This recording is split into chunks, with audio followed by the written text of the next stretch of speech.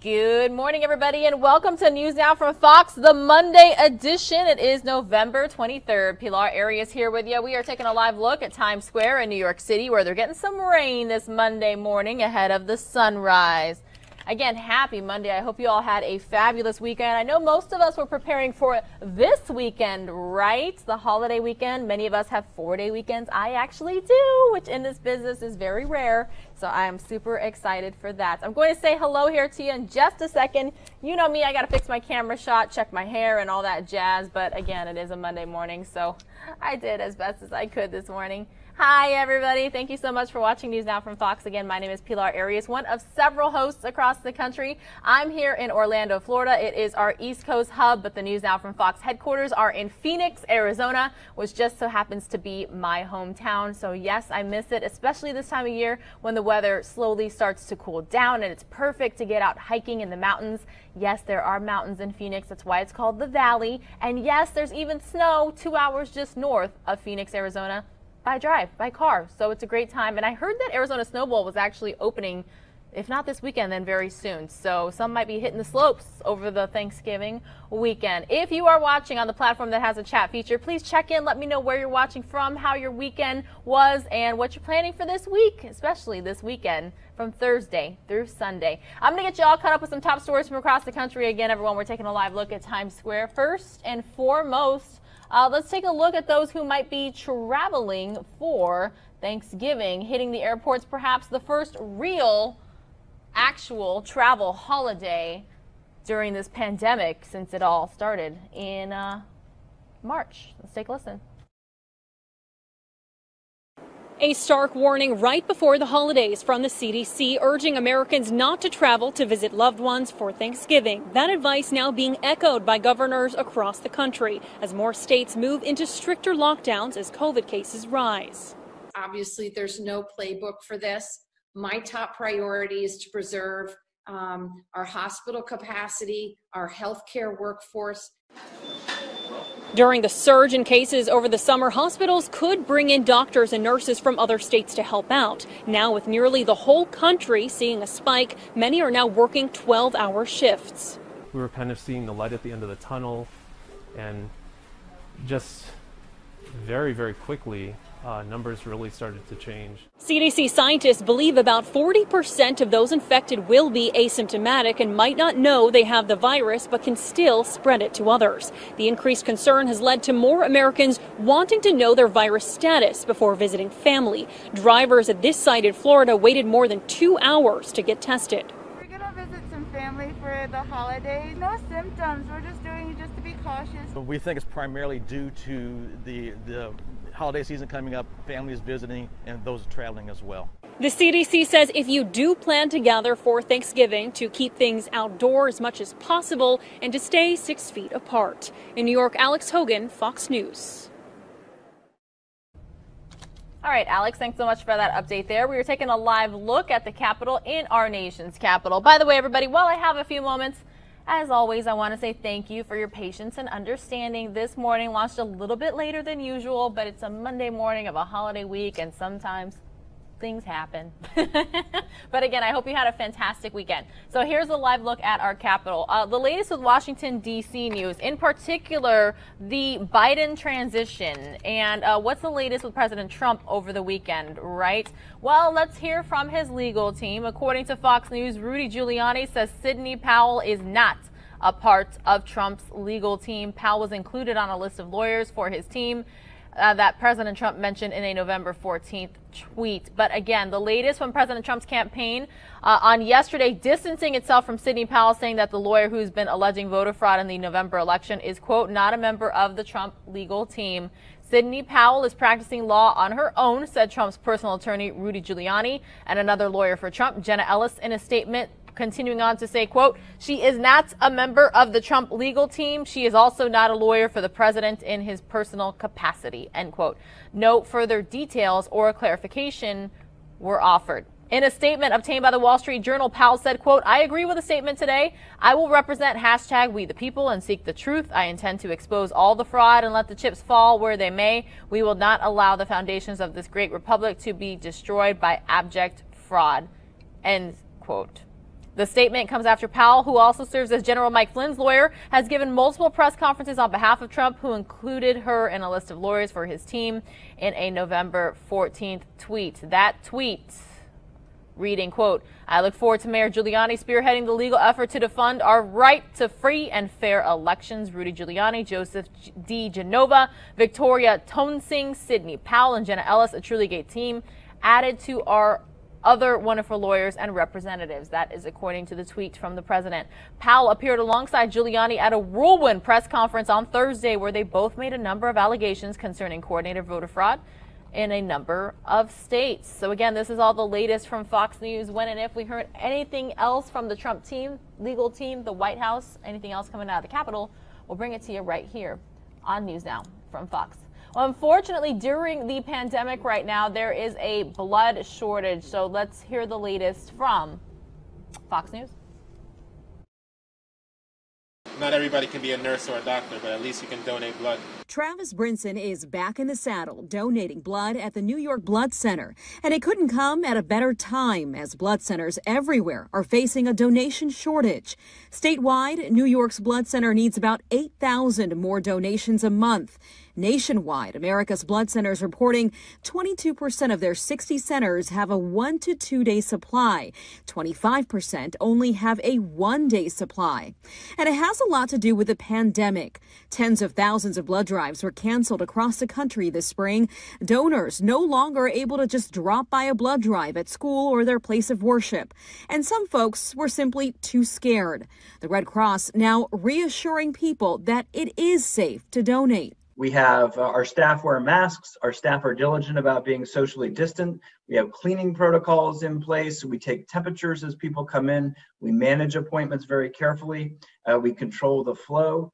So uh, we have adapted to the pandemic. In some blood centers, we'll even check to see if you have COVID antibodies. Bernardo Flores is donating convalescent plasma for a third time after beating coronavirus in April. It was a, a scary moment in life. It's actually incredible to have that feeling, to know that, like, you know, my plasma can help up to like three people uh, fighting against COVID. A small sacrifice that could save a life. That's what keeps Travis coming back, even in the middle of a pandemic. Despite all our fears and our expectations of what might or might not happen, we should still try to help each other and go out of our way to go above and beyond. And if you want to find the nearest place to you to donate, just head to americasblood.org or redcross.org. In New York, Aishah Hasnie, Fox News. All right, Aishah, thanks so much for that. Again, everyone, my name is Pilar Arias. Happy Monday. Thank you so much for joining us right here on News Now from Fox. I definitely have my coffee ready to go here because uh, it's a Monday morning, and as a journalist, I am just addicted to coffee. I love coffee. I have to have it every single morning. If you do too, let me know if you're watching on the platform that has a YouTube chat. You'll probably see I've been very chatty with you guys this morning. Okay, so we are continuing on with our top stories from across the country, right? Unfortunately, over the weekend, a lot of COVID related news came out. We're going to take you to a city, a community that I used to live in, El Paso, Texas, to find out, unfortunately, about the situation with their COVID 19 surge and the response. Again, it is Monday, November 23rd, 2020, and you are watching News Now from Fox. We are uh, dealing with uh, a pandemic uh, unlike on any other. With El Paso hospitals and ICUs over capacity since last month due to one of the worst COVID 19 surges in the country, three Air Force medical teams have spent the past two weeks deployed in the borderland to aid in the fight. We came over here to University Medical Center we onboarded over here with the medical staff. They showed us around the hospital. And after that, we hit the ground running and uh, started working in some of the critical care sections in the emergency medicine rooms. Staff Sergeant Blake Pfaff is a member of the team at UMC, where the COVID 19 ICU is drawing comparisons to a war zone. A lot of the people I work with um, have described it uh, similar to Afghanistan, Iraq. Um, there's uh, just a large amount of patients. Um, that we're taking care of in a lot of critically uh, sick patients. El Paso has seen a wave of deaths among COVID 19 patients that has overwhelmed the county morgue, with the county having to call in the National Guard today to work through a backlog of nearly 240 bodies. But the Air Force team say they're taking pride in the patients they have been able to save. We do have uh, some uh, patients, unfortunately, losing their lives, but um, I, would rather focus on uh, the patients that we are taking care of, the ones that uh, we are um, able to take off the emergency ventilators. Although members of the military area are often called heroes for their service. The medical team say the spotlight belongs on the healthcare workers who've been saving lives in El Paso since the pandemic began. They're the real heroes. Uh, we're just here in support of them. Keenan Willard, KFOX 14 News at 9.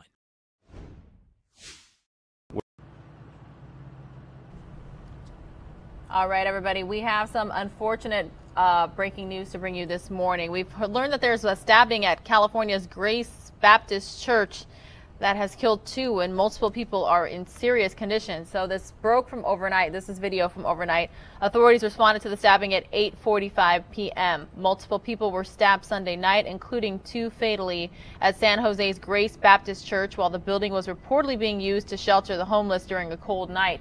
Authorities said some of those injured sustained life-threatening injuries. Sam Liccardo, the mayor, said the police arrested a suspect, but the Mercury News reported that the tweet was deleted. This quote goes out to say, our hearts go out to the families of the two community members who have succumbed to stabbing wounds in the attack at Grace Baptist Church downtown, Liccardo said in a tweet late last night.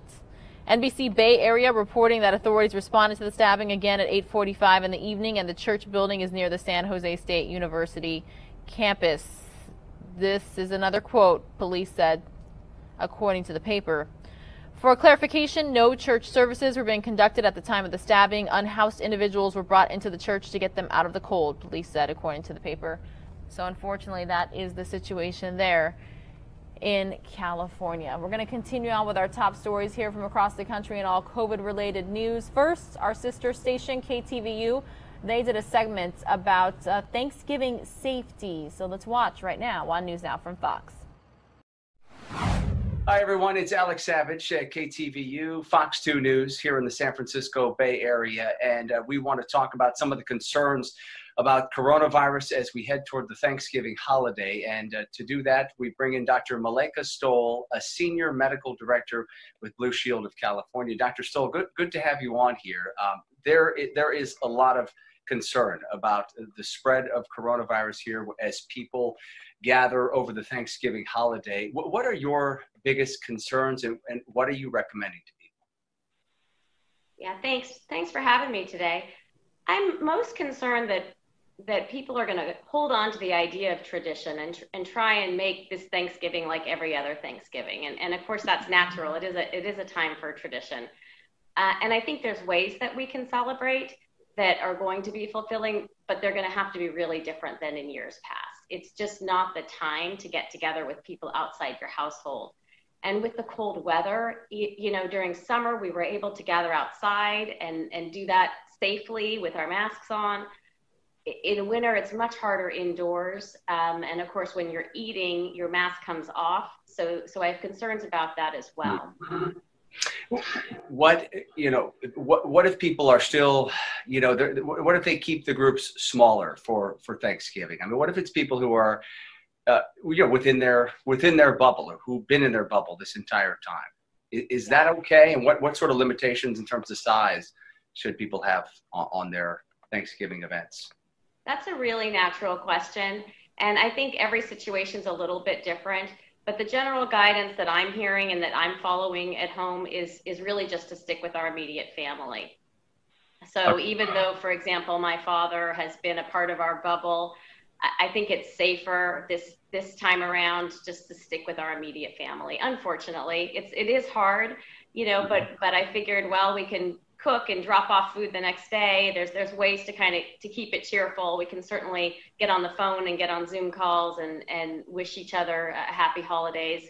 So I think there's ways to do it, but I just really think we should uh, go towards the side of caution and stick with the folks who are in your immediate household in in terms of the travel situation, obviously Thanksgiving is one of those times a year when people like to travel across the country and, and see their loved ones. And I'm, I'm, sure you've heard the, the recommendations from public health officials, from the CDC, urging people to to avoid Thanksgiving travel this year. We're, we're sort of getting into that window where we usually see travel start to ramp up and people starting to head out of town here.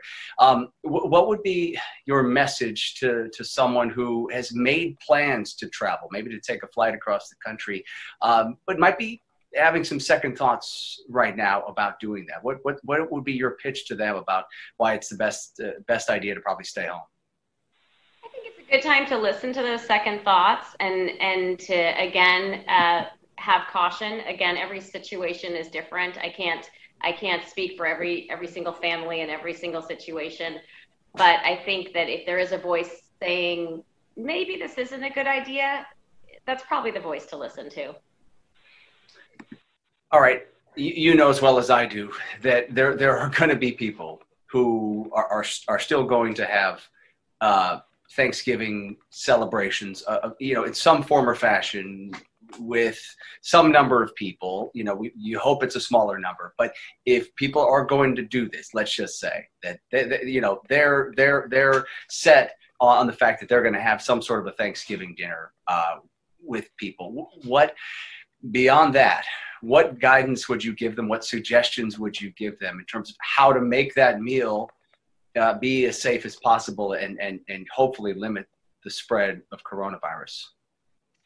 Yeah, good questions. I, I think, as I mentioned before, outside's better than inside. So if you happen to live, you know, in our climate in California, and you can set up some heat lamps outside, that's gonna that's gonna be definitely more safe than being crowded inside. And even when you're outside, distancing, so sitting six feet apart, um, having, you know, if there's a family there, they can sit as a unit, but then having them six feet from another family, you're going to have to have it set up that way. So little tables or whatever it takes. Um, and I think um, making sure that there's not a lot of sharing, there's no sharing of utensils and sharing of, of food. So making sure, you know, they're saying no buffets. Um, you know, sometimes even potlucks, families can bring their own food, and you still have that fun of of uh, gathering gathering together. Um, and then, of course, wearing masks at all the time other than when you're eating. So those, those would be my, um, that's what I would suggest. Is there any benefit to, to limiting the amount of time that you spend? I've heard some people suggesting, well, you know, maybe you try to make the Thanksgiving dinner, you know, it, obviously it's, it's nice to, to eat and linger and, and, and chat and, and, you know, have drinks and all that stuff. But is there any benefit to, to, to putting a kind of a time limit on things? Yeah, the less time you're interacting with others, the less chance that the virus is going to spread. And of course, remember that you can have the virus and not be sick. So that would be another. I mean, obviously, if somebody's not feeling well, if they're sick, uh, they want to stay away from any type of gathering, and that's going to be really important. But even for those folks who look well and feel well, they can um, actually be transmitting the virus. So any uh, reducing that amount of contact, to your point, is is the way to go. So short shorter duration would be better. Um, there's also discussion about alcohol and you know when people drink did the masks come off do people get a little closer together um, you know that that's an issue too so again i think limiting the time um, you know, making it short and sweet, that would definitely be advisable. How do you, you know, what, what is your, what is your gut feeling about how things are going to play out here as we head, you know, into the heart of the holiday season here? There, there's a lot of sort of dire predictions about people still gathering over the Thanksgiving holiday. And then, you know, you look a few weeks, a month or so down the line, and you might see a lot more people uh, getting sick with the virus here. What what is your what is your gut feeling about how how all of us as a as a broader community are, are going to handle this holiday season with cases on the rise? Yeah, I mean, I'm I'm an optimist, so I'm hopeful that the, as you said, the discussions that have been happening around just um, just the rapid the surge that we're in right now, just really really rapidly increasing cases every day all over the country that people will take that seriously and as they go into the holidays uh, do the right thing for themselves and for others. So so that's my certainly um, my hope. And and i think you know the other the other good news is we know more about this virus than we did maybe at july 4th you know when people were talking about gathering. And we know how it spread. We know that masks are are really effective. Um, and so wear the mask. Um, so we're learning more and we know more. And I think that's going to help us as well, as long as people, like I said, listen to that voice that's kind of telling you to do, to do the right thing. And, and of course, as well, we have the recent news, good news about a vaccine on the horizon. Um, but I do want to emphasize that that's, that's not right around the corner. So we have, um, it's good news because what it tells me is that next year for Thanksgiving, hopefully things will be back to those regular traditions that we love so much. Um, but between now and then, if we want to get to that point and we want all of our loved ones to be with us at that point, then we really, we really do need to do the right thing.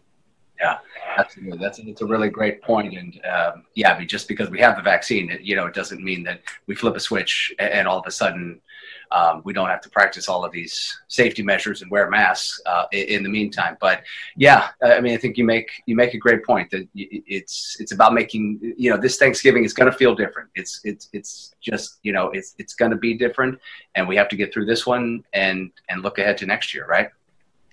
Absolutely. And there's, you know, it's always, it's sometimes really hard in times like this to find those things to feel thankful for, but it's, it's really helpful to do so.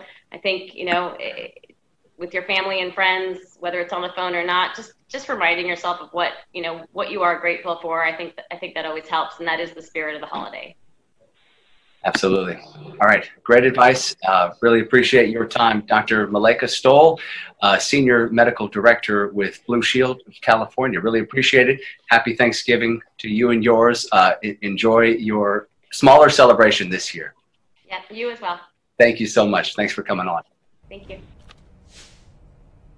All right, everyone, we have some breaking news out of New York. Our sister station, Fox 5 New York, providing us these live images on the ground right now. Unfortunately, what we are hearing from our sister station is that a gunman opened fire, shooting a total of seven people, killing one in Brooklyn. So that unfortunately means that six people were injured and one person is dead. The New York Police Department is looking for at least two gunmen, actually, who opened fire at a party in Brooklyn, again, injuring six and killing one. Police believe that shooting at a party on Albany Avenue in Bedford Stuyvesant, I definitely did not say that right. I'm sorry, New Yorkers. At about 11:15 last night was connected to a shooting during a Sweet 16 party in East New York earlier in the evening. All of this information is being reported by our sister station Fox 5 in New York. In the first shooting, a teen was shot in the leg. During a second shooting, a 20 year old woman was shot and pronounced dead at Woodhull Hospital. In total, four males is what they're saying, and it's probably because they're teenagers in age because it doesn't say men, and three females were shot. All of the victims were between the ages of 14 and 20. So, yes, most of them teens, but of course, some probably aged 18 to 20 would make them legally adults. The latest gun violence comes amid a 95% uptick in shooting incidents citywide compared to last year. Unfortunately, in stressful times and around the holidays, crime increases. We've heard about stabbings, we've heard about shootings already this morning here on News Now from Fox. But this is breaking news from our sister station, Fox 5 in New York. I wanted to provide you the latest right there. A little bit of the beauty and magic of News Now from Fox is that we can jump from community to community, not just nationwide news here, but we are worldwide. If we get international feeds that we are capable of taking, we'll bring them to you right here on News Now from Fox. So now I'm going to take you from New York back here to Central Florida, where our sister station, Fox 35 Orlando, put together these two pieces about the COVID 19 latest here. Again, everyone, my name is Pilar Arias. You are watching News Now from Fox. As soon as this story ends, some of you are going to see a quick two minute break, and we will see ya when you return. The U.S. passing 12 million reported coronavirus cases since the start of the pandemic. Johns Hopkins University reported.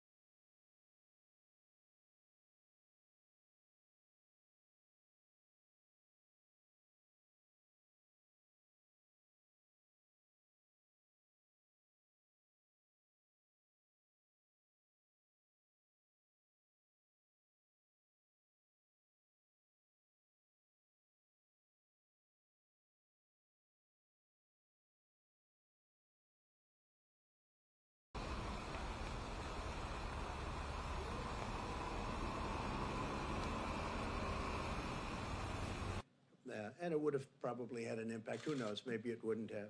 I'm sure they would have found the ballot someplace, the Democrats and the group. These corrupt games will not deter us from doing what is right for the American people. And I will always put American patients first. And I think uh, it can never be shown better than what I'm doing today. Already, we successfully lowered drug prices for the first time in 51 years. In September, we finalized a rule allowing states, wholesalers, and pharmacies to safely and legally import drugs from Canada. Career politicians have promised to institute this reform for decades, and we got it done. The reason Canada, and this is going to be, I think, just a short term fix because until we have the favored nations fully ready, which we hope to be in January 1st. I think a very important thing is to say January 1st. It's right around the corner. Um, but uh, I'm giving governors the right to go to Canada because they'll pay, pay approximately 50% less for their drugs for that they buy for their states. So the governors buying drugs for their states go to Canada. They buy the drugs for very, very much less, and they'll be able to pass that on to the people of Florida. Uh, Ron DeSantis uh, was the first one to ask, but others are asking also. And uh, it's a great thing. I mean, you'll save 50%. They're going to buy a lot from Canada uh, initially, and I think ultimately they'll be comparing prices. You'll get the lowest price anywhere in the world, so you won't need to buy from Canada. In a few weeks, my administration will also finalize rules requiring federally funded health centers to pass drug company discounts on insulin and EpiPens directly to patients, and the EpiPen prices come way down. We remember those horrible stories about EpiPen. Well, the prices now come way, way, way down. We capped insulin costs for many seniors at just $35 a month, as I said, saving them an average of nearly $500 to $1,000 a year just on insulin, saving $1,000 a year on insulin.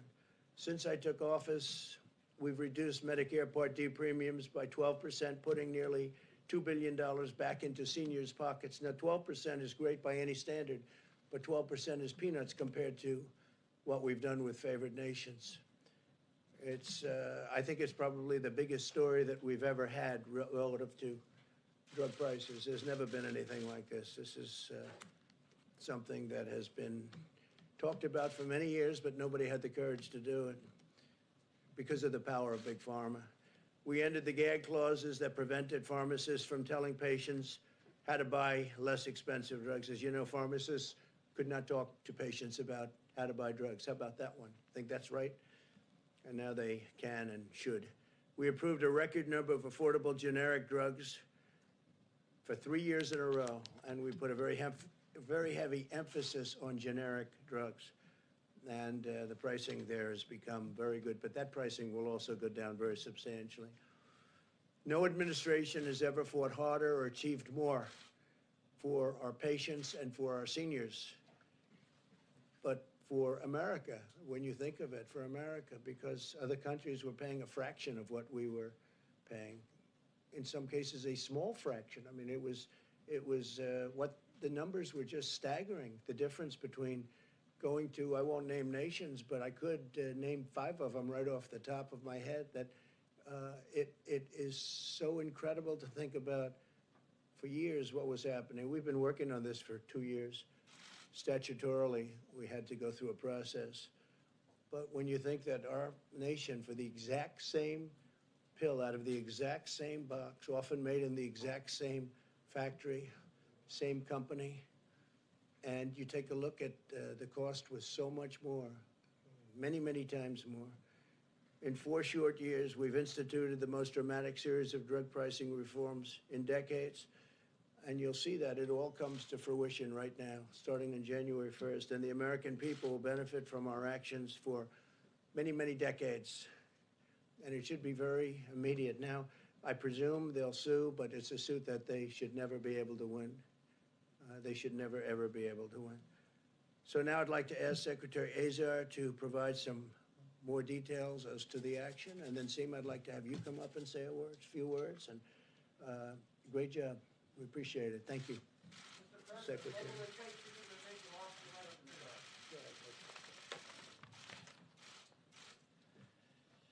Well, thank you, Mr. President.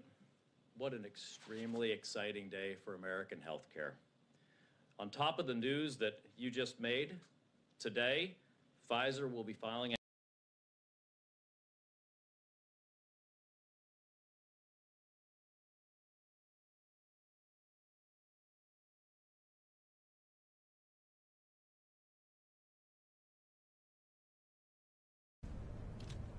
Hey, everybody. I think it's a Monday. Sorry for the brief interruption there in the content. We were trying to bring you the latest from right here, Central Florida, our sister station, Fox 35 Orlando. Two separate reporters, matter of fact, helping us out. We had, let me make sure I give credit to where credit's due.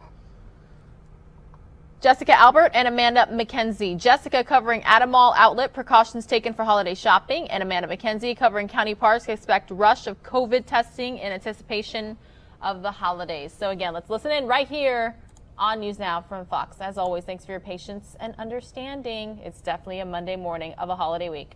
In the U.S., passing 12 million reported coronavirus cases since the start of the pandemic. Johns Hopkins University reporting almost 180,000 new cases on Sunday and nearly 1,500 new deaths. In Florida, the state is reporting just about 6,600 cases on Sunday. Thanksgiving and the holiday season now at the top of mind for many people. Good Day Orlando has live team coverage here for you this morning. Fox 35's Jessica Albert is live in Orlando with more on the crowds who are just filling up the shopping centers. But we do want to begin with Fox 35's Amanda McKenzie because she's live at Barnett Park for us once again this morning. And Amanda, good morning to you. Some people once again waiting for hours this weekend to be tested. That's right. Some people waited more than two hours in line to get tested. Demand is up, and test sites are working hard to meet that need. Long lines as Orange County sees record numbers of people getting a free COVID 19 test. Officials don't expect the demand will slow down anytime soon. Uh, We think it's primarily due to the, the holiday season coming up, families visiting, and those traveling as well. Some waiting more than two hours at the Barnett Park COVID 19 testing site. We're gonna visit some family for the holidays. No symptoms. We're just doing it just to be cautious. The site offers both the molecular and rapid antigen tests. No symptoms are necessary and no appointment is required. Now, this test site here at Barnett Park will now be open seven days a week, but they will be closed on Thanksgiving Day. Reporting live in Orange County, Amanda McKenzie, Fox 35 News. Amanda, thanks. As many people waited for uh, tests, others packing shopping centers. Take a look at the video here at shoppers at the Orlando Vineland Premium Outlet Mall on Sunday. Our live team coverage continues with Jessica Albert. Jessica, health officials are sharing concerns now as, of course, cases rise. Good morning. Good morning, Ryan. And Fox 35 did talk to a local health expert who says that holiday shopping can be safe if you're careful, which is good news because we expect the malls to be very busy ahead of Thanksgiving and Black Friday. risk versus benefit. You know, I know that it's really fun to go out shopping, but how much risk are you willing to take?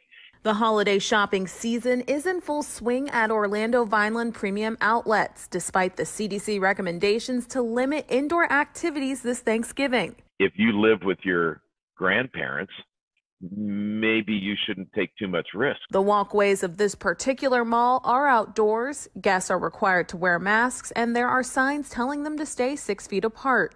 Dr. Todd Husty says shoppers shouldn't worry about getting COVID 19 through touching surfaces. Many months ago, they, they we really found out that the vast majority of transmission really is through respiratory. I mean, it, it, it's not through contact. Does that mean that we shouldn't worry about it at all? Well, no, not very much at all. So, still good hand washing. He says it's okay to go shopping, but if you find yourself in a crowded store, you should leave. And for people who do not want to take part in traditional shopping, you can also shop online or you can do curbside pickup at many of the stores here at the outlets. Reporting live in Orange County, Jessica Albert, Fox 35 News.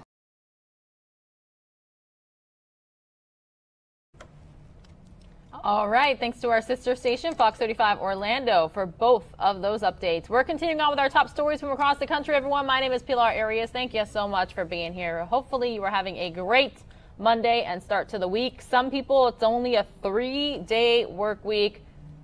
Again, we're taking a live look at the Capitol. The sun is rising. It is cloudy there in D.C. It's also cloudy here in Orlando. I'm looking outside the uh, building here, and I'm definitely seeing some clouds. The sun is there, but not nearly as bright as it normally is. We're coming up on the 7 o'clock hour. Some of you are going to be taking a quick commercial break. We will see you in two minutes. And for everyone else, we're going to continue on with our top stories. Let's first head on out to Wisconsin, where uh, police made an arrest in connection with the mall shooting in Wauwatosa. The suspected gunman, a 15 year old boy. Fox's Chris DeMeo has this story right now on News Now from Fox.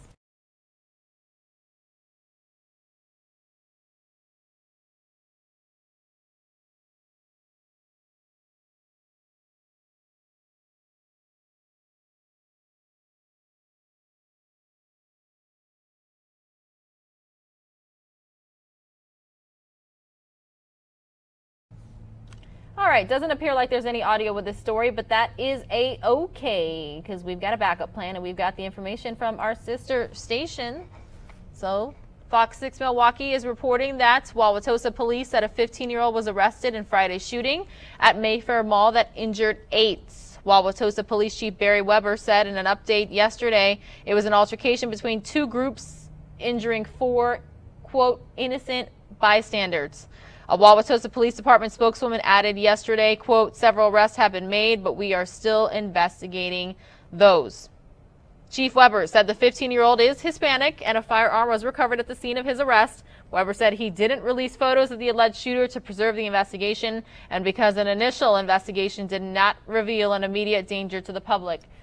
Again, this is all from our sister station, Fox 6 in Milwaukee. The chief offered few details on the arrest, only that it took place after a young man had left the mall property on foot after Friday's shooting. A Wauwatosa Police Department spokeswoman said he was arrested Saturday night following the execution of search warrants. Chief Weber said he believes the boy was arrested during a traffic stop.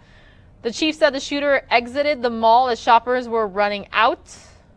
The chief said the process to clear the mall for all 1.2 million square feet took six hours with seven tactical teams. This after calls came in for shots fired 249 in the afternoon Friday. Chief Weber said first responders were on the scene within 30 seconds and their first priorities being securing the mall and rendering first aid. Police said Sunday those injured were continuing to recover and that most have been released from the hospital. So that's the latest there. We're hearing a 15 year old boy was arrested as a result of the Mayfair Mall shooting in Wauwatosa, Wisconsin. Continuing on now, again, taking a live look at the U.S. Capitol in our nation's capital. I'm actually going to let you listen in, though, to the latest news conference from the police on this incident. Again, you're watching News Now from Fox. My name is Pilar Arias. Today we are here to provide some information regarding the shooting at Mayfair Mall that occurred on Friday, November 20th. The way this conference will proceed, proceed is that Chief Barry Weber will be making a statement. Mayor McBride is also here as well. Once the chief makes his statement, I will come back up to the podium to answer any follow-up questions.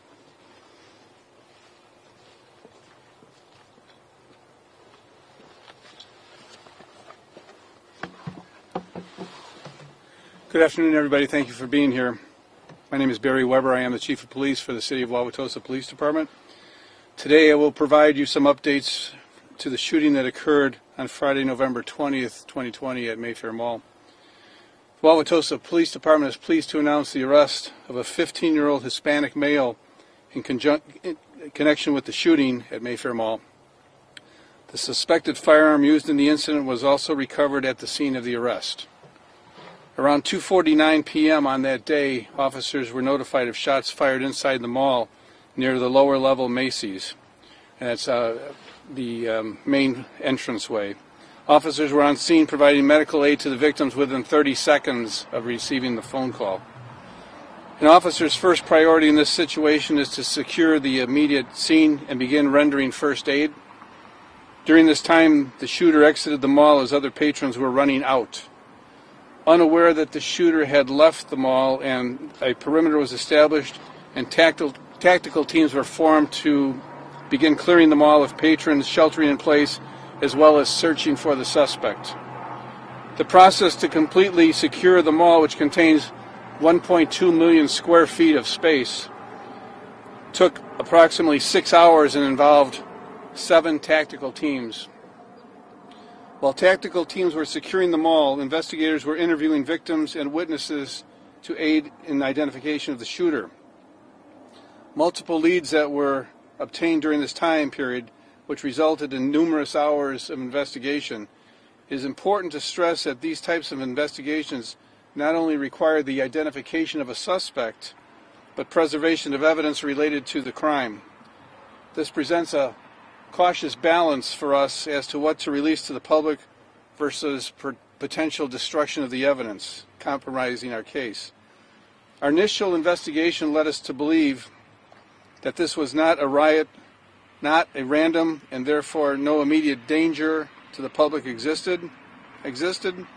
Photos of our suspect were not released to media for fear of compromising the investigation and potential destruction of evidence.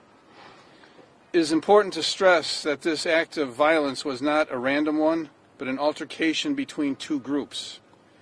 As often happens in these types of situations, innocent bystanders are injured.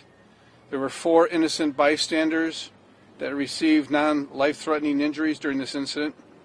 We extend our well wishes and prayers to them for a speedy recovery.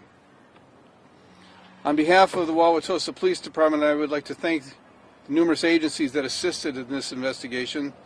The bravery, professionalism, and service to community shown by all first responders was exemplary.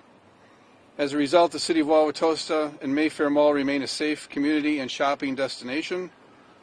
I would like to express special thanks to our officers, detectives, the FBI, Milwaukee Police Department, City of Brookfield Police for their commitment and invaluable assistance, among others. I'm so proud of the personnel in our police department. They have worked tirelessly to solve this case quickly. We've gotten support from so many agencies, and law enforcement here in Wisconsin and really all of southeast of the part of the state and in Wauwatosa continues to showcase the professionalism and capability that citizens have come to expect.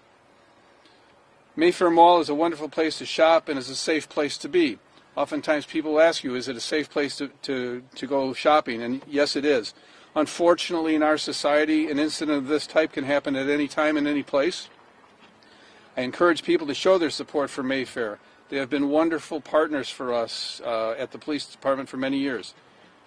In closing, Whenever a critical incident like this happens, we receive many inquiries from citizens and news media demanding more information and speculating why we aren't providing more. Understand in almost every incident we have more information than we can release. We cannot risk compromising the recovery of evidence, information, or location of the suspects.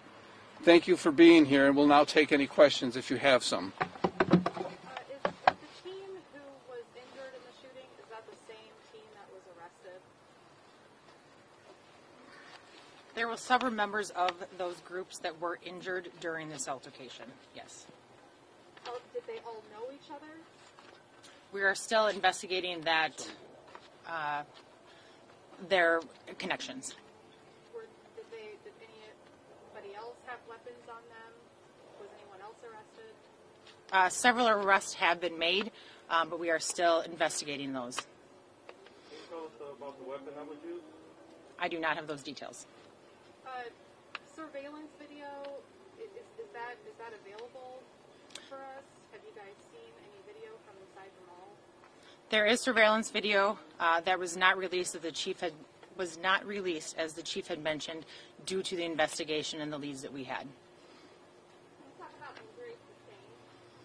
All of the injuries were non-life threatening.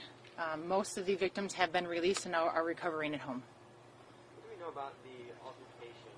Other than it being an altercation, do we know what actually caused that grip?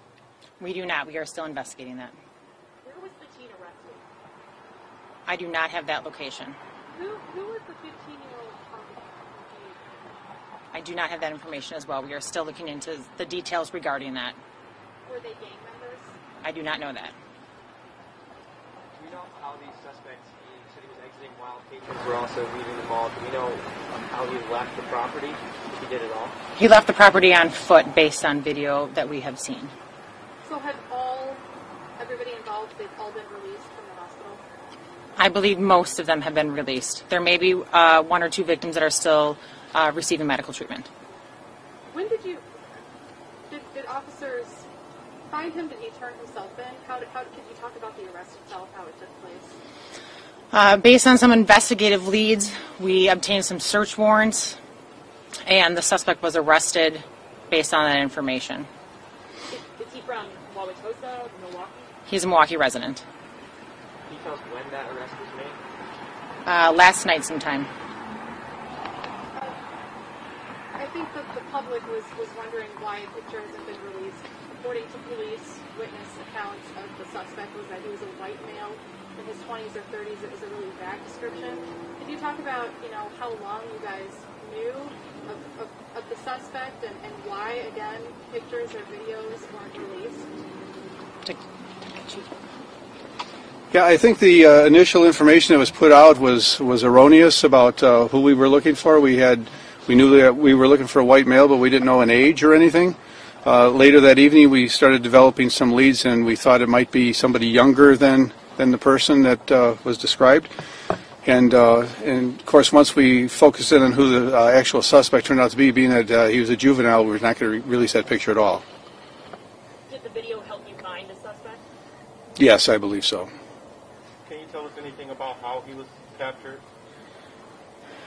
Um, I, I think that he was in a vehicle or something, and uh, if I recall, and he was uh, they, they pulled over the car and uh, and, and s- uh, scooped him up there.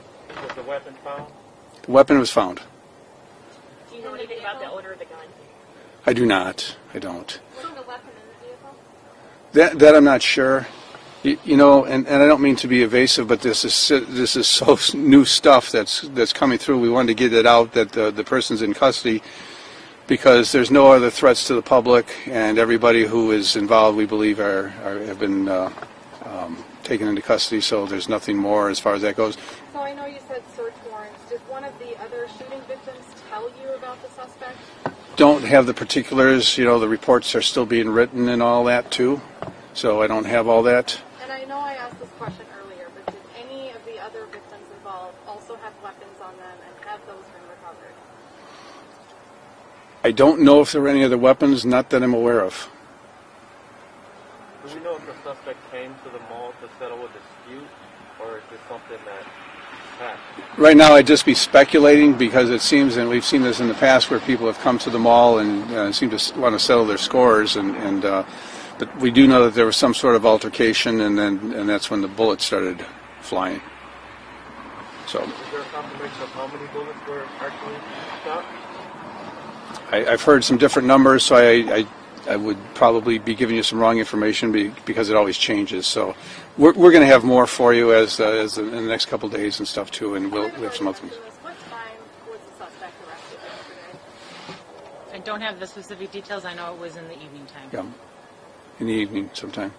Can you kind of talk about charges moving forward? I, I'm not sure that they've even brought it to the district attorney uh, yet as far as what, what the discussion will be. Um, that's usually something that probably happen tomorrow. Okay? Thank you, everyone.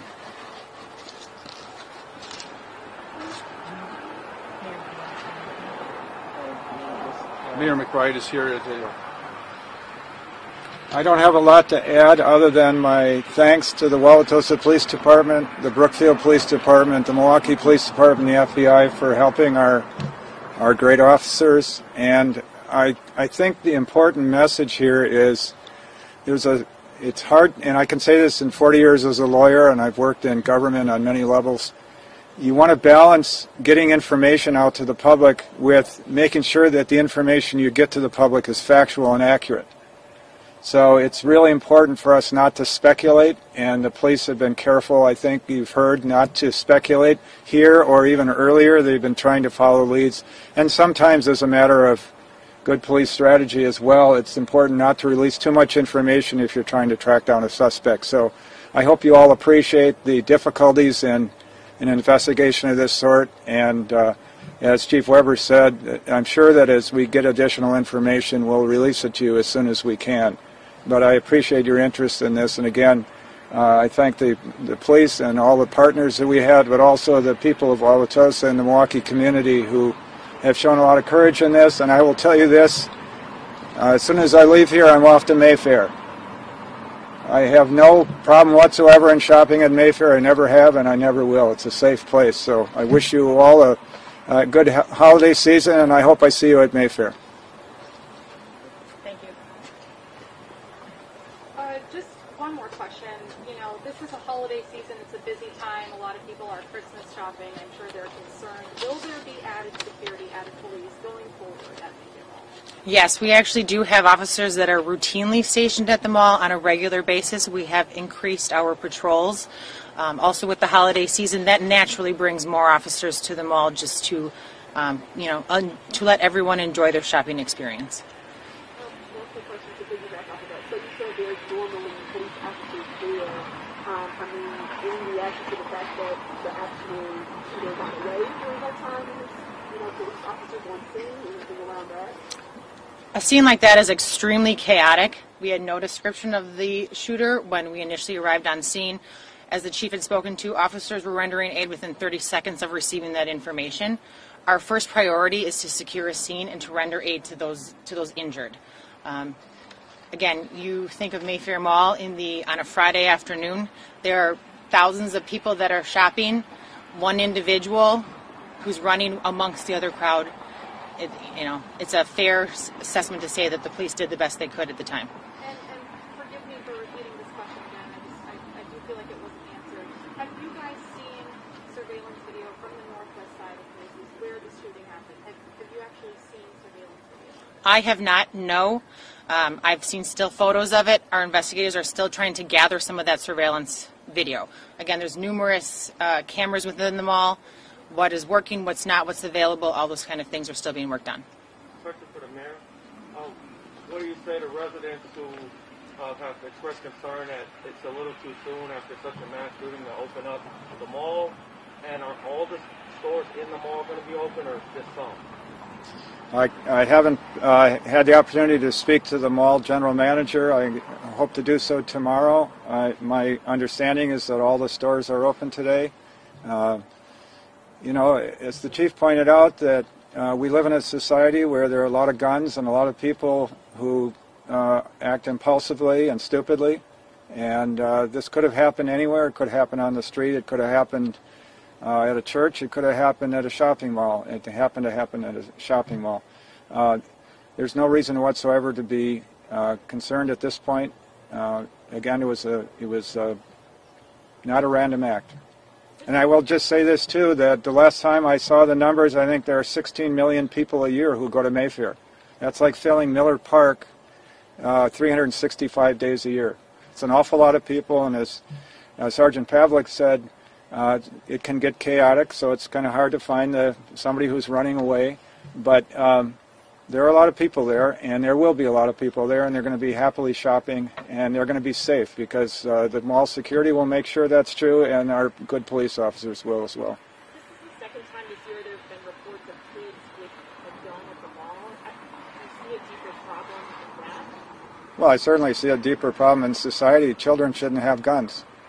And Mayfair has a strict no gun policy, and uh, people should not be bringing guns to malls. State law says that private property owners can exclude guns from their premises. Mayfair has uh, that rule, and people should follow that rule. Unfortunately, there are people who break rules and break laws, and from time to time that has negative, uh, a negative impact. Mayor, any thoughts on the MAGA protesters who decided to come the next day, some armed, to protest, you know, just a block away from the mall a day after such a tragic shooting? That rally, as I understand it, was uh, planned for at least a week uh, prior to the shooting. Uh, I think it was unfortunate that they chose to come despite what happened the day before. I don't think people should come to political rallies with guns. Uh, we need to respect the First Amendment rights of everybody to uh, stage a political rally or a protest, but uh, again, I, I don't think if it had been up to me, I would have said, please do not come, do not bring guns, honor the fact that our community is suffering right now and needs to heal.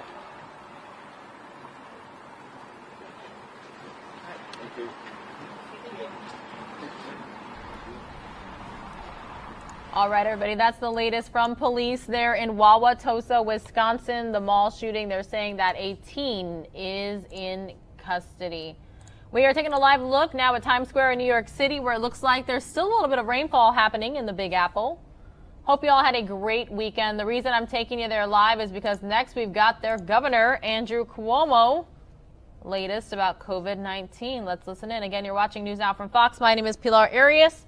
Almost 7:15, so some of you are going to see a quick two-minute commercial break. When we return, we will be listening to Andrew Cuomo.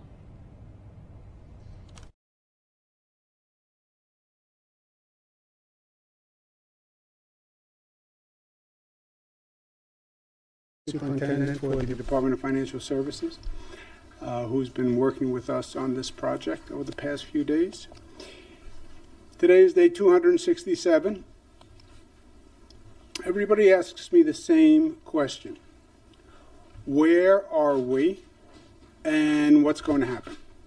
That's all that people ask me. Where are we? Just to get our bearings. Today is Sunday. We're in New York City. That's in the United States of America. We're four days until Thanksgiving, five days until Black Friday, 33 days until Christmas, 39 days until Christmas Eve. That's where we are. This is the challenging period. a lot of discussion about COVID. You listen to the talking heads on uh, cable news, you come up with all sorts of different variations of what's going to happen. It's going to be terrible, it's going to be an apocalypse. Another station will say, don't worry about it, it's all going to be fine. What is the problem we're trying to deal with, and what are the consequences?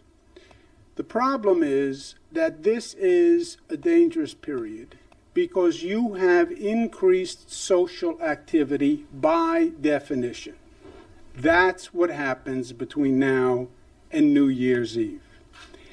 Uh, there are more parties, people are shopping, students are coming home from college in states with higher infection rates, uh, there are more family gatherings.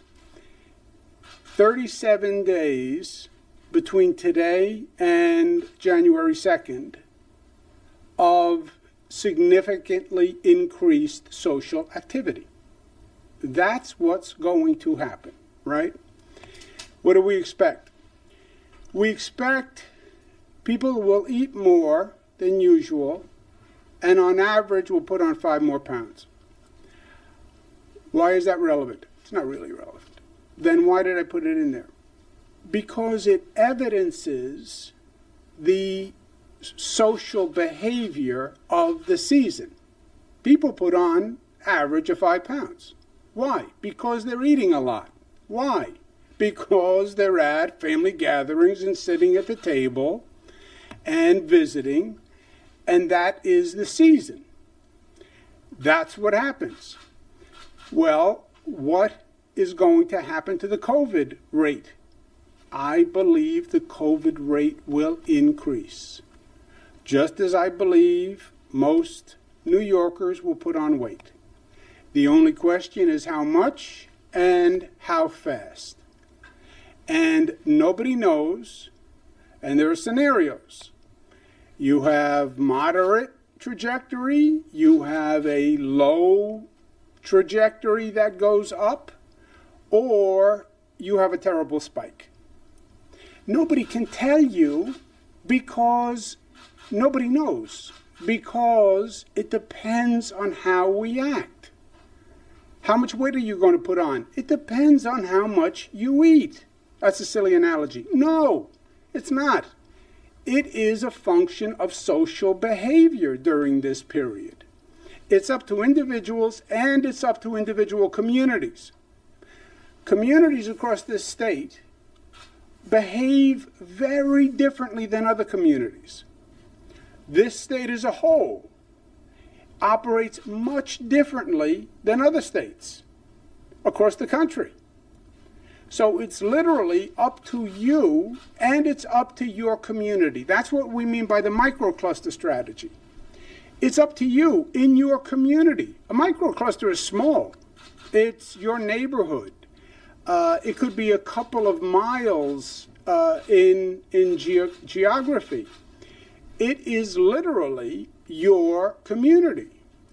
The advantage is we get to say to people, beware of your own activity in your own community.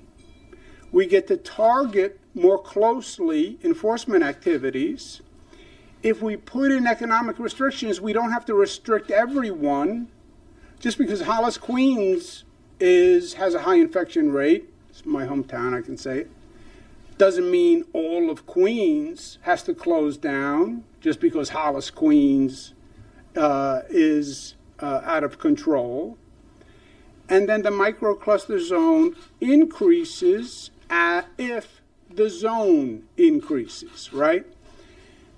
Three levels of action yellow zone, orange zone, red zone, going up with the infection rate. You hit 2.5%. Outside of New York City, it's 3.4%. Why is it lower in New York City? There's more density. You go to a yellow zone. What happens if I'm in a yellow zone? House of worship goes to 50%, mass gatherings 25, indoor dining four person max. Schools are open, but you have to do mandatory 20% testing in the school. Up one notch is an orange zone. 3% in New, New York City, 4.4 to 5 outside of New York City. Orange zone scale up the restrictions. House of worship goes to 33, mass gatherings go to 10, businesses, uh, we close the high risk non essential, such as gyms, personal care, dining for people uh, outdoor only. Schools must go to remote, no in person, with a test out option. What does that mean? It means the school closes for a couple of days. You clean the school. The school can either go remote or the school can test the students and reopen. Okay? You go to a red zone, that's our highest zone. Red zone, 4%. Houses of worship 25, mass gatherings prohibited, business essential only, dining takeout only, schools remote, again with a test out option. So even in a red zone, the school isn't closed. The school can be open, but you have to test the students and make sure that they are negative. Those are the three levels of zones. You get beyond 4%, you're in a different arena altogether. Uh, and you're in serious territory. Up to 3%, which makes the state orange zone, school districts control what they do with their local schools. Why? Historically, education is controlled locally. Local school district, local superintendent, they have local elections for uh, the school board. Localities are very proprietary about their control of their school. New York City, you have mayoral control. The mayor is basically in control of the schools. What the law says is up to 3%, local governments, you're in charge. Do whatever you want to do remote, hybrid, whatever your parents agree to, you can do. At 3%, state law governs because you're going to an orange zone. Okay? Is that clear? So they have local control up to 3%. Uh, and you have local, you have 700 school districts across the state. You have a whole variety of options. Some are in person, some are remote, but at 3%, local control goes away, state law governs, and you go to an open uh, orange zone, the school has to be cleaned, you have to do additional testing, and you can reopen the school if the positivity rate is low. All right? As you can see, we want schools open. All the leading experts say keep K to 8 open. The positivity rate in the schools is lower than the positivity rate in the surrounding community. It's safer for the child to be in the school than in the community. Not to mention, the child's getting an education, uh, parents, etc. So we want to keep schools open. Junior high and high is a different story. There, the students are less responsible, and there's generally a higher infection rate. Now, I want to just clear up a little confusion. Uh, 3%. When is 3% not 3%? Because nothing is easy. 3%, the way the state determines 3%, is it's an average over the past seven days because day to day the number bounces like a basketball going down the court, right? It's 2 4, 3 1. So it's a seven day average, and then that number has to hold constant for 10 days. All right? We don't want zones going in and going out. Uh, so we want to make sure they're based on solid data. So it's a rolling average, and then the zone has to stay at that number for 10 days. Local governments across the state publish their own numbers. How does this happen? The state collects all the testing data, and then we send it to the local governments. Some local governments change factors and will have a slightly different number than the state. I believe it's confusing and unnecessary, but it is also irrelevant because the state law governs, and once the state says it hits 3% or 4%, that's what matters. But when people say, well, my county says this, my mayor says this. We do all the testing, we send them the numbers. Sometimes they change what tests count because of timing. Sometimes they change, they don't uh, remove duplicate positive cases. So there'll be some fluctuations. It's confusing, but it's also irrelevant. Is 3% safe? 3% is the safest margin being used in the United States of America. 3% gives us a margin of error that if we hit 3, we have time to correct before the situation gets out of control. And remember, the 3 is a real 3, which will then designate a microcluster and then we work with that microcluster to reduce the number. How safe is three? It is so safe that 46 states are now above 3%. If 3% was a national standard, 46 states would be a zone. Isn't that amazing? It's because New York State's overall infection rate is so low we have the fourth lowest infection rate in the United States of America. God bless New Yorkers. The only states with a lower infection rate Vermont, Hawaii, and Maine. Beautiful states, all of them.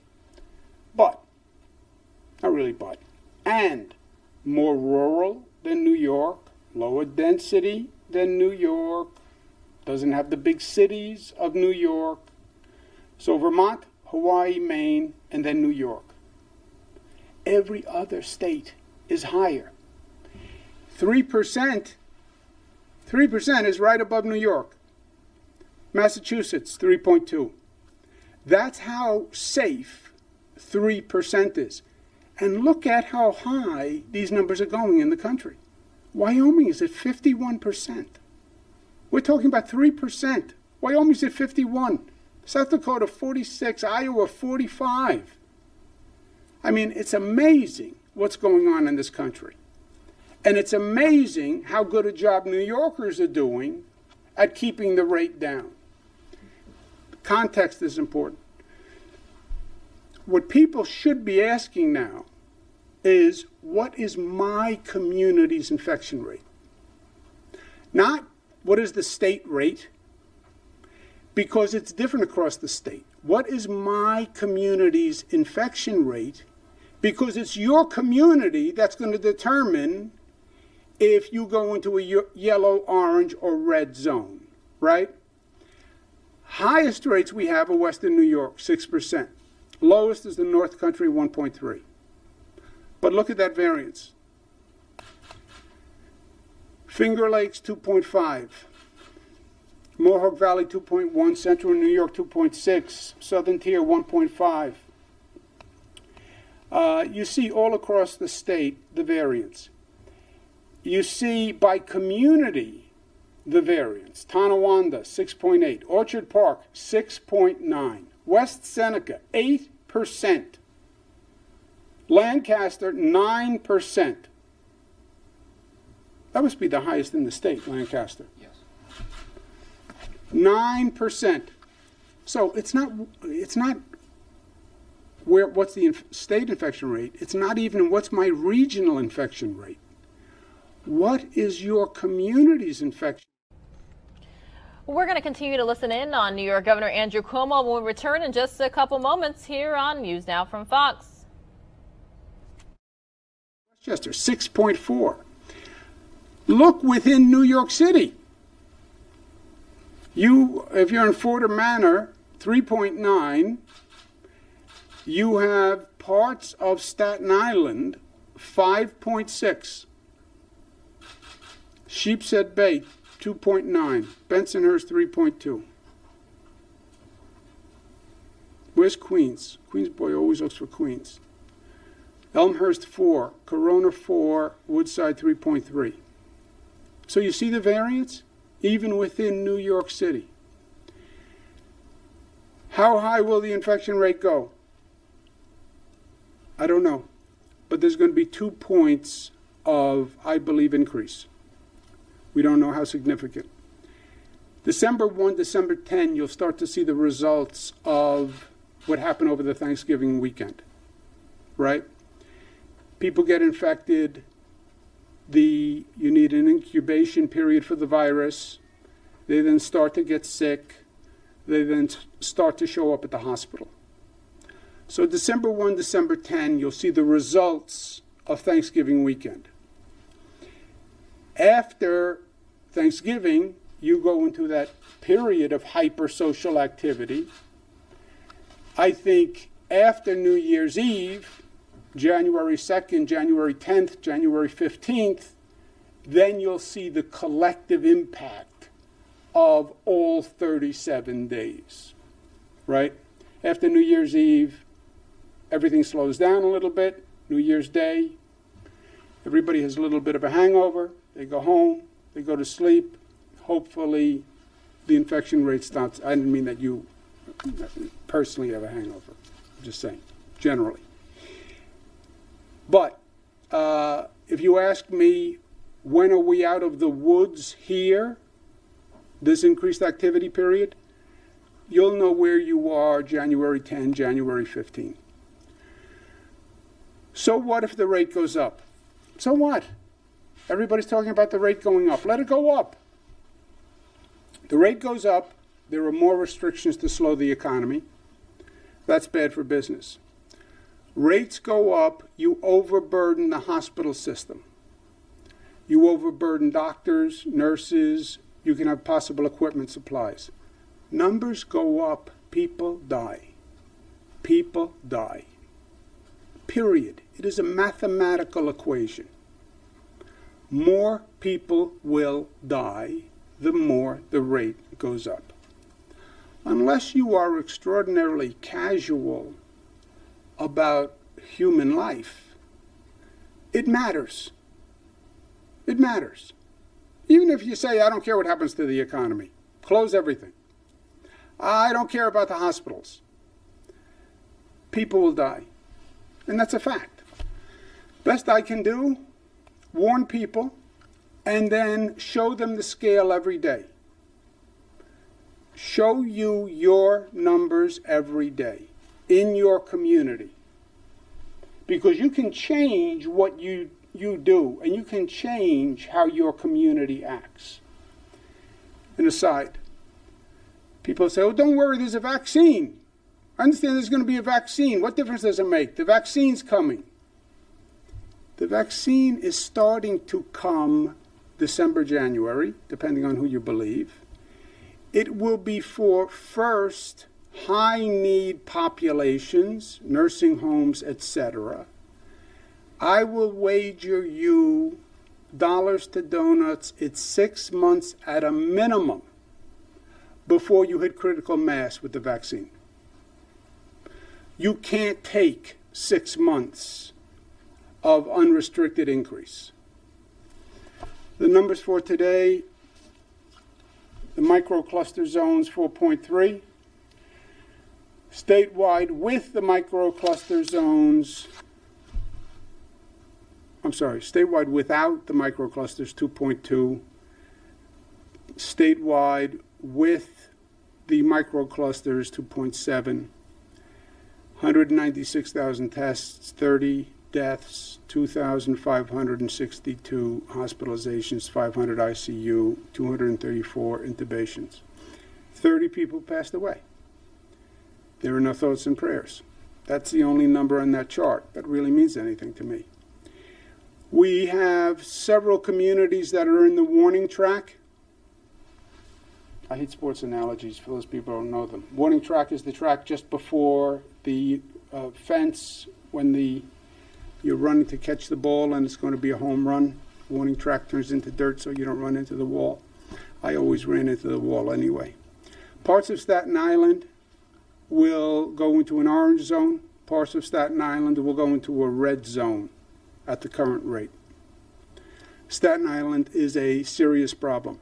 Staten Island uh, is also a problem in terms of overburdening hospitals and we're running into a hospital capacity issue on Staten Island that we have to be dealing with over these next few days. Parts of the city of Syracuse will go into an orange zone at this rate. Parts of the city of Rochester will go into an orange zone. Upper Manhattan will go into a yellow zone. Parts of Nassau will go into a yellow zone. Parts of Suffolk will go into a yellow zone. How much weight will I put on over the holidays? How high will the infection rate go? Depends on what we do. You have a trajectory where it goes so high, the whole scale changes. You know, we're now down there as the fourth state at three. You see those other states, 20, 30, 40. You could see our whole scale change by the time this is over.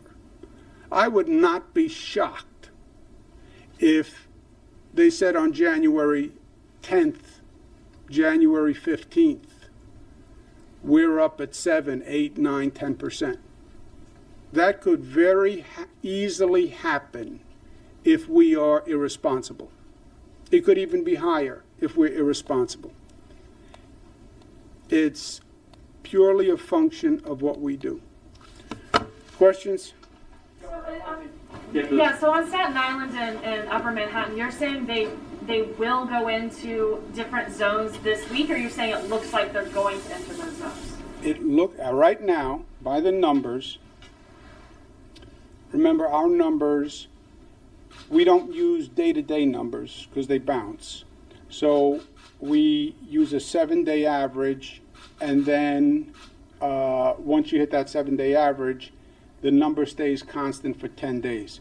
Unless they dramatically change the trajectory of the infection rate, this week they will go into those zones.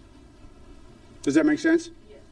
When it comes to the discrepancy with the city numbers, why is it better in the state's opinion to report that data based on when the test results come in as opposed to the city's method as of when the tests are taken?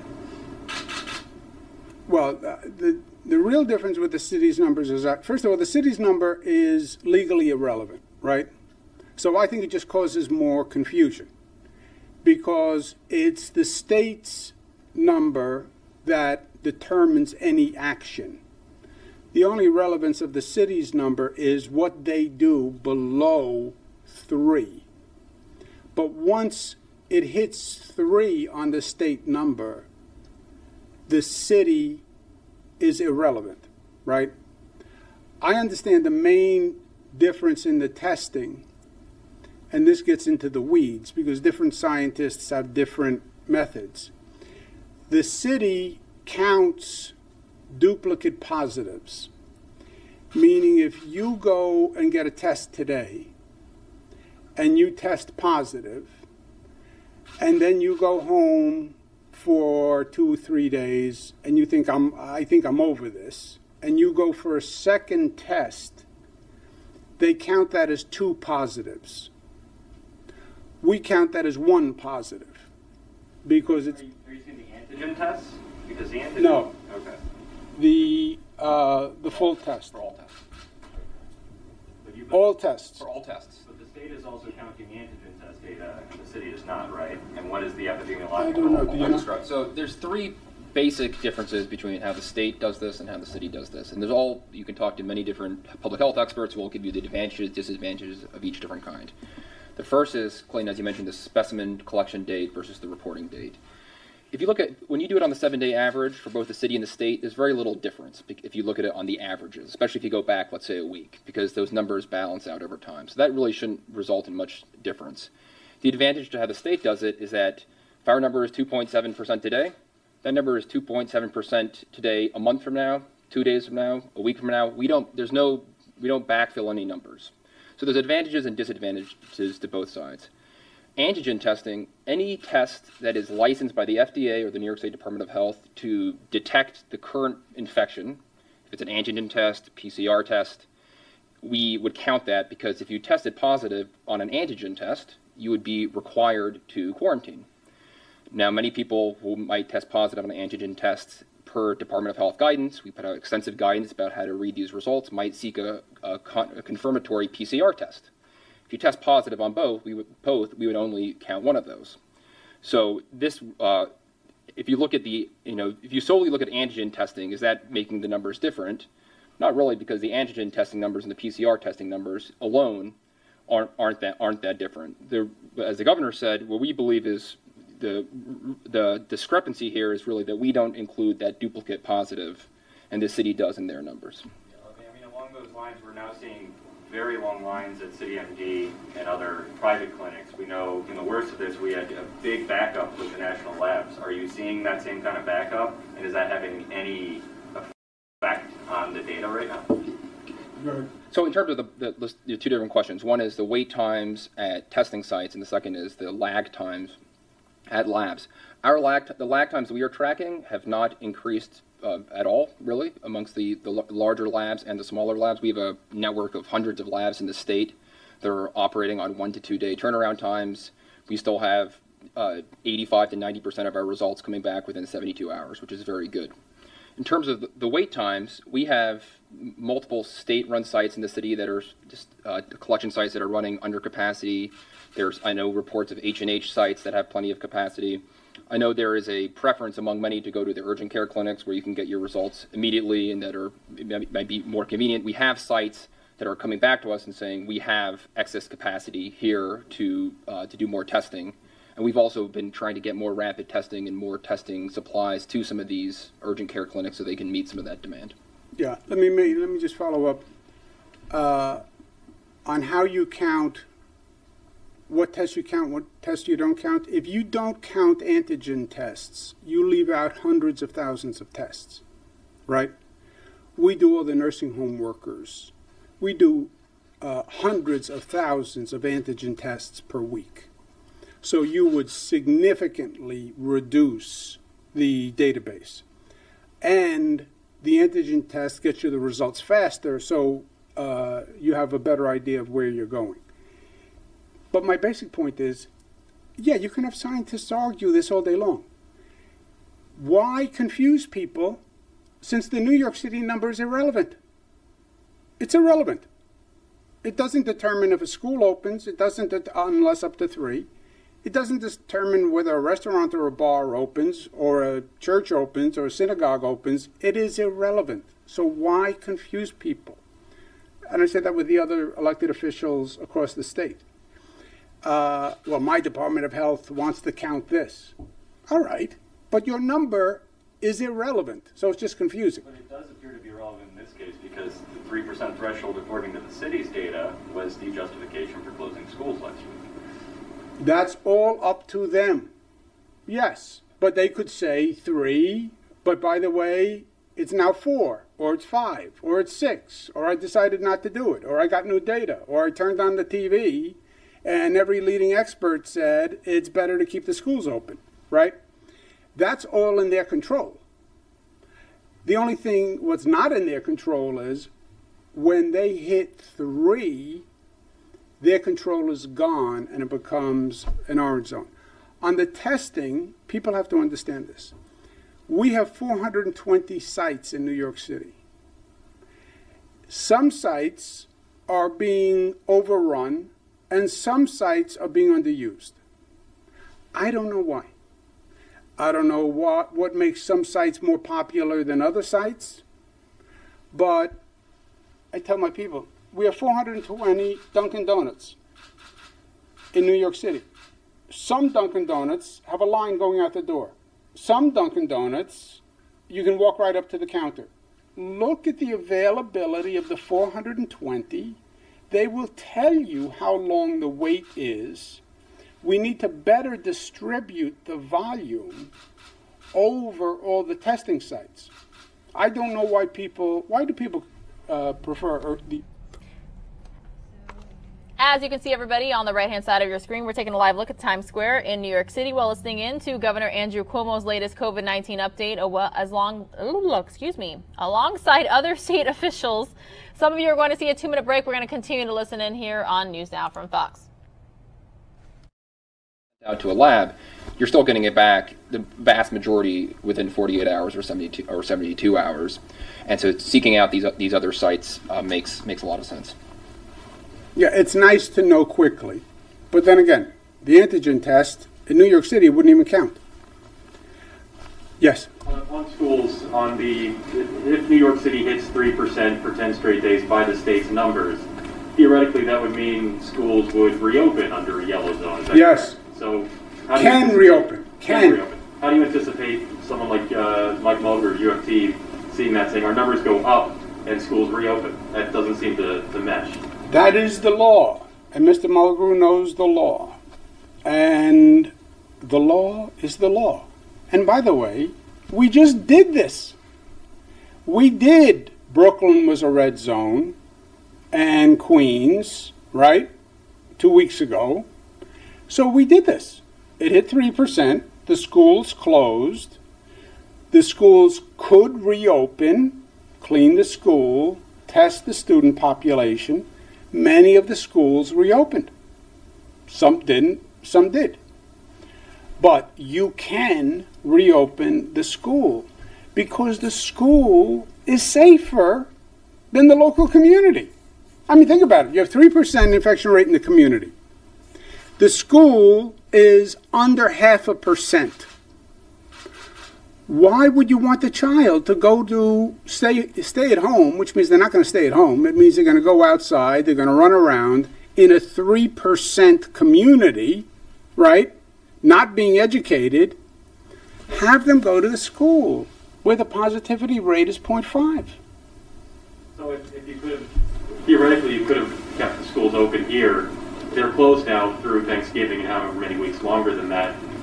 And the track right now would show that they would reopen once the numbers go up again. So why have parents go through this back and forth? Because the local government controls schools and always has. And they're very proprietary about it. Uh, people buy houses, not so much in New York City, a little bit. People buy homes based on school districts in this state. when you go to buy a house in Westchester County, they don't say, I want to live in Mount Kisco. They say, I want to live in the Chappaqua School District. You know, that local control is uh, really a fundamental premise of our entire system. I was being aggressive saying you can have local control, but only up to 3%. Uh, because 3% things get serious. So you have control up to the three. But when we hit three, then the state law is going to govern, period. Now, you have school districts all across the state. You have 700. They're all doing different things. Some are open, some are closed, some are remote, some are hybrid. Uh, if they hit three, then the state law governs, and that is uh, uniform across the state. I thought that was a fair compromise because it honored local control. Uh, but when it became a public health issue, at, which is 3% in our opinion, then the state law governs. Governor, got a question on Gateway Tunnel. Yeah, let's just make sure. Anyone else? Yeah, Governor. Um, so the state has spent 40 million on You have to be rent faster. relief. Um, Hold on, let's do this again. Let's do it again. Just give me a second. Anybody else? Yes. Oh, Governor. there you go. Go. Um, speaking of individual communities, we've just seen that a few weeks ago there was a very secret Hasidic wedding where seven to ten thousand people attended, completely maskless. And I'm just wondering your reaction to this. Will there be consequences? And what's to stop this from happening That- over the holidays? That, you know, if that happened, I heard the report. If that happened, it was a blatant disregard of the law. It's illegal. It was also disrespectful to uh, the people of New York. The law protects everybody. It protects you, but it also protects me. We went through this uh, with weddings. We literally stopped the wedding uh, a couple of nights before, which was going to be a very large wedding.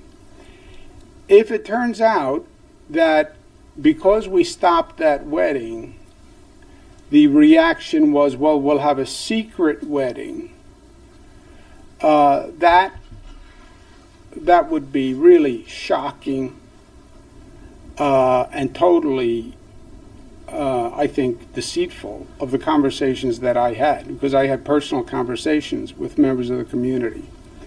But put that aside, I've been deceived many times. Uh, it's illegal, and uh, the city i should do a robust investigation. If 7,000 people went to a wedding, you can figure that out, right? That's the problem with the secret 7,000. It's hard to keep a secret. You know, they say the only way to keep a secret? Tell no one. That's the only way to keep a secret. 7,000 people were there. It's going to be hard to uh, keep that a secret.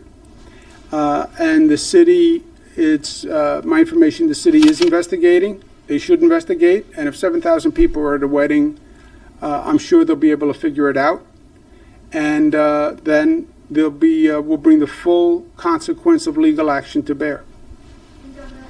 The state has spent $40 million on a rent relief program, and legislation was intent from the CARES Act, and legislation was written with the intention to spend the full 100 million in New York.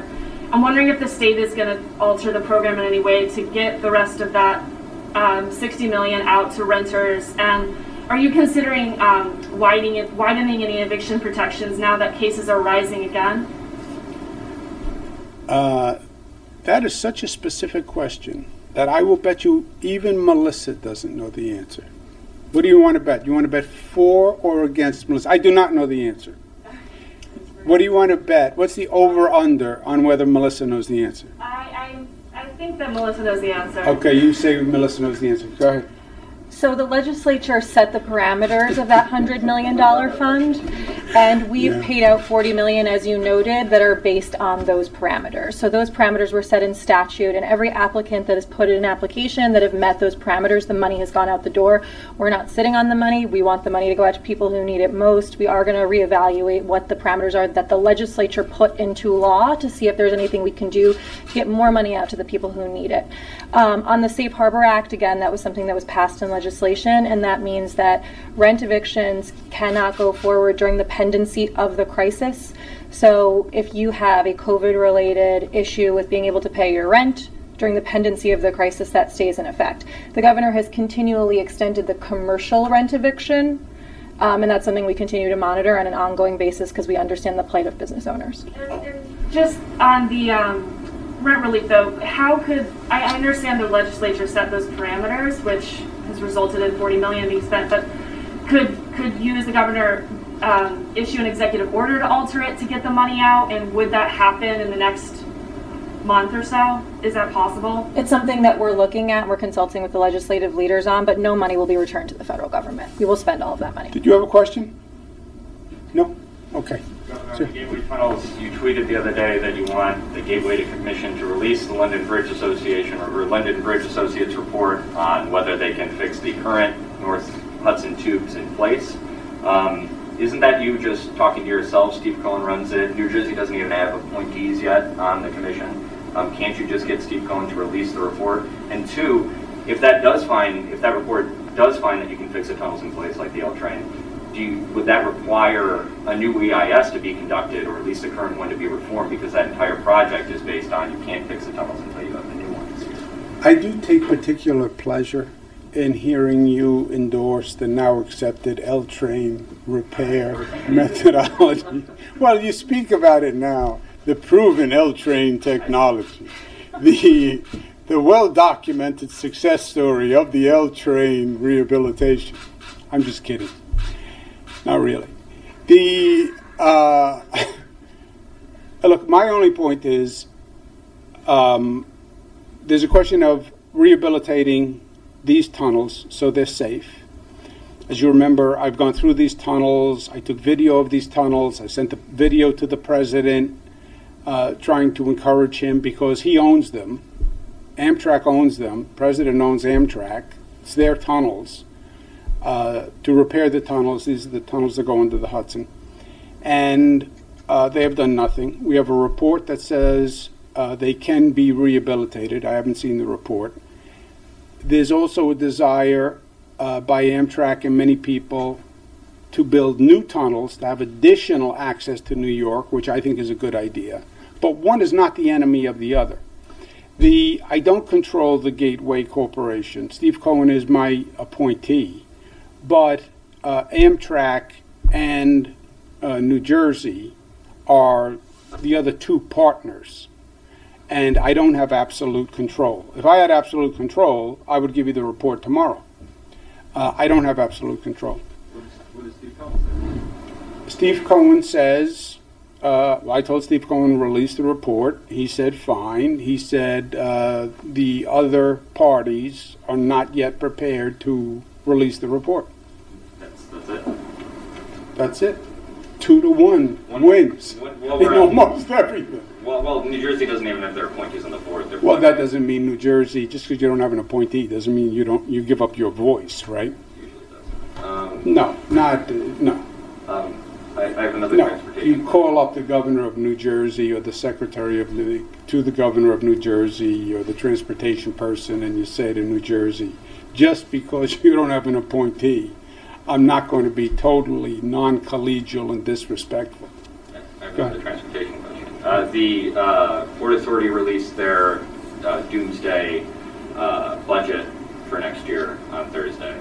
Um, and they they're cutting capital spending across the board, except um, except work that's already underway, and the only other exception is a two billion dollar air train. Given the crunch that the Port Authority is seeing, is it still prudent move forward with this very expensive project? The completing LaGuardia is essential, in my opinion, for New York City. It'll be the single greatest economic boost that has been done in generations.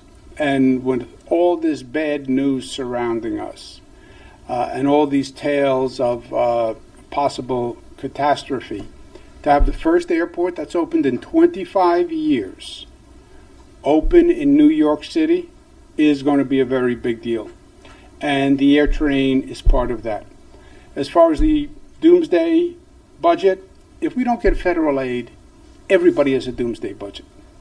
Port Authority, MTA, New York City, New York State, and by the way, every state in the United States. That's why it's madness for them not to provide state and local funding. Madness. Happy Sunday. You said uh, you expected to be reached New Yorkers in, within six months. That was the timeline you gave. Could you talk a bit about like the coordination with the city on how that rollout is going to look? Yeah, the state is coordinating with all the local governments, but I said six months. I bet, my wager, my best estimate, six months at a minimum before you hit critical mass. Uh, healthcare employees will get it, senior citizens will get it, people with immune compromise will get it, but critical mass to where it starts to have an impact on community spread, I'll bet you it's at least six months. Think of it this way: we did we did 12 million COVID tests to date over eight months, moving heaven and earth. Every hospital, every clinic, everyone we knew. 12 million COVID tests over eight months. Antigen test, very fast. We have to do 20 million vaccinations. It took you eight months to do 12 million COVID tests. How long does it take you to do 20 million vaccinations? Thank you, guys. Thank you, guys. You too. You too. Happy Thanksgiving.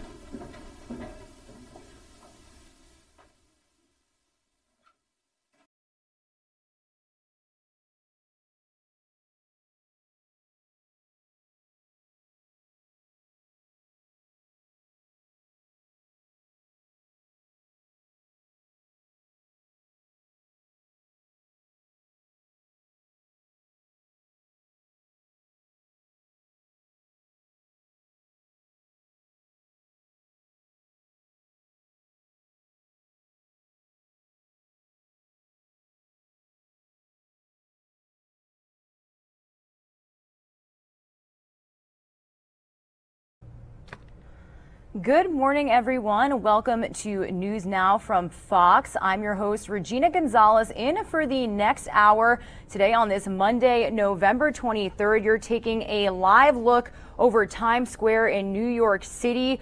Three days from Thanksgiving, you can see it's pretty empty as COVID 19 restrictions and curfews are going underway. You just listened in to the latest briefing from Governor Andrew Cuomo, who mentioned Thanksgiving and holiday travel in that update and was just giving an update on what is going on as far as New York City schools, what he thinks you should be doing for the holidays, and he even mentioned a more than 1,000 person wedding that caused quite a bit of stir in Brooklyn over the weekend. So, as you can see, some people are not abiding by certain restrictions in New York City. So, we did want to give you that live picture right here. I'm going to say hello to you all in just one second. Let me fix my hair and do all that jazz, just like Pilar says too. That's the beauty of News Now from Fox. We are live, raw, and unedited. But good morning, everyone. It's nice to be with you on this Monday morning. I hope you all had a great weekend. Like I said, we are just three days away from Thanksgiving. And I must say, I was at the store over the weekend and I already saw Christmas decorations. I live in an apartment complex where I see several people putting up their lights and Christmas trees. So we haven't even gotten to Thanksgiving yet. Typically, a tradition in my family is to put the tree up the day after Thanksgiving. But guys, 2020 has been such an unpredictable year. It's been, it's caused a lot of chaos. So a lot of families seem to be skipping to Christmas ahead of Thanksgiving to just get into the Christmas cheer a little bit. So we actually have one of our Fox reporters covering this topic this morning. So I'm going to start you on a light note at the top of the hour. Let's get the latest from her on how Christmas cheer is spreading earlier and right before Thanksgiving on News Now from Fox.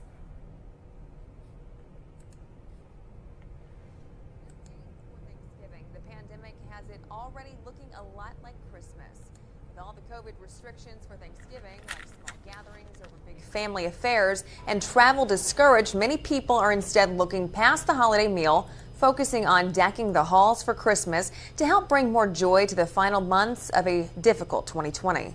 This year has been so full of turmoil, so we're trying to enjoy as much of the you know festivities as we can. So try and get it up early. Some getting a jump on holiday decorations as early as September, hoping to harness the warmth and comfort of the season as the country faces rising COVID cases with the possibility of more lockdowns, election turmoil, and economic hardships.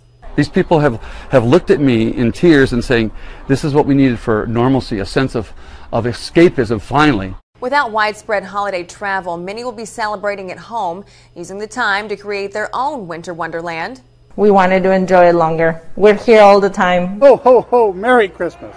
Part of the drive to keep the Yuletide going and Christmas spirits up is continuing to honor traditions, even if the things that bring you holiday cheer look a little different this year.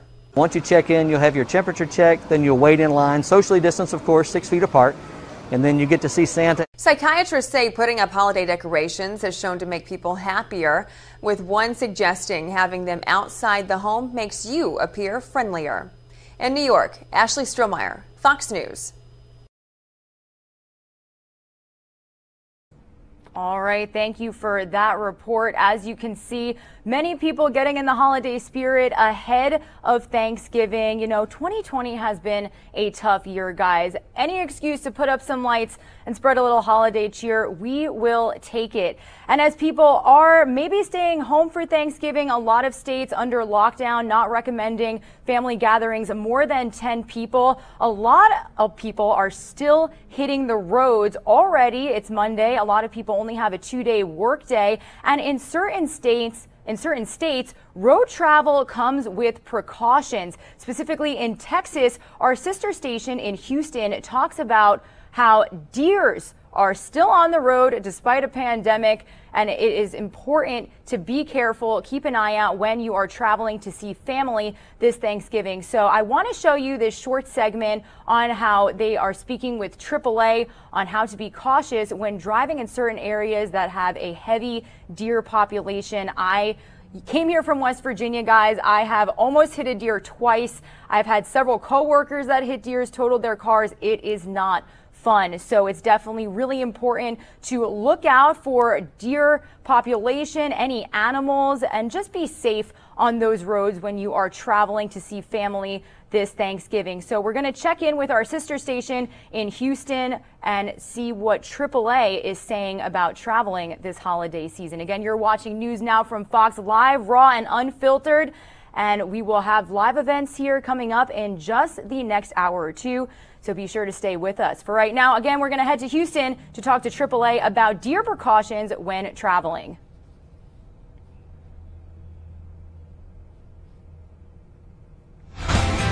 Well, Thanksgiving is just days away, and usually it's to grandmother's house we go. Well, hopefully, we're not exposing grandma to COVID this year, so all that's at your own discretion. But we've got Daniel Armbruster with AAA Texas here live with us this morning to talk about what traveling is really going to be like this week. Daniel, how are you doing? Hey, good morning, Casey. I'm doing well. How are you? Doing pretty well. Thanks for coming on. So, what's it going to be like this week? How many people are really gonna gonna hit the roads? That's a really good question. You know, uh, if based on our forecast data back in mid-October when that data was last taken, uh, which included coronavirus and the economy and unemployment, uh, we are looking at about 50 million people that were going to travel nationwide. Uh, that was a 5 million uh, people drop from the year before. But now coronavirus cases have exploded across the country. And so uh, that forecast now will likely uh, be even lower, fewer people. Uh, the largest year over year drop in people traveling for Thanksgiving on record will likely happen this year. Well, Uh, anything else we need to say about that before we move topics? Well, you know, I, I would say that if, if you are going to be traveling, uh, number one, know before you go, know uh, what uh, state and local authorities have as far as restrictions. You can go to triptik.aaa.com, T-R-I-P-T-I-K.aaa.com, and, and you can find a virtual map there uh, that will tell you the restrictions in place. What's interesting right now about travel, Casey, is a lot of people aren't planning to travel for Thanksgiving as they normally would, but we are seeing an explosion of people who are planning travel for uh, next summer, 2021 and beyond already. Uh, people are ready to travel, but of course, with COVID cases rising, uh, that just is not going to be possible right now. Right. Well, I wanted to talk to you about something else, uh, kind of related to Thanksgiving travel or Christmas travel or any travel for that matter. It's deer mating season right now, meaning yeah. deer are on the move, which means you have a really good chance of hitting a deer out on the roads. And Daniel, you yourself, uh, you used to be a Fox 7 reporter, and you, you put that to practice here, and you went out and you interviewed somebody, or you did it via Zoom, uh, who recently hit a deer. Kind of, we're going to play a clip, but set this up. Who did you speak to, and what happened to her? Yeah. Yeah, so I spoke with uh, Nancy McHugh. She's a AAA member who lives in Spring, Texas, which is just outside of Houston. And this is an area that used to be uh, mostly rural, but of course now with growth uh, is now uh, very well populated. But uh, nonetheless, she was on her way to church uh, one morning last month, and all of a sudden, out of nowhere, a deer came across, and right, and she struck that deer as it was crossing the roadway. Wow. Well, let's play that clip from her. Here's her take on it. I never gave it a thought. I've seen deer on the road, on the side of the road, but never in my wildest dream did I think. And he, you know, I say I hit a deer, but I think that deer hit me. He was, I think he was on the right. He was leaping because he was on my window, you know, on my windshield. I did not see that deer until he was. we were, well, I don't know if we were face to face. I just remember seeing antlers and maybe eyes. I'm not sure, you know. I've tried to relive that in my mind. And you really can't exactly because it happens so quickly. Scary stuff, and I'm sure that's a common experience. And what's interesting, Daniel, she says that she travels that road every day and there are no woods around, it's just buildings. Yeah, that's good. something to think about, especially when we you're living in a, a, a, populated area. It's not just rural areas where we see this happen. It's it's it could happen anywhere, especially if you're on the edge of rural area and uh, city growth. But but the one thing about it is is that what she said is it came out of nowhere. Right. Uh, and and a lot of times you don't have a lot of time to react in these situations. So it's really important if you do see a deer in that moment, try not to overcorrect. Don't uh, swerve and if you are going to strike that deer, the last thing you want to do is slam on your brakes because what that will do is push your uh, hood down and then that deer will fly up into your windshield and it, of course then it can strike you. And texas leads the nation in fatalities from animal strikes. So certainly uh, you know it, it, happens here frequently. I was out driving in uh, the san saba area the other day casey and i saw four to six deer uh, just laying on the side of the highway there uh, in between san saba and llano. Yeah. So it, it's happening. Yeah. It's scary for sure. It's never happened to me, knock on wood. Um, but I've yeah. seen a lot of deer on the side of the road. So good tips there, Daniel. Thank you so much and happy Thanksgiving. Good to see you. Well, Thanksgiving is just days away, and usually it's to grandmother's house we go. Well, hopefully, we're not exposing grandma to COVID this year, so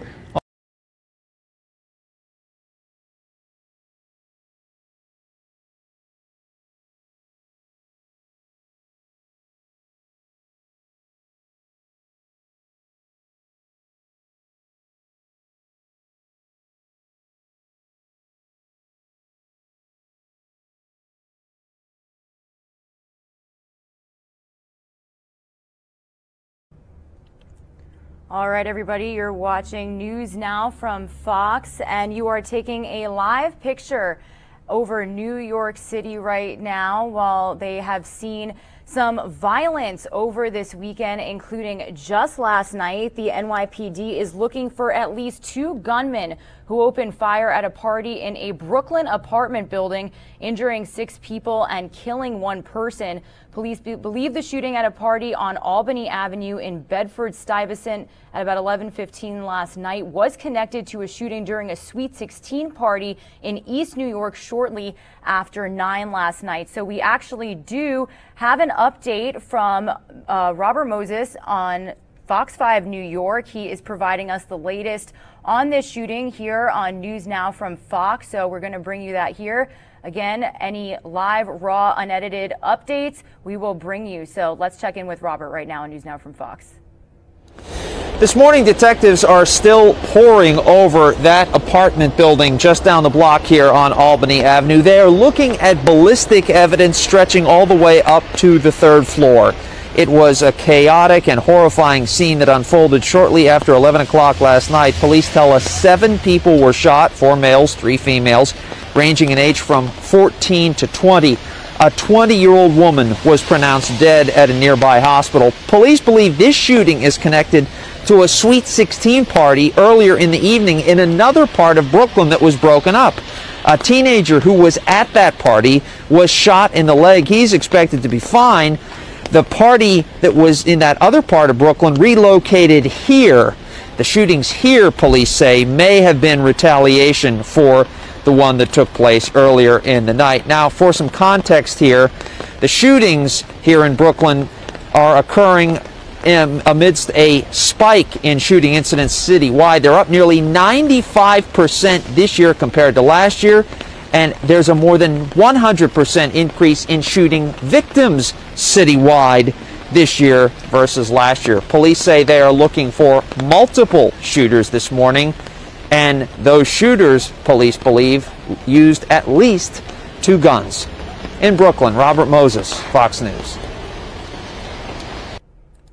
All right, everybody, that was the latest on a deadly shooting that unfolded at a Sweet 16. If you heard what he said, a 20 year old was pronounced dead at a New York City hospital. We did want to start you off on a lighter note with some Thanksgiving stories, but this is the violence that's happened not only in New York City, but across our nation over the weekend. I actually want to take you to our sister station, Fox 29 in Philadelphia right now, where there was several shootings, including a store owner shot in the head last night while closing up shop. So we have Steve Keeley from Fox 29 Philly giving us an update on the weekend violence. Again, you're watching News Now from Fox live, raw and unedited details.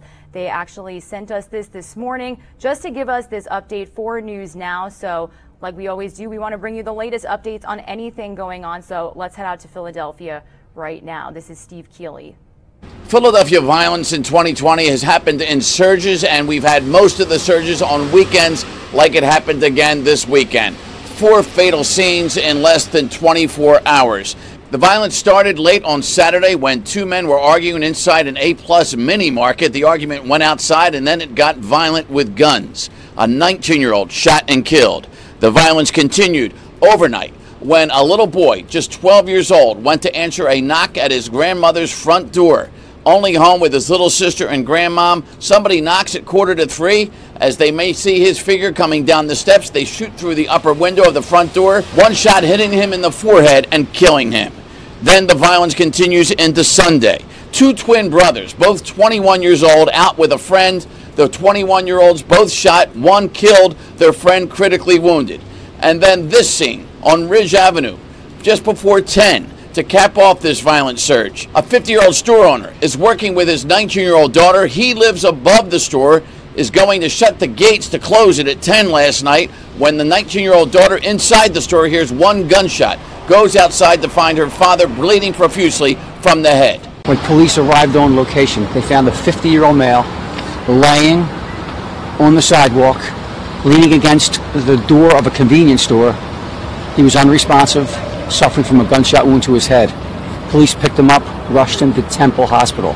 That 50 year old male is in extremely critical condition, unknown whether or not he's going to survive the gunshot wound to his head. We don't know if it was a robbery according to family who was inside and heard it. They said the minute he walked outside to start closing up the grates, she heard a gunshot and he collapsed. She didn't hear any type of argument, so we're not certain if there's a robbery is the motive at this time. The latest surge in violence in Philadelphia puts the yearly murder total close to 440, a number not seen in nearly a quarter century. With detectives fearing uh, this year we're going to hit 500 homicides for the first year since the 1990s.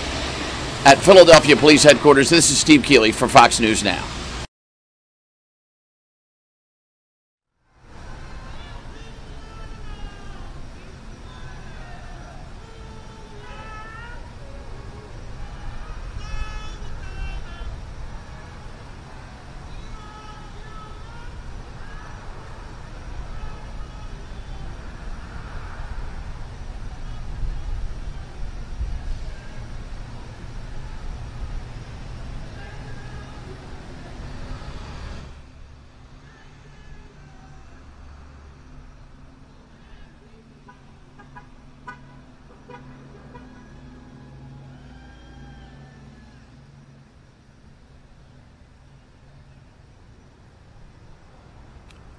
All right, everybody, you're watching News Now from Fox. I'm Regina Gonzalez. Like we say all the time, we're all about the live, raw, and unedited that is happening around our nation. So you are taking a live look at a caregiver strike in Chicago. According to our station in Chicago, nearly 700 essential nursing home workers walked off the job this morning. This is at Infinity owned facilities in the greater Chicago area. They went on strike at 6 this morning because they want better pay, especially as they work through a pandemic.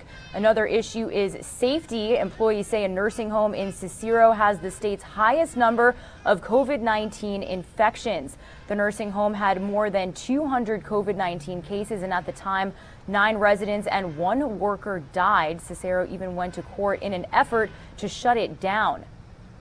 So the nearly 700 Infinity caregivers will walk off the job and they say their contract expired in May and they've been bargaining for a new one since June to no avail. They accuse Infinity of ending pandemic pay for workers at the end of July, even though it received 12.7 million in COVID-19 funding through the CARES Act. So that is the latest out of Chicago right now. Now, we do want to talk about, you know, everybody going on strike, a lot of unemployment fraud happening right now in the nation as well amid the COVID 19 pandemic. So, our sister station in Milwaukee actually brought us a segment about unemployment fraud happening across the nation right now. So, staying on the topic of COVID 19, I do want to bring that to you here on News Now from Fox. If we get any more updates on this caregiver strike in Chicago, we will bring them to you here right on our show as always. So, again, we're going to head to Milwaukee to talk about unemployment fraud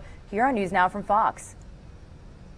This is really hurtful for anybody. This is the letter that notified Albert Sarkis the state had received his application for unemployment benefits. There's just one problem. I never filed, absolutely never filed. Albert has been working full time throughout the pandemic. I needed to do two steps and then I'll be paid my unemployment even though I'm still working. Whomever applied for benefits under Albert's name had his address in Wauwatosa, his social security number, and work history.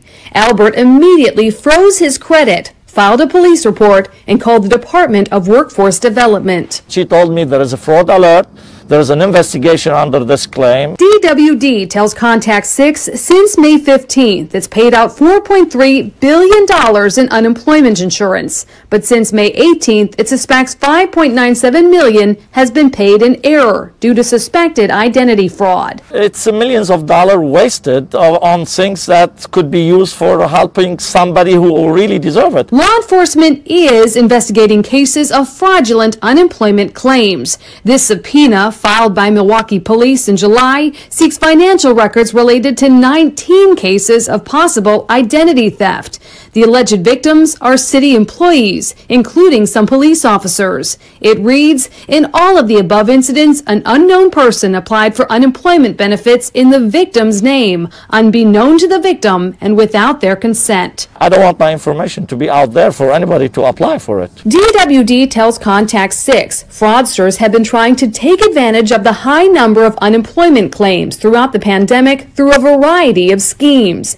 And it has identified more than 20,000 Social Security numbers associated with suspect fraudulent activity.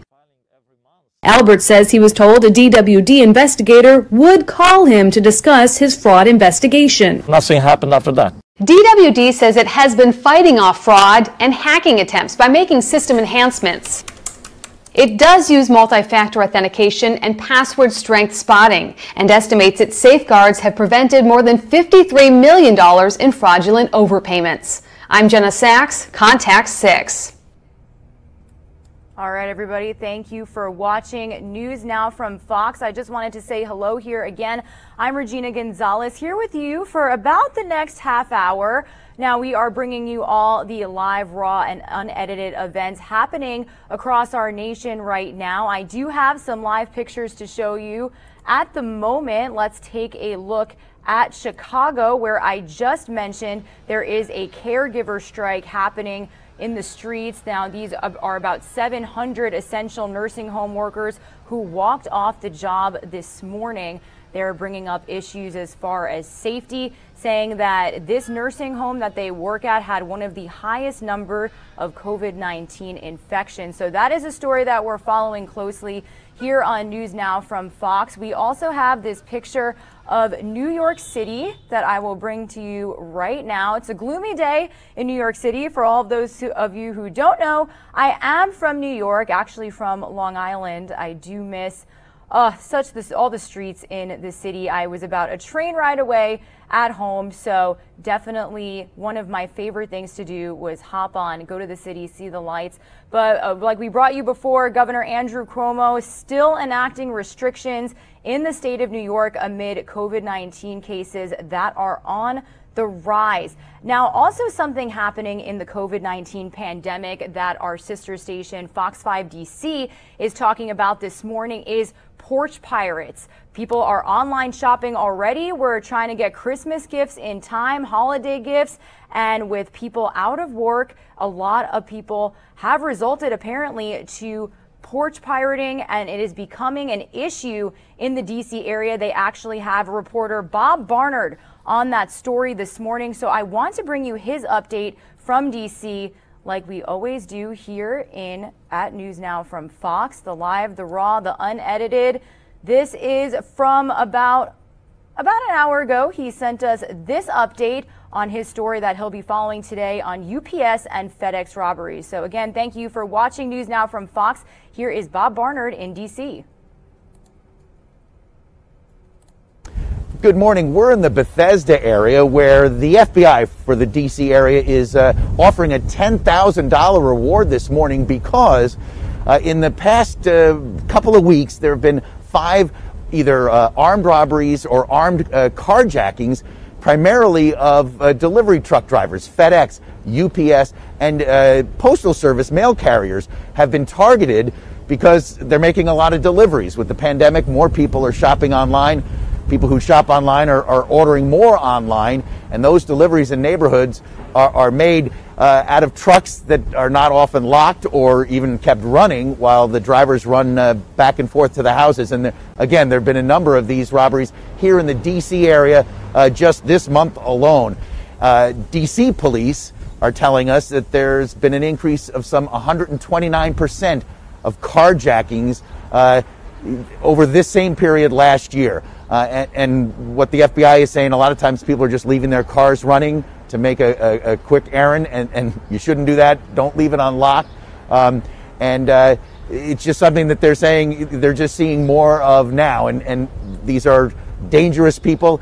Uh, in the wanted poster that the FBI put out, you see there's a guy with a gun leaning into a truck, uh, demanding uh, the packages there. And so, uh, again, the FBI is just warning people just to be on the lookout, be careful.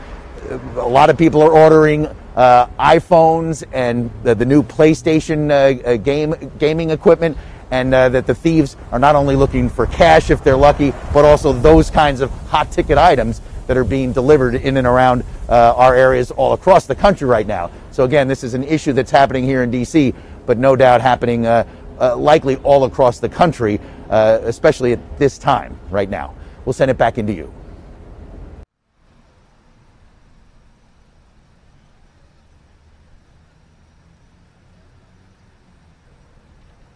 All right, that was the latest from Bob Barnard with Fox 5 DC on UPS and FedEx robberies on the rise as people begin their holiday shopping. Black Friday is already upon us. This Friday, right after Thanksgiving, we are closely following on whether or not malls, stores will continue to be packed like they are every year with people trying to find those bargains. But I do want to bring you this live, raw, unedited photo. Or, excuse me, not a photo. That is indeed a video of a caregiver strike happening in Chicago. It's one of the live pictures we have right here on News Now from Fox. Nearly 700 essential nursing home workers who walked off the job this morning. It's at an infin- Infinity owned facility in the greater Chicago area.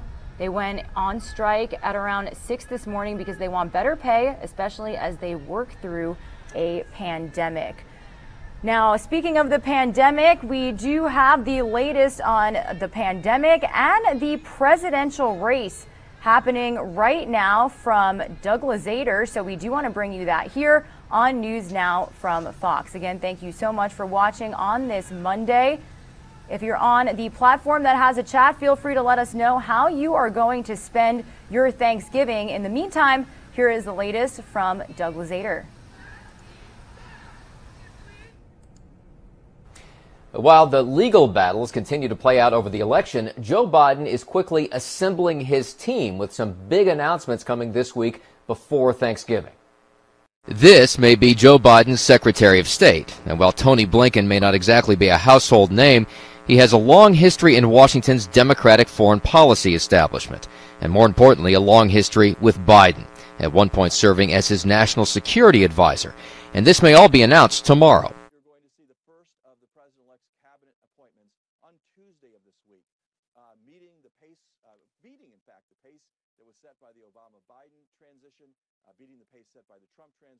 An aggressive pace, but Blinken may be a relatively safe pick. The Biden team could have chosen someone like former UN Ambassador Susan Rice, someone that would have excited the progressive wing of the party. But any cabinet pick has to be confirmed by a Senate that may still be controlled by Republicans next year.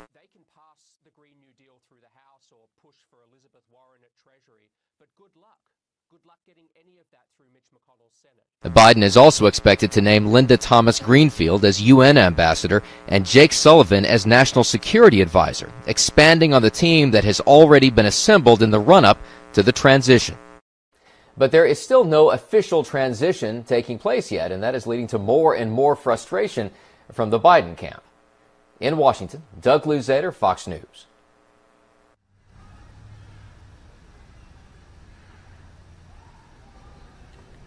All right, thank you, Doug, for that latest update on the presidential race and the COVID 19 pandemic. We're showing you this live picture of a caregiver strike happening in Chicago right at this moment. These workers at a nursing facility have been on strike and marching in the streets since about 6 this morning. It's one of the live pictures we have for you on News Now from Fox. But I do want to switch gears here a little bit and take you to Florida, where attorney Ben Crump spoke in Cocoa Beach about the death of two teens in a deputy involved shooting. So we are focusing on violence across our nation this morning. It's just several stories making headlines. So let's head out to Cocoa Beach for the latest on this story. Again, you're watching News Now from Fox. Thank you so much for watching us. Okay. Okay. Thank you. The attorneys will talk first, and then we're going to have the mothers, and then I'll bring you on the line. Then we'll take some questions. There's nobody else uh, besides the immediate family that needs to talk. Okay. Pronounce your first name one more time. Question. Question. I got it now. Somebody else can talk. Well, if you want. If you, okay. My, my best okay. Well, she can come up with you. Yeah, okay. Question. Yeah. Excuse me, ma'am. Um, yeah. I will. Yes. Is there a, is there a preacher amongst? Anybody to pray before we start? Okay. Mr. Mayor. So yes, sir. Is there is there a preacher amongst us to pray for the family before we start? Yeah, we got Sammy Brown Martin, Councilwoman Sammy Brown Martin, right here, Church of God, right here. The Honorable, Mr. Honorable, Mr. Honorable Crump, sir. Okay. Councilwoman, that's who. I just- Okay. There it is, sir. Madam uh, Councilwoman Martin, would you pray for these families in the community to Certainly, heal? And you, certainly. you can pray. Certainly. Take, take Shall it we pray? Father God, we thank you for your goodness today. We thank you, God, for your loving kindness and your tender mercy. We thank you for this community, God. We thank you for every kinship that's here. Father God, you know the needs. We ask in the name of Jesus that everything that's done be done for your glory and your honor. We pray that you comfort these family members. comfort our community, Lord. You know the Yes, needs that we have, oh God. And we believe that you're able to make us whole. In Jesus' name we pray. Amen. Amen. Thank you so much. I'm waiting for one thing to come right quick. And we have the balloon. Y'all bear with us one second. And what we're going to try to do is, as much as possible, when people are speaking on the mic, uh, to be uh, socially distanced. And we'll try to stay back uh, as much as we can.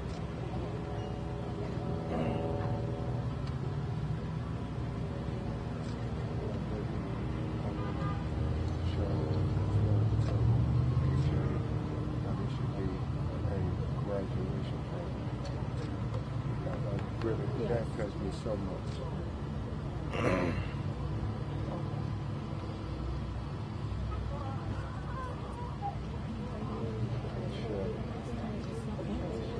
Question.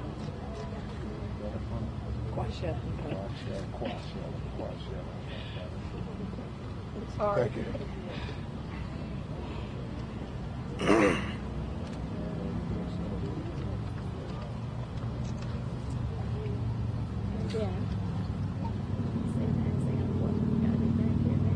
Yeah, absolutely. Hey, Natalie, you can step up close.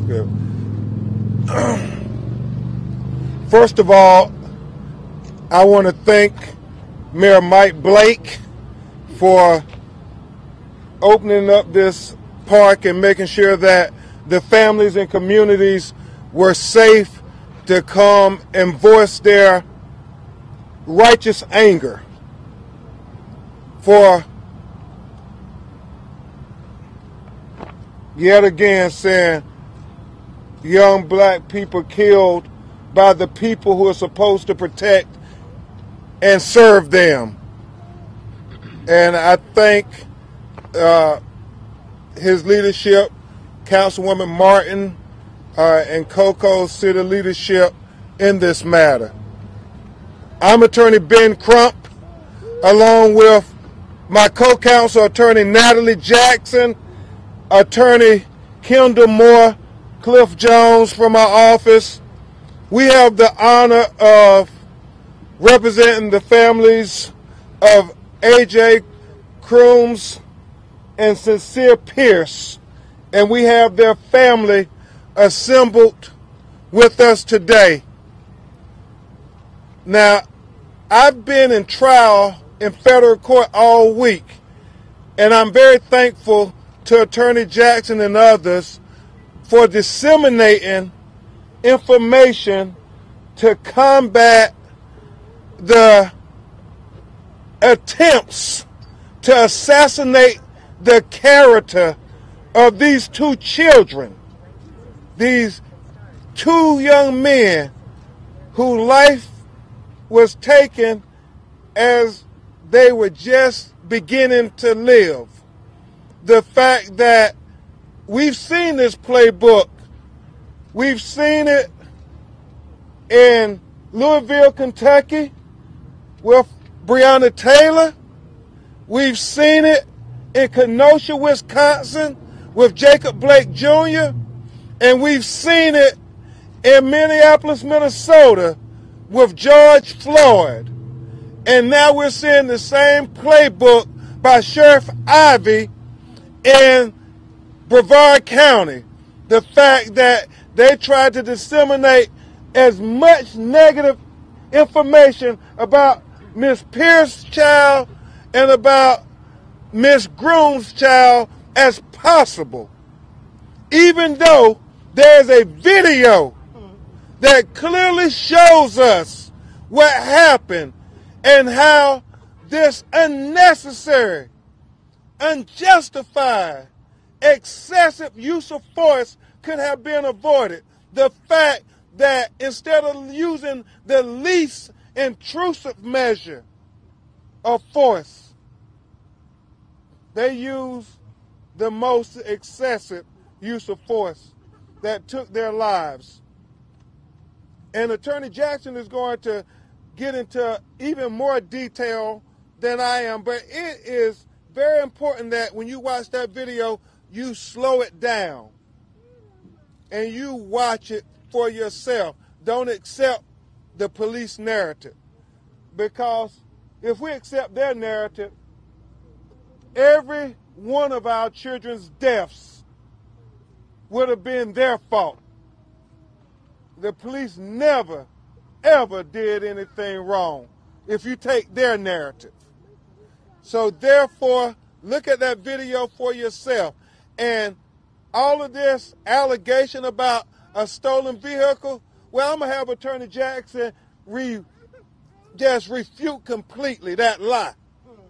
Because that's a lie to justify these unjustifiable killings.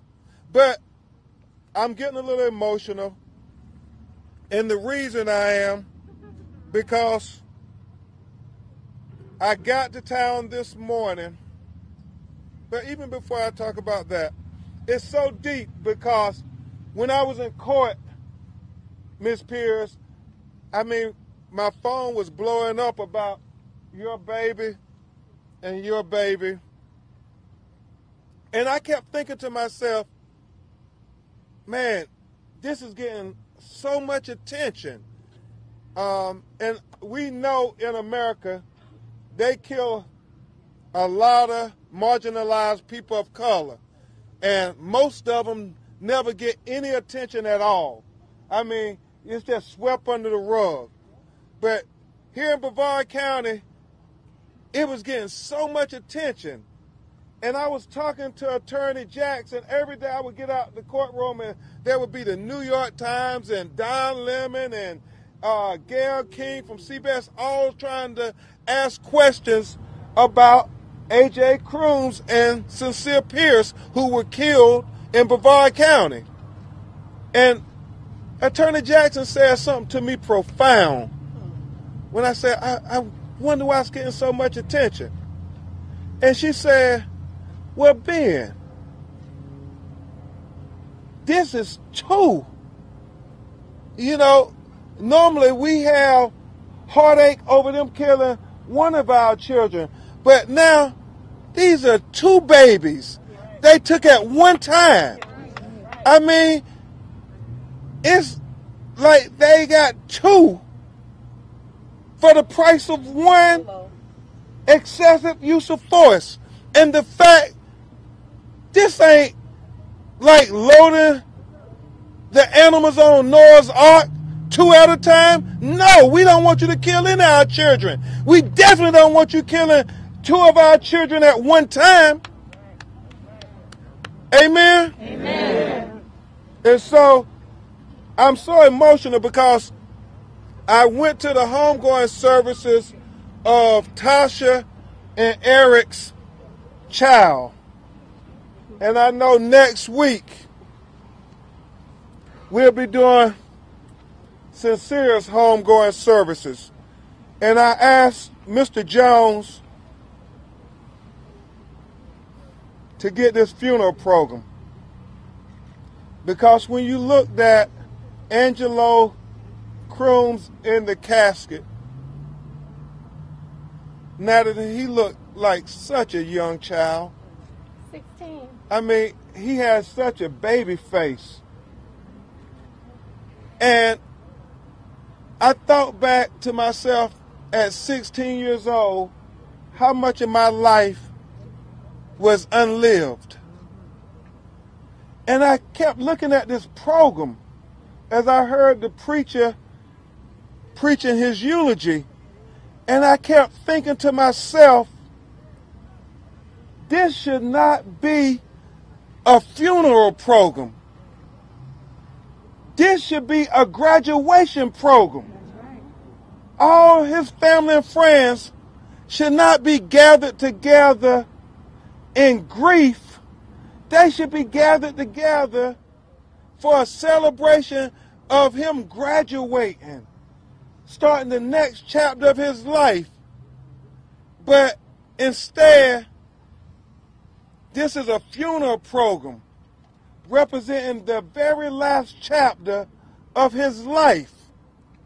And we cannot let these deaths be in vain, Brevard County.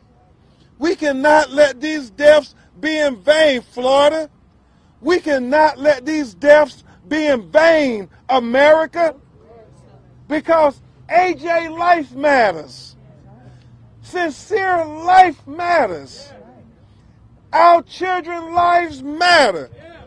Black lives matter. Black lives matter. Black lives matter. Black lives matter. Black lives matter. Black lives matter.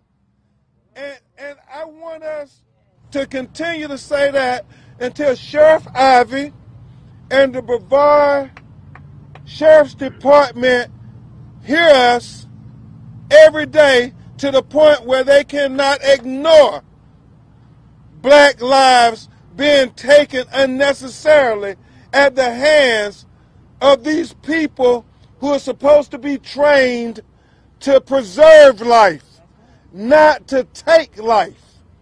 And far too often, as I understand, that has been the county, that has been what has been happening in this county, where there's the Edwards case and many others. So I would simply say this before Attorney Jackson address you. The deaths will not be in vain, not just for these families, but for your families too. But for your families too. Because what we hope to achieve is to transform this tragedy into policy. Policy that, like the national standards say, Attorney Jackson, you cannot shoot into a moving vehicle. I mean, that is the national standard. It's the standard in Orange County. It's the standard in Volusia County. But it's not the standard in Brevard County. So we need this A.J. Crooms Sincere Pierce law to be passed in their name to say that we won't lose any more of our children in this manner. In this manner. So without further ado, I, I would like to introduce you to one of the best lawyers in America. Uh, she is a force of nature. Uh, with Trayvon Martin, she was my North Star as we strategize how to let people know that Trayvon Martin life mattered. And, you know, I can't think of a better person to work with me and the national lawyers who are going to be working on this case than a young lady who's not far from here. She hails from Orange County, Florida, by way of Sanford, Florida. The great attorney Natalie Jackson. Thank you, Attorney Crump. Thank you.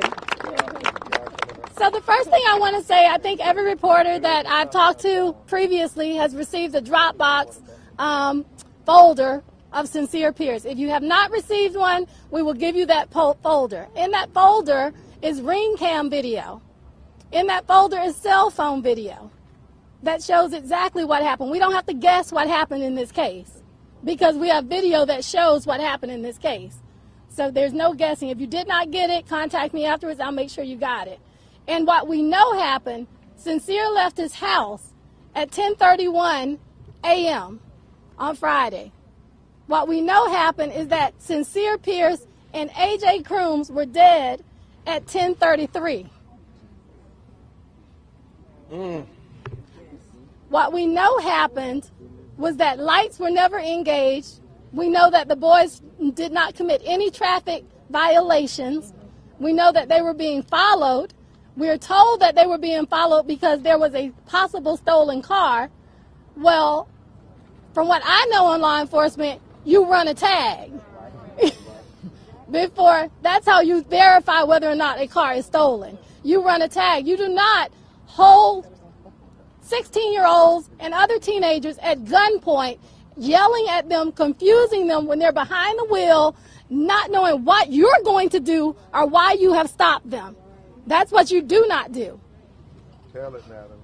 Now, the other thing you do not do, according to the model policy of use of force by the International Association of Chief of Police, you do not shoot into a moving vehicle unless your life is threatened or you're in fear of serious bodily harm. But even if that is the case, if you have the opportunity to move out of the path of the vehicle, Yeah? you should before you shoot. And the reason that the reason that they have promulgated that policy is because as you can imagine, when you're shooting into a vehicle and disabling a driver of a vehicle, that vehicle then becomes a dangerous weapon for everyone around, including the officer, any innocent children. This happened in a neighborhood. Mm-hmm. This happened in a neighborhood. And the thing that's really upsetting is that you don't see these kind of things happening in Windermere or nice neighborhoods or rich neighborhoods. This is a nice neighborhood, so I'm not going to say that. But it always happens in disadvantaged, poor, and black neighborhoods, these type of things. So we should wonder why it's okay to put everyone in the neighborhood in danger in these situations. And that's what happened because as we know, this car ended up crashing into a house that little children were in. So if you have any other questions about this case, like I said, if you need a copy of the folder, let me know. I'll be able to give it to you. Thank you for your time. I want to, I would be remiss without thanking Attorney Crump for coming here because I know without him, y'all wouldn't be here.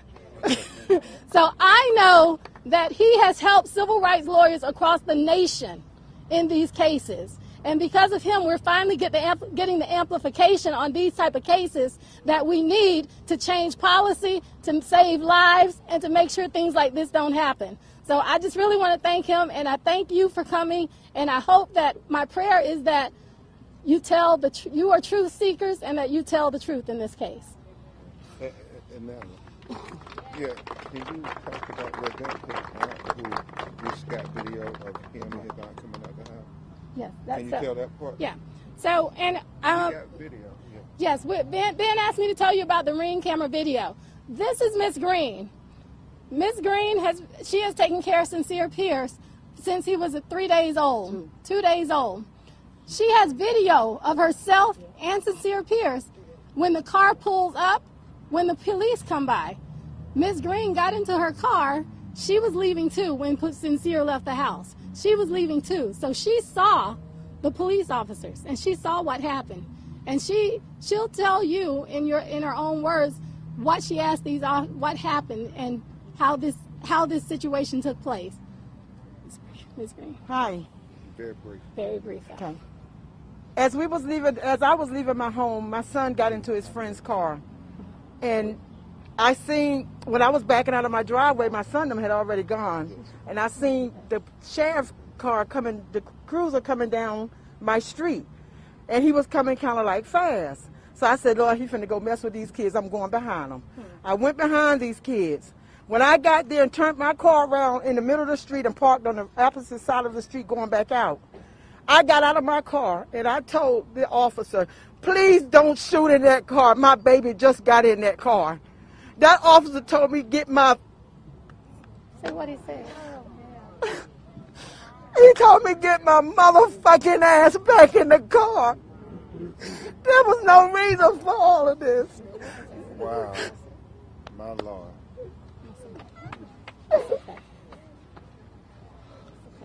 And,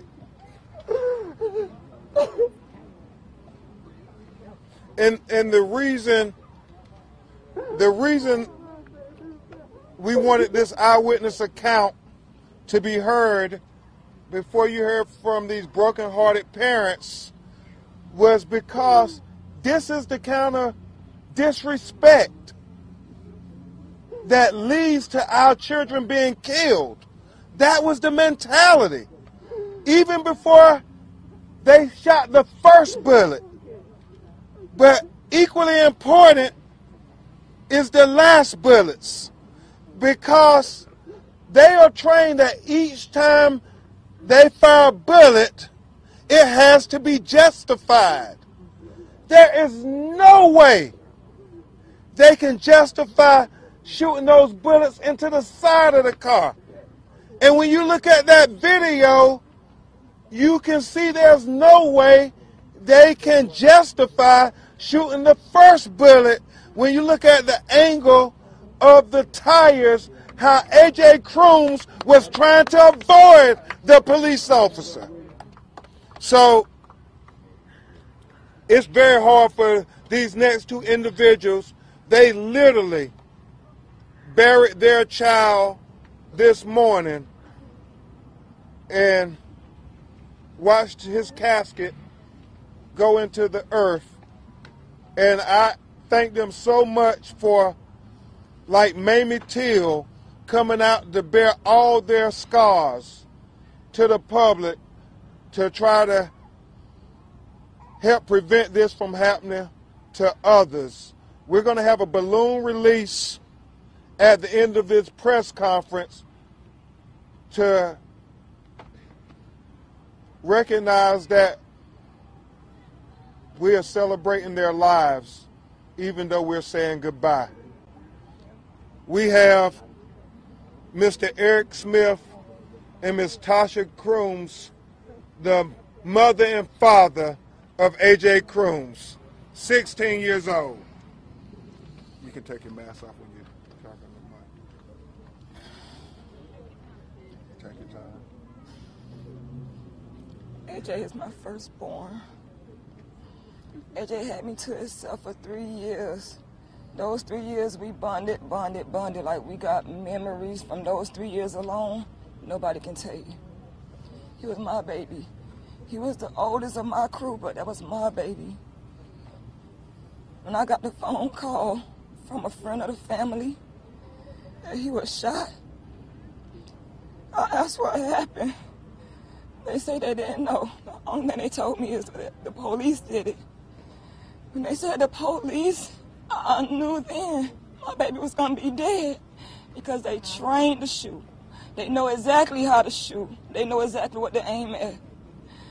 So to know that nobody could come give me an explanation on why my son was dead, it just made me heartbroken. Heartbroken. AJ was a cool kid. He loved everybody, especially babies. My son was taken from me on my second son's birthday. Robbed even. He was robbed of his life on his brother's birthday. My Lord. I want justice for my son. Here, come on, son.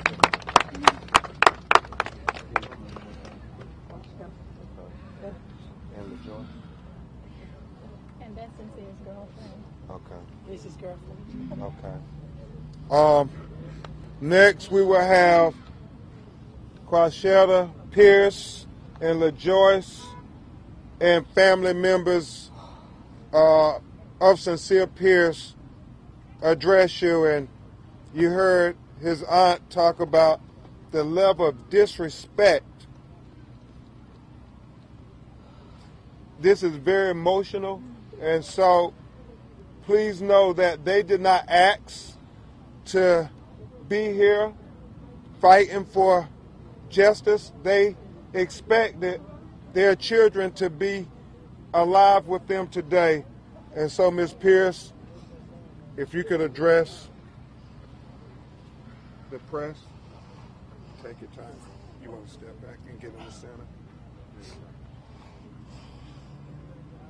I can't really explain how how I felt when I got that phone call from a friend saying, "Hurry up and come! The police shot your son."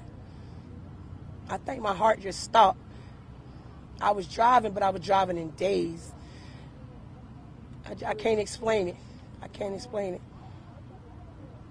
Since he was a cool dude, he wasn't disrespectful. He always liked to joke. He used to make me so angry because everything was a joke. He used to like to joke around. He smiled. He smiled. Always did it for me. I would miss that smile. Miss him. They took my son life. He didn't even make it to 21. I would miss him.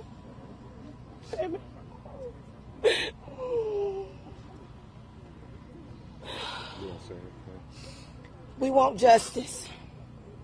We want these officers held accountable. The same way they hold us accountable when they arrest Amen. us. We want to know their backgrounds just like they want to know our backgrounds. Amen. That's right. That's right. We want to know who's hiring these people to kill our kids. Exactly. We want to know who they are in our neighborhoods. You can't police a neighborhood if you don't know the people. Tell it. You won't be able to have a relationship with these people if you do not know what's going on in these neighborhoods. They are trained to kill. And that's what happened. They could have took any other way to dismantle that car, to stop that car. But they did not. Because they are trained to kill.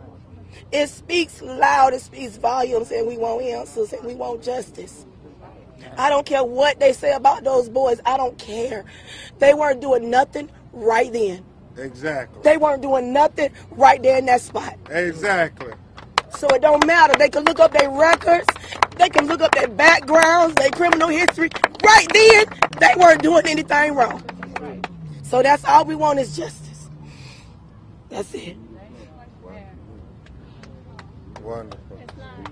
And, and it's, it's so important where she said that we don't let them assassinate their character now that they have assassinated their bodies. That's right. The fact that when you watch that video as Attorney Jackson and Mr. Jones and I studied, literally, you don't see the police turn on their sirens and their uh, flashers. I mean, you literally see them not having a high speed chase. I mean, for them to try to characterize it as that is yet another lie because you see the young men driving the car, they stop at the intersection. The police stop at the intersection. If it was such an exigent situation, why didn't they have the sirens and the flashes on? Why didn't they have the loud speaker telling them to pull over? No witness is saying that. The police said that. The witness is saying what they said to her when she begged them not to shoot in the car. The fact that these police, if they assumed that it was a stolen vehicle, all they had to do was run the tag. They would have did that as Attorney Jackson said in another community. Mayor Blake, they wouldn't have just started shooting in a more affluent community. So why are they allowed to do this in our communities? Shoot first and ask questions later. When will our children get the benefit of the doubt, the benefit of consideration, the benefit of possibility? When will Sincere get that? When will AJ get that? So we're here saying a prayer for the family, but a call to action. a call to action from everybody in Brevard County who considers themselves to be a good person. You want to say something else before we did question and answer? say about the video, how they, you know, Oh, that's been right. And thank you, Attorney Jackson. We understand that there are others who have cell phone video, possibly, of what happened, who have contacted us anonymously, but are afraid to deal with the police. And I will tell you, they have good reason to do so.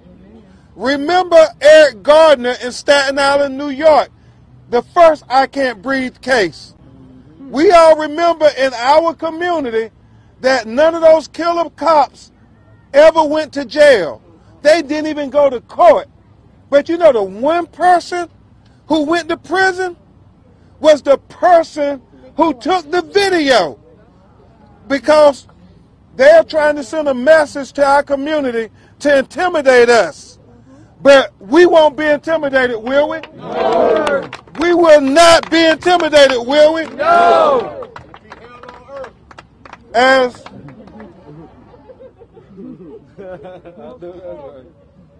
because we have to fight for our children. As Dr. King said, the cowards will ask the question, is it safe? Expediency will ask the question, is it politically correct? Vanity will ask the question, is it popular? But conscience hmm. will ask the question, is it right? And Dr. King concluded there comes a time when one must take a position that's neither popular nor politically correct or not even safe. But there comes a time when one must take a position, Eric, because our conscience tells us it is the right thing to do. Brevard County, it is the right thing to do to stand up for our children, to speak up for our children, to fight for our children. And we will fight until hell freezes over. And then we'll fight on the ice. So at this time, Attorney Jackson and I will try to take some of your questions. The family is very emotional. If they can answer a question, we will try, but understand this is very emotional. They are trying to figure out what clothes they will bury their child in. That's how deep this is. So, your questions, we'll take a few. Mr. Crump, Robert Burns with the Space Coast Rocket. Law enforcement has made statements about the history of the children, but what they have not made statements about is the history of the officer. Right, right. the history that this officer has that has been his own agency is relevant to this shooting. It- Very much so, and as LaJoy said, we need to know who are these officers. And I'm going to let my co-counsel, Attorney Jackson, speak to that because I think she already has presented some information about this officer's background, and we may have some video information that should be germane in this case. But also, if there's body camera video when they get out that car and he curses this aunt out, that should be released to the public. I mean, if you're going to release stuff about the children who you killed, you ought to release stuff about the person who did the killing. that's right that's right And so, thank you, Robert. Um, yes, we do have information that this officer was involved in a domestic violence incident in April 2020. We do have information that he may have a prior criminal arrest background. Um, we're researching into this and we'll let the public know more as we know more. And is there video now? Is possible video of the? Yes, there's possible video of this officer being violent and um, with with another officer who happened to be his wife. Uh, Deanna Allbrittin from uh, WFTV. I have a follow-up question to that. So we got the personnel records of that deputy uh, yesterday, um, and there were a couple of things that seemed notable. Uh, it does talk about some of that domestic violence history, um, and that he was not terminated because of uh, commendations of his performance, uh, and that they he also declined to answer questions about any criminal arrests, including 10 felonies, on the application. Can you speak to whether that is standard among uh, policing within an agency of themselves? Well, I can tell you what is standard is very many times the problem officers are put in black communities. So that's a standard thing that happens. Um, here we have an officer who possibly had some home issues and was sent into a community with a gun. And so that is something that we will be looking into whether or not he should have been there. I, I would simply say this the fact that he has a propensity for violence should have been a red flag to the Brevard County Sheriff's Department. It should have been a big red flag because if they would have heeded the warning signs, maybe these two mothers will have their sons alive today. Also, I want to thank Mayor Blake and the city leadership of Cocoa Beach for making sure that the Florida Department of Law Enforcement, I'm sorry, Yes, Cocoa. Yes, Cocoa. It's all good, though.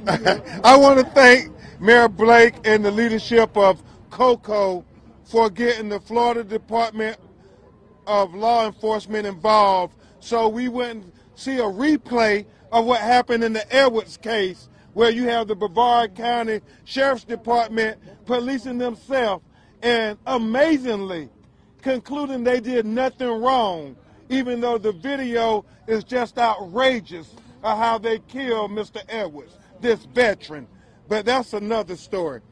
I also will say we look forward to having the Department of Justice review these matters because we understand that Sheriff Ivey has a history with the Florida Department of Law Enforcement, as my clients has shared with me.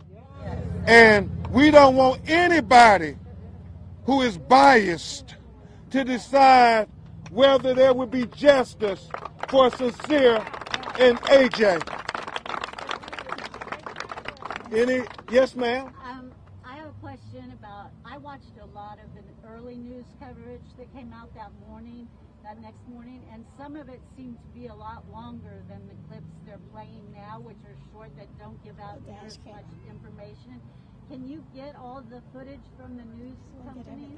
We're, we, we're going to get all the videos, but most importantly, we want to make sure that the po- sheriff's department release all the video that exists because oftentimes what we have seen them do is release only evidence that is favorable to them.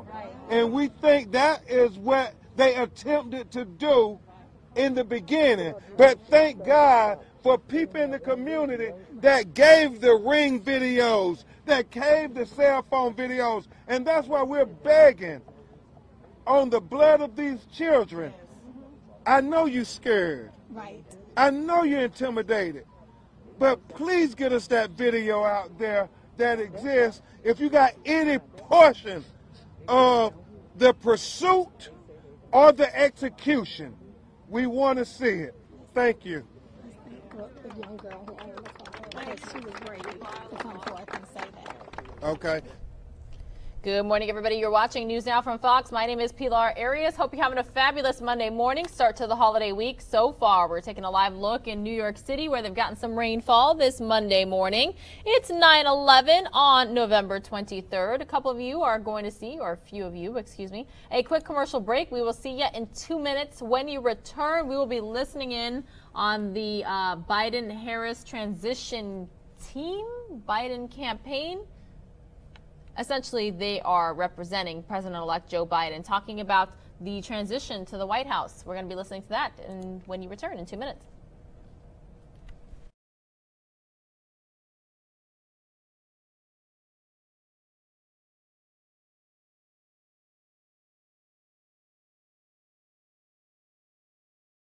a few of the things uh, that happened uh, this week. Um, so Uh, as you all know, uh, we are still waiting for the GSA administrator to ascertain the outcome of the election, but we are still moving full steam ahead. Uh, and so is, of course, President elect Joe Biden and Vice President elect Kamala Harris. So this week, uh, President elect Joe Biden and Vice President elect Kamala Harris had a pretty busy week. Um, they had a week full of meetings with congressional leaders, governors, national security experts, CEOs, and labor leaders, frontline workers.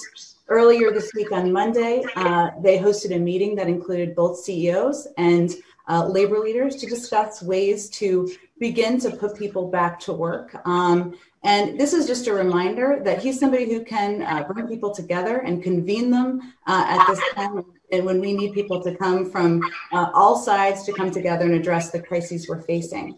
On Tuesday, uh, they, the president-elect and the vice president-elect uh, met with some of the country's most experienced national security experts uh, about the challenges facing our country and our institutions, including the diplomatic, defense, and intelligence challenges the administration will inherit on day one. And just as a reminder, you know, these are meetings that, of course, uh, he would probably have uh, anyway. Uh, these are people, many of them he's known for decades throughout his time uh, and career uh, working on foreign policy issues. But right now, he uh, is being shut out, and the administration is being shut out of uh, intelligence briefings and national security briefings provide real-time information, uh, threat assessments, uh, data about uh, the threats we're facing around the world, our engagements around the world, and information we need to get the pandemic under control. On Wednesday, uh, the president-elect met with frontline workers, uh, hearing firsthand accounts from healthcare workers and first responders uh, who are bearing the high emotional toll uh, of helping others recover from COVID. And just yesterday, the president-elect and the vice president-elect met with Democratic and Republican governors from the National Governors Association, in a meeting, I should say, convened by the National Governors uh, Association. Uh, and they talked about the importance of working together as one country to beat COVID. Uh, addressing COVID and getting the pandemic under control is not a partisan issue. It's not an issue that's going to be solved by one party. It needs to be uh, something that's done together with health experts and scientists and certainly leaders from both parties. And as you also may know, uh, today the president-elect and vice president-elect, later this afternoon, I should say, will be meeting, will host Speaker Pelosi and Leader Schumer for a meeting in Wilmington. They'll discuss emergency aid that families desperately need, small businesses need, and state and local governments need uh, at this uh, critical point in time. Uh, of course, the president-elect um, and he also named several members of his team, about a little more than a dozen, including uh, last week before we spoke, he of course had named his White House chief of staff, and uh, this week, uh, including some this morning, we've announced several, a number of diverse, qualified, and experienced uh, individuals who will be filling important roles in the White House uh, uh, moving forward. Uh, and as we look ahead to next week and approach the Thanksgiving holiday, uh, he's going to be focusing on continuing to address, be briefed on, speak out about the crises facing our country. we know this isn't a holiday season that most people um, uh, would have envisioned. Uh, and they will continue to do the work to ensure that during next year's holiday, uh, we can celebrate with our loved ones. So, with that, I will turn it over to Johannes. Thanks, Jen. And thanks everyone for making the time to be here.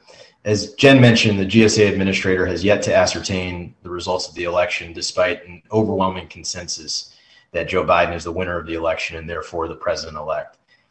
And as Jen also mentioned, we continue to move forward in the absence of an ascertainment decision. However, the non ascertainment does place limits on the resources available to the transition and most importantly, uh, our access to federal agencies. This isn't a game who gets to talk to whom. Our inability to start our formal agency review process has the potential to have real impacts on families across the country.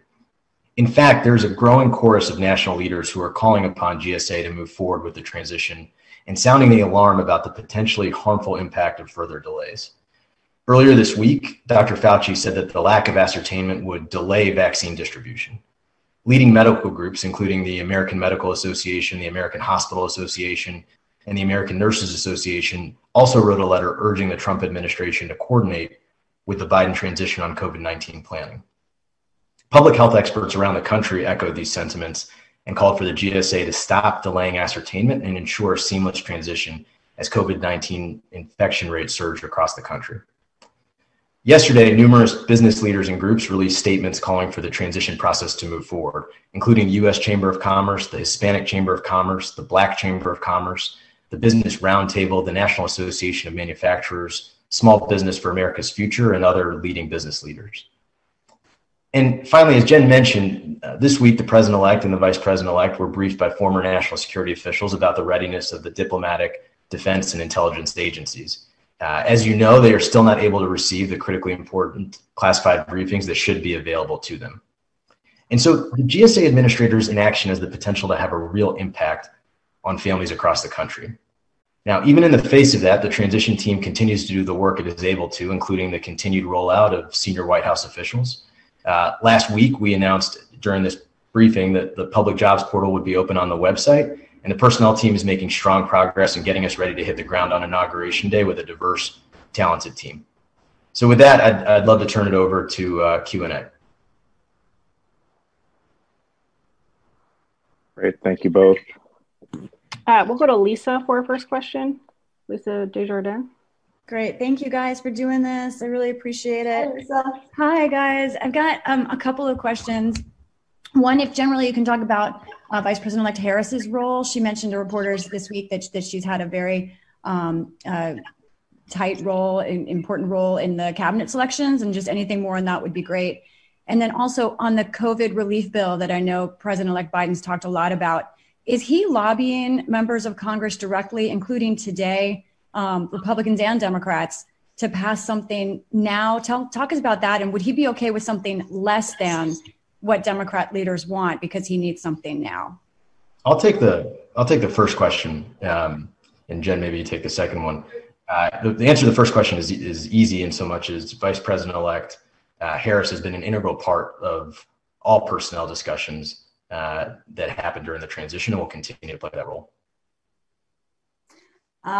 Uh, I will just uh, add to your second question, Lisa. Uh, so, as you know, uh, President elect Biden and Vice President elect Harris will be meeting with Speaker Pelosi and uh, Schumer later this afternoon. Uh, they are going to be working in lockstep, and they're in lockstep agreement that there needs to be emergency assistance and aid before during the lame duck session to help families, to help small businesses we, there's no more room for delay, uh, and we need to move forward as quickly as possible. He, of course, is speaking with uh, leader or uh, officials or elected officials from uh, both sides of the aisle, and we'll continue to do that. But it's an important meeting this afternoon because they're going to continue to work together on pushing that forward because they know how much that relief is needed, especially as we look toward uh, the Thanksgiving holiday.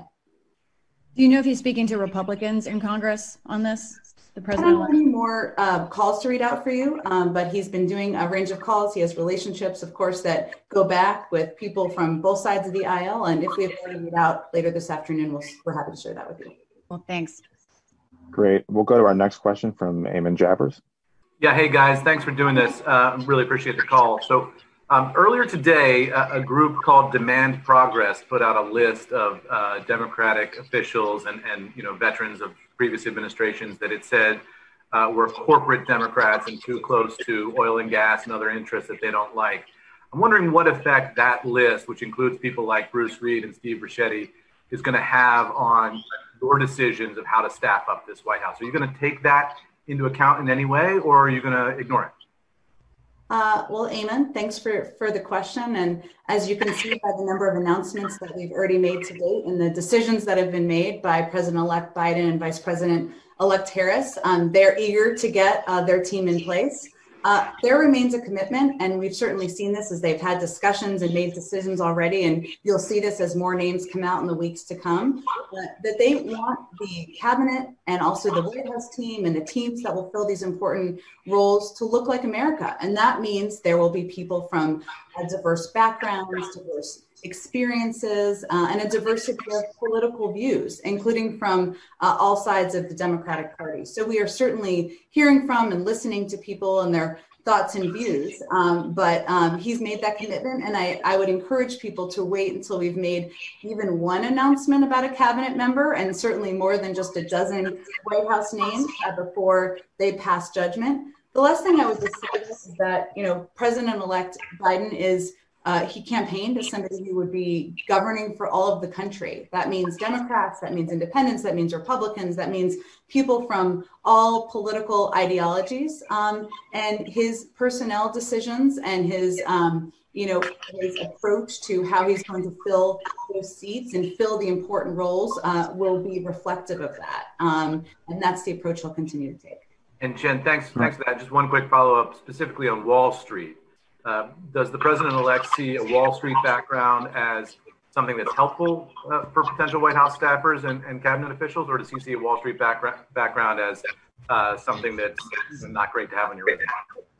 Well, Eamon, I think as, as you know, and, and, and, from having lived through the um, Obama Biden, uh, blissfully lived through, happily lived through the Obama Biden administration myself, I, I, think it's pretty safe to say that um, he's he's not uh, a fan of Wall Street policies or an advocate for, uh, you know, a, a, lot of the policies that some people would would be uh, in favor of or be pushing for from that end. His record speaks for itself, and his um, his advocacy and his words speak for themselves. And his team that he selects will be people who are implementing his policies, who are implementing the Biden agenda. They're people who are committed committed to putting Americans back to work, to uh, ensuring there's regulation where there needs to be, to uh, ensuring that people have access to affordable health care. Um, those are the, the, the, people who will be named to the cabinet and named to his team are there to implement uh, his agenda. So I would certainly point people to words he said uh, and his own background uh, over the last several years. Okay, thanks guys. Great. We'll take our next question from Sabrina Siddiqui. Thank you both so much for doing this today. Uh, just wanted to ask if there has been any outreach to the transition team whatsoever from current Trump administration officials, and if so, what has their message been to the transition team? And just a second question is President elect Biden uh, he said yesterday that he's not ruling out legal action. Can you just talk about at what point you will feel that all other options have been exhausted with respect to the GSA ascertainment and when it might come to pass that you would consider legal action? Well, I'll start, and Johannes may have some words of wisdom to add. Um, so, on your second question, you know, the president-elect has made clear that, and and and we certainly share this, of course, given we all work for him, that our pre- preference would be for the GSA administrator to sign the ascertainment and we can all move forward. We can have access to intelligence briefings.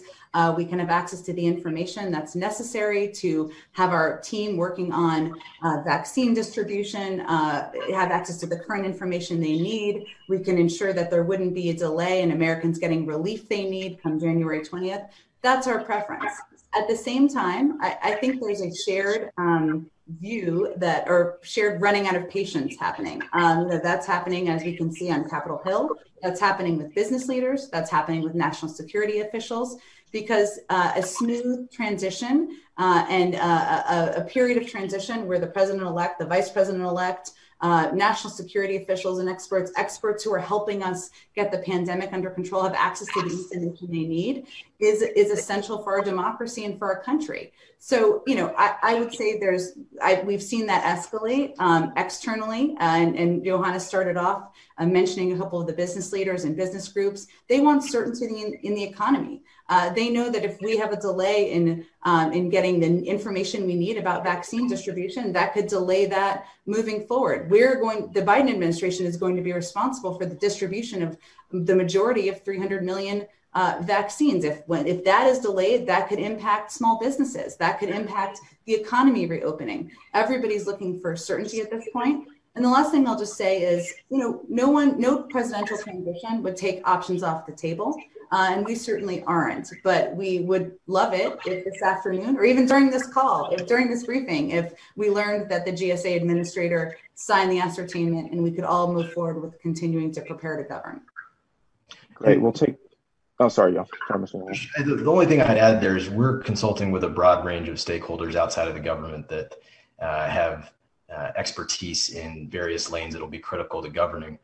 But at the end of the day, exactly as Jen said, uh, there's no replacing the real-time information that can only come from uh, the post-ascertainment environment that we should be in right now in terms of regularized contact and regular contact with uh, folks inside of the agencies who have information that would be vital to everything from our national security to, as Jen said, vaccine distribution.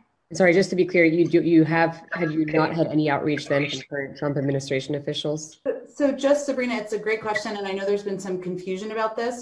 We, um, our teams can't speak with um, or engage with current administration officials because um, the ascertainment has been delayed. And we would certainly love to have that engagement and love to be um, discussing with uh, servants and people who have been experts on a range of issues from foreign policy to health policy, um, you know, preparations to take over January 20th. But our team has been uh, very careful, of course, about following those rules and guidelines. Um, and we'll have to abide by that until uh, ascertainment uh, happens. Great. We'll take two more. Uh, we'll move on to Arlette Saenz. Hi there. Um, yesterday, the president elect talked a little bit about his cabinet selections, and I was wondering if you'd be able to provide kind of a target date for when you are planning to roll out that first cabinet nominee. And then also, I know you'll say that every cabinet position is important, but is there a certain priority that you guys have in mind for certain positions and getting those out first? Sure. Well, Arlette, thank you for the question. Um, so I've been doing this long enough to know not to get ahead of the president-elect. Um, and certainly uh, when he's ready to make his announcements about a cabinet, he'll do that. He indicated yesterday that that will be around Thanksgiving. That's aligned with the timing uh, that uh, of the announcement of cabinet nominees back in 2008 when I was working on the Obama transition. Um, and I expect you'll hear more from him on that soon. But since you gave us the opportunity, I just wanted to say one thing about the cabinet um, and the nominees. He is committed to uh, selecting people, and as he indicated, has selected some people who are qualified, who are experienced, who are going to be prepared on day one to uh, address the crises that our country is facing. And he will also put together a team that looks like America, that is diverse in terms of ideology uh, and background as well. So that's how he's looking at putting together his team. And uh, we certainly saw today that um, there were a number of Republicans who have indicated they'd be open to supporting nominees. Uh, that feels like a positive sign forward because a positive sign because we know that the American people are not expecting obstruction. They're expecting uh, members of both parties, Democrats and Republicans, to come together and help put qualified and experienced people in place to address the various crises that our country is facing. Uh, and I expect um, you'll know more soon. You'll know more in the coming weeks. Great, thanks. And we'll take our last question from Sam Stein. Hi, guys. Uh, thanks for doing this. Much appreciated. Um, this is a, a bit of a, a, weird question, but um, obviously, as you're planning for the transition, this is happening during a spike in uh, COVID. Um, and there's articles about the difficulties in actually laying out the physical space of the White House and how to use it. I'm wondering if you can walk us through what type of decisions are being made, plans are being implemented to actually physically staff the premises of the White House come January 21st when you expect to be there. So our our top priority, as you saw in the campaign, and certainly as you've seen throughout the transition, is the uh, following the science and abiding, uh, keeping the safety of our team um, top of mind. And it's a dynamic uh, situation with the pandemic. But I think we'll see the exact same adherence to and commitment to the science of keeping the team safe that you saw in the campaign that you see during the transition. You'll see that as we enter into the White House physical space. Does that how does that manifest itself? Are we talking about fewer people actually working from the West Wing? We don't have anything to share on that at this moment, but I think you can uh, rest assured that we will follow the science and we'll put procedures in place to keep our team safe. And as you can see, Sam, we are obviously not not working in a transition office. Uh, hence I can see children's art and such things. Um, and Johannes obviously needs more pictures on his wall. Um, but we also, you know, President-elect and the Vice President-elect have conveyed to all of us that we should do our best to be model citizens as well, which means being safe. And I know this is just about this moment of time. Being safe, of course, wearing masks. Um, you know, we're most of us are, of course, the vast majority are working remotely um, because uh, you know we want to be models for the country too. Thanks, guys. Great. Well, thank you everybody for joining us. Um, and uh, I'm sure we'll have plenty of news in the coming weeks uh, that we'll discuss with all of you.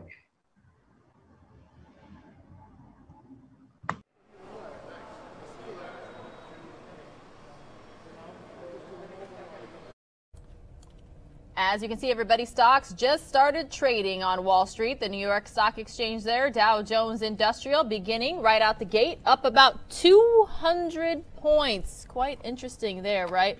Probably in response to another vaccine trial for COVID 19 news update. AstraZeneca says late stage trial results show the COVID 19 vaccine they worked on with the University of Oxford is up to 90% effective in preventing the coronavirus.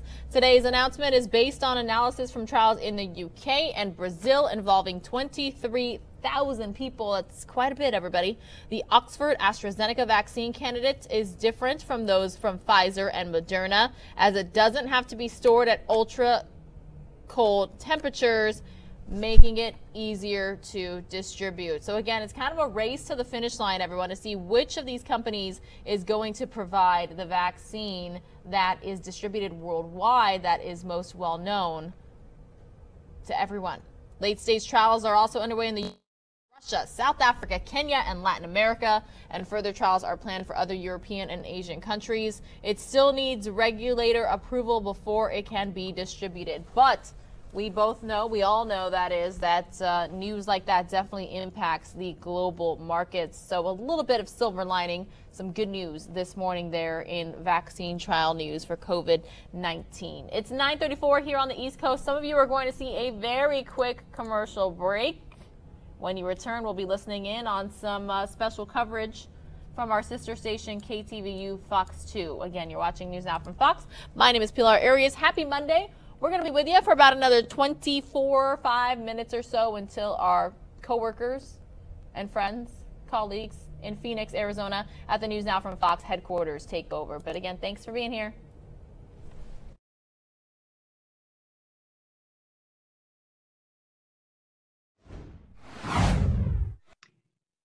Hello, everyone. Heather Holmes here with KTVU Fox 2 News of the San Francisco Bay Area. And joining me once again to talk about the coronavirus is Dr. Rashid He is medical officer at IEM and infectious disease expert. Doctor, thank you so much for joining us once again. Uh, thank you for having me uh, to talk about this very important subject that is not just affecting the United States, but the entire world in a very, very bad way. It, it certainly is, Doctor. We are seeing cases increase just about everywhere. I want to ask you, does it really come down to people masking, social distancing, and washing their hands? hands? Is it really that simple? Well, it is not that simple. Uh, but you know, as we had already predicted that uh, during the fall and the winter time, we are going to have more cases, and that's what you know the rest of the world is seeing, and that's what we are seeing in the United States. Uh, what are the measures that we've got available uh, to us right now? Are three things. Those are the three things that you just mentioned: masking, social distancing, and hand hygiene. Right now, we do not have a vaccine. Yes, the vaccine is coming, but we don't have it as yet. So we've got to use those particular measures. We have a monoclonal antibody that has been approved by FDA. And I believe that uh, in the next uh, few months, uh, what's going to happen is that uh, people will be going and getting tested. And if they're positive, uh, then they will be getting a, an infusion of the monoclonal antibody, which takes about one hour to infuse, and then you've got to wash them for one hour, and then they can go home. So we do have a treatment, but it is not widely available at this point. Till we have that treatment widely available, till we have the vaccines that are, are out. Uh, and, and FDA approved uh, and, and uh, given an emergency authorization use, and we've got some really good vaccines. We have to use the measures that we've got and, and we've got to do the masking, social distancing, and hand hygiene. I want to talk with you uh, about just what we're seeing in regards to the number of cases and the number of deaths. I mean, it just keeps climbing in both categories. Absolutely. Right now, we've got uh, 11.6 million cases, and, and, and we've passed a grim, grim, grim milestone. And I, I feel terrible talking about it, but we've, we, we have 251,000 deaths in the United States. Uh, the deaths are not as high as we had seen, uh, daily deaths are not as high as what we had seen uh, in the spring. But uh, unfortunately, I have to say that these numbers will rise. And, and uh, deaths always follow two weeks after uh, we've had surges of cases. Now we've gotten much better in, in taking care of patients in the hospital hospitals. Uh, and, and, and our mortality rate has decreased. There's no question about it. But when you have 160,000 cases per day, right, uh, which is a 77% uh, increase uh, uh, looking at the last two weeks, I mean, you're going to have deaths associated with them, even if they're less percent wise compared to what we had in spring. We're still going to have a tremendous amount of deaths. And, you know, it's unfortunate, but the rate that we are moving at, uh, you know, by Christmas, we could have 2,500 deaths a day in our country. And, and that is what is just unbelievable at this point and it's extremely heartbreaking to see that even if the if, even if people are going to start getting the uh, you know uh, monoclonal antibody outside the hospital in a, in a in an outside setting it is going to take time for all that process to take place. Once the vaccine is out, and I can assure you that by the end of this month, uh, I, I, I, believe both of the vaccines, the Moderna vaccine as well as the Pfizer vaccine, are going to get uh, FDA EUA approval because right now the immunogenicity data and the safety data on both of them look really, really astonishing. And you know they've just exceeded our expectations in terms of efficacy or effectiveness, as people call it. And we were expecting something which was going to be 50%.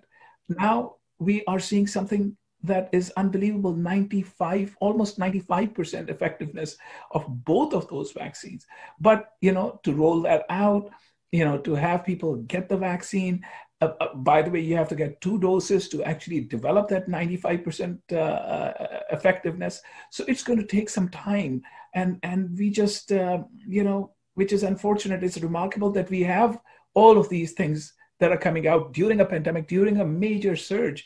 But right now, the virus is in control. We are absolutely not in control. So we've got to just make sure that we keep ourselves safe, as safe as possible. You mentioned vaccines, and obviously, so much incredibly positive news coming out from these two vaccines, at least these two right now. How realistic is it, doctor, that a large number of Americans are going to be receiving this vaccine shortly after the new year? It's not going to be uh, uh, happening uh, to a large number of Americans who will receive the vaccine.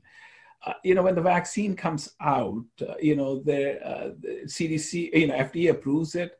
And then with CDC and ACIP, as well as the National Academy of Medicine, uh, it is determined who are going to be in the priority list. So the, the healthcare providers in harm's way who are taking care of COVID-19 patients, elderly uh, with comorbidities, elderly after that, and then you know mission, mission essential people, physicians, nurses, uh, uh, you know police officers, uh, uh, firefighters, you know, all the mis- mis- essential people, uh, essential workers are going to get that vaccine.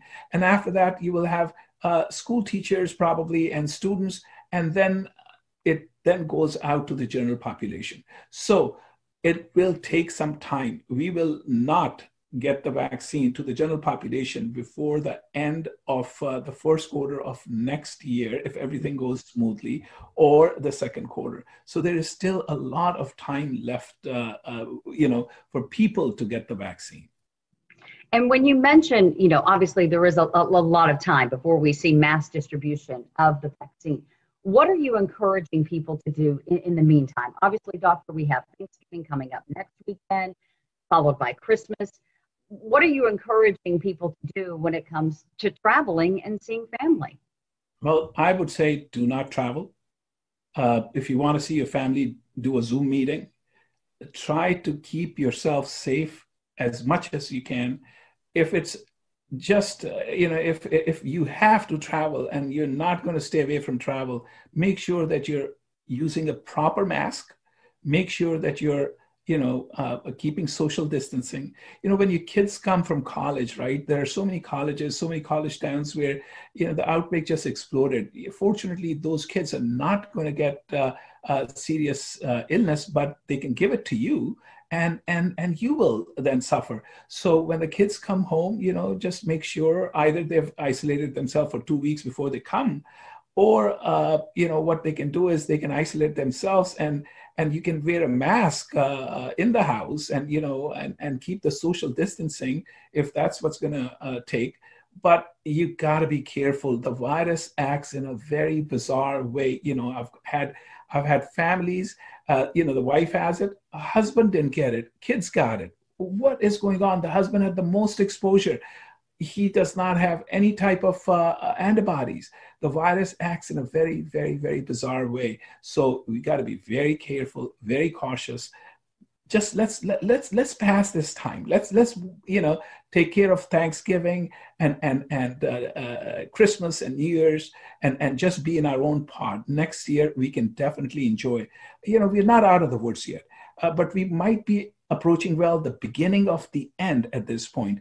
Uh, this perhaps is the first time, as I've mentioned, that the vaccine has been approved during a pandemic. We've got a therapeutic that has been approved that is going to be out there, which is just a tremendous scientific feat. You know, I've, I've got to give, give credit to Operation Warp Speed uh, for doing that but believe me, better days are definitely coming. Uh, but for now, let's all uh, keep doing our part, mask up, stay home, and count the days until we can line up to get our shot, the vaccine.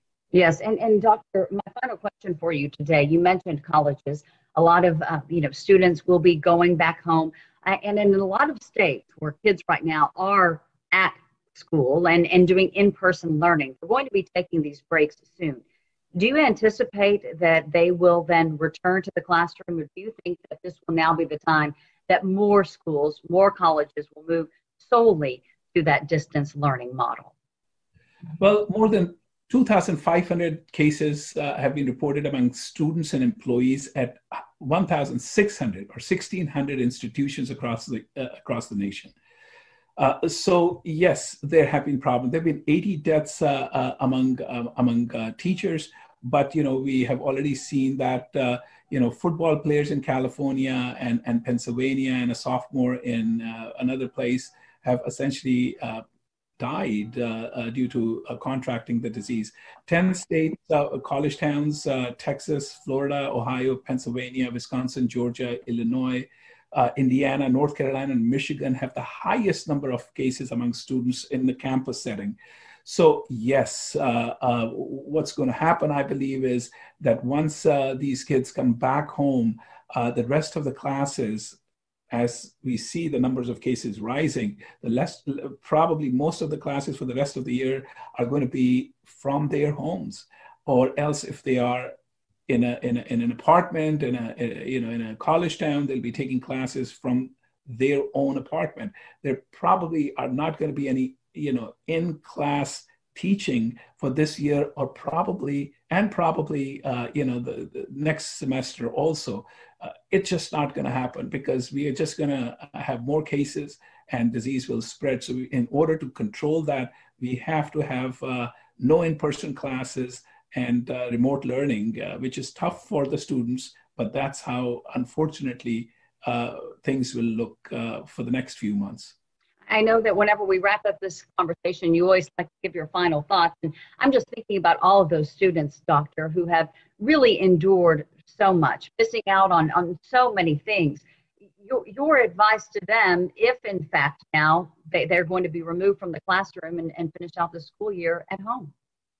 Well, one of the things that I have appreciated looking at my kids also, who are, you know, taking all the college classes from home, and uh, there are high school kids that I got, and I've got elementary school kids. So you know, I mean, I've I've seen all of it. One of the things that I've noticed is that the kids are extremely adaptive to what they get, the surroundings, and you know, they keep themselves busy. Uh, they they they have learned how to uh, cope with this problem. You know, social media has helped them quite a bit, and and all the technology that's out there is helping them communicate with people and talk to people and and be together uh, with their friends. Uh, uh you know, remotely. I believe uh, that you know adults uh, are having a much more difficult time than uh, than the students because uh, how technologically savvy they are. Yes, it's not easy not to be in a classroom, not to be enjoying time with your friends after you've had your classes, because that's what you that's what you want to do when you're in college. But uh, at this particular point, they can't do it. But I honestly believe that they will be able to endure this thing. They will be able to successfully complete their semesters. And you know, if nothing else, one of the things that they have to think about are their family members, uh, their parents, uh, you know, making sure that they're not bringing the disease back home so that their parents are not getting sick or their siblings are not getting sick. Because you know we all have to work together. Sacrifices will have to be made. Sacrifices are being made uh, uh, in, in a big way by all these students. And i am so delighted to see that you know more than adults uh, the students are actually following directions which was not anticipated but they are. You know majority of them are being very careful and cautious and they are they know what's going on. They follow the news. They look at the data and they appreciate how difficult the difficult times that we are in and how difficult is it is to deal with this virus. So i thank them and i hope they continue to do what they're doing because that's what we need. The nation needs them to be, you know, doing and, and giving the sacrifice and not giving up studying and not giving up their academic uh, uh goals that they have mm-hmm. and just keep pursuing them. All right. Thank you so much, Dr. Rashid Kutani, medical officer at IEM. Always a pleasure. Thank you. Thank you so much and, and appreciate it. Delighted.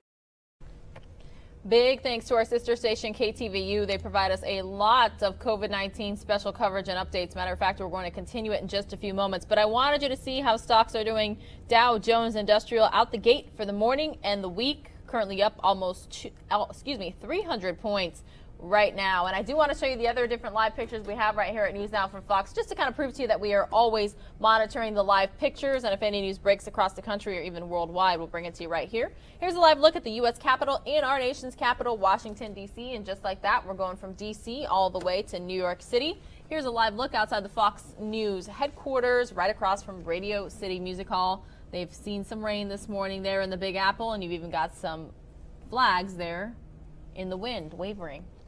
Again, happy Monday, everyone. You're watching News Now from Fox. My name is Pilar Arias. Silly me, I thought it was almost 11 Eastern already. We have you here from the News Now from Fox East Coast Hub in Orlando, Florida until 11 Eastern. So we've got an hour, 10 minutes left with you. Some of you are going to see a very quick commercial break. When you return, we will be watching KTVU Fox 2's continuous coronavirus special coverage. Again, this is News Now from Fox. My name is Pilar Arias. Thank you so much for being here.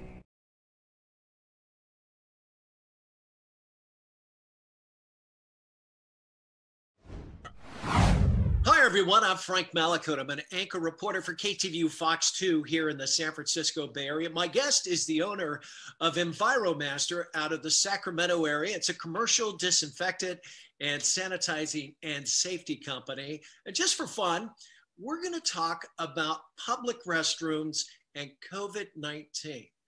They don't mix very well, apparently. Let's say hi to uh, Harminder Simi. How are you, sir? I'm very well, Frank. Thank you very much. Nice to have you and uh, have this opportunity to talk to you. Well, good to have you as well. Um, well, according to a survey, a lot of people are fearing the flush. I mean, a lot of times you can't even find a public bathroom that's open these days, but nearly half of Americans are just staying away from them completely. I think I know why, but tell us why. So, it, you, even before COVID, uh, so let's just face it, um, the restroom is a place where we go and deposit waste. Um, and studies show, in the same way that we are required to wear masks because uh, anything that's airborne, you know, has a higher chance of getting in, you know, infection across people. Think of the restroom uh, or the toilet bowl that effectively sneezes as well. Every time it's flushed, you're getting all these droplets. So before COVID, the risk of getting something from a public restroom was high. With COVID, of course, um, you know that's that has a different um, impact because you know we're still working on vaccines and so on. So yes, people are right to be uh, cautious. Uh, you know, uh, but it doesn't mean that uh, you, you can't go into a restroom. You just got to take some precautions. Exactly. I, I, know from your survey as well, uh, one out of three actually went into a public restroom and walked out um, Yeah. because of cleanliness issues or just being afraid of whatever's in there. And 15% actually said they hold their breath when they go in there. Uh, I mean, read that. that might be a little much, but uh, some bathrooms are better than others, I guess, right?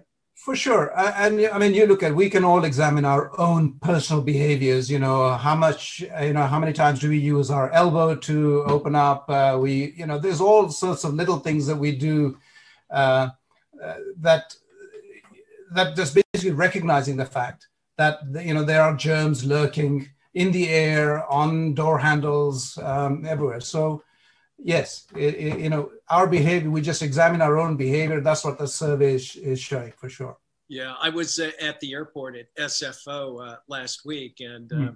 and it was crowded. I walked in and just said, "No thanks, I'll find another one." So, I, I think we are developing new habits, especially when it comes to the bathroom.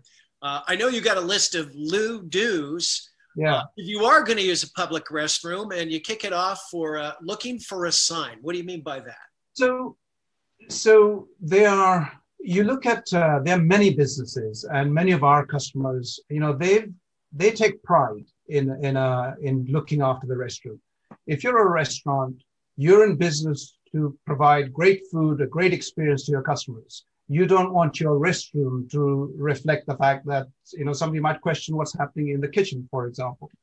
So for us, the way we've always done it, well before COVID, is provided signs, a, a little sticker on a sink, on a urinal, on a toilet, you know, where you flush, just to say this place has been in, sanitized and cleaned by EnviroMaster, and it's a weekly program.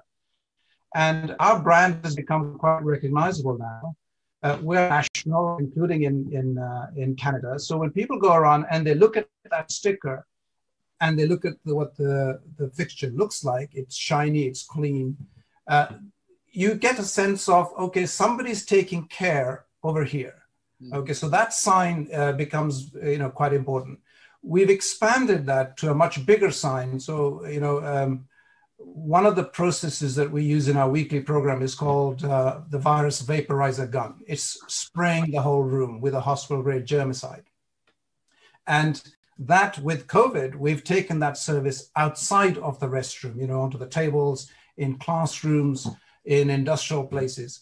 And for that, we provide a sign, a much bigger sign to say that this particular premises is protected because it's got a restroom hygiene program and a virus vaporizer program. So that sign is the first uh, sense that a customer or a, a member of the public should look for to say, right, at least somebody's doing something on a regular basis to keep this place clean and sanitized. Do you recommend people bring their own sanitizing wipes into a bathroom just to be sure? Uh, you know, it doesn't, uh, for an emergency, of course. Uh, so fundamentally, washing your hands with soap and water is by far a most effective way of keeping it clean. Now, you know, when are you going to ever, you know, if you're next to a sink, uh, yes, of course, that'll work. Now, the next thing is what kind of paper type, uh, products do you use? Are the paper towels just lying on the counter or are they being dispensed? Because if they're lying on a counter, then what you're touching, you might have cleaned your hands, but this aerosol that's, you know, when somebody flushes a toilet, all of that's lying on the paper. And all you're doing is putting it back on your hands. So having hand sanitizers in your bag, in your pocket, you know, you get all of these in your car. Uh, I mean, I have it in, in the car when I go to a gas station, I pump gas and I just, you know, wipe my hands. So those kind of situations, of course, you know, we, it's thoroughly recommended. How about the hand dryer? You see those? Uh, I saw them at the airport the other day. Yeah. Are They, Yeah. They're probably pretty dirty, I bet. They are, and unfortunately, in our line of work, uh, we tend to focus on areas where a public might not see because we're, you know, we're trained to look for places where germs are lurking, where there's buildup and so on. And and when you really look down into one of those hand dryers where you get the water droplets will sit there, uh, you some of them are pretty gross. Um, now I know the hand dryers have some HEPA filters and so on that when they do blow the air, but actually what you're blowing onto your hands is air that's already circulating in the restroom. And as we've, you know, uh, the surveys also show that when you uh, when you flush a toilet, you know, these water droplets get ejected to up to between six and 20 feet, you know, and they stay in the air for between 20 minutes to an hour. So if you're using a hand dryer, again, you've used hand, you've used water and soap, then you're just redepositing potential germs onto your hands. I would imagine it's probably good to get in and out pretty quickly too. The, the less time you're in there, the less chance of getting For sure. virus Uh, or something. Exactly. Uh, of course, if you see a, a sign from EnviroMaster that says that this place is, you know, taken care of, then you you have a little bit of comfort. Uh, always wear your mask. Uh, you know, that's that goes without saying. We should be, you know, wearing a mask. Just not just so masks do two things really. They're protecting you. If you have an N95 mask, that's protecting you. But if you're wearing any ordinary mask, you're protecting other people. So when you go into a restroom and there's water drops and so on, having some sort of a barrier is good for you. The less time you spend there, of course, the better it is. The less chance you have of catching uh, any disease other than you know, let alone COVID. And with that hand dryer in mind, I guess the least amount of things you touch is Mm. better too. I mean, there are some aerosol things that you might bump into, but No. handles, toilet flushers, the faucet, maybe get a, a paper towel to to kind of uh, not touch some of those things. Right on. exactly. Exactly. So you um, you don't always need automatic soap dispensers uh, because when you when you go and when you first dispense soap into your hand, you may touch the dispenser, but then you're washing it away. now the tap or the faucet would have uh, could could be contaminated. So before you shut the water off, you just take a piece of paper and you shut the water off and wipe your hands. You can use uh, even the, you know, and it's a good habit because even if you have an EnviroMaster sticker to say that this is sanitized, if you if you if you really want to be careful, then you use a piece of paper just to open the door, and uh, make sure you dis- di- dispose of the piece of paper correctly into a trash can as opposed to leaving it on the floor. I think we're developing good habits, though. I have not had a cold or anything uh, since March. Uh, knock on wood, and uh, you know, I got disinfected. I wear my mask, but I'm I wasn't a big hand washer, and I think we're all becoming good hand washers now. And hopefully, when COVID's down the road a little bit, we can all stay a little bit healthier. Yeah, for sure. Uh, so, Frank, here's the thing. Um, you know, winter times are associated with flu, uh, and they're more vulnerable people that have always had flu. And uh, so, EnviroMaster, some of many of our customers actually have stepped up some of the services in, during the winter months. Um, the the real evidence that we have from our customers, so we look after kiddie schools, uh, grocery stores, for example, and the evidence from the owners there is that even before COVID, that our processes, when we're going in each week doing a deep clean and using the virus vaporizer spray, this is this hospital grade germicide, which is food safe, um, they've noticed the level of sickness amongst their staff come down. Now that's, that's a huge, you know, the, the cost of the service is you know, insignificant. Some of you are going to see a very quick commercial break. News now from Fox. We'll be right back. Uh, less days off. Uh, Yeah. That's a that's a good point. I guess it's a good thing to talk about toilets because who knew there was a national toilet day, November the nineteenth, and some people may see this uh, uh, a day or two after. But uh, happy National Toilet Day.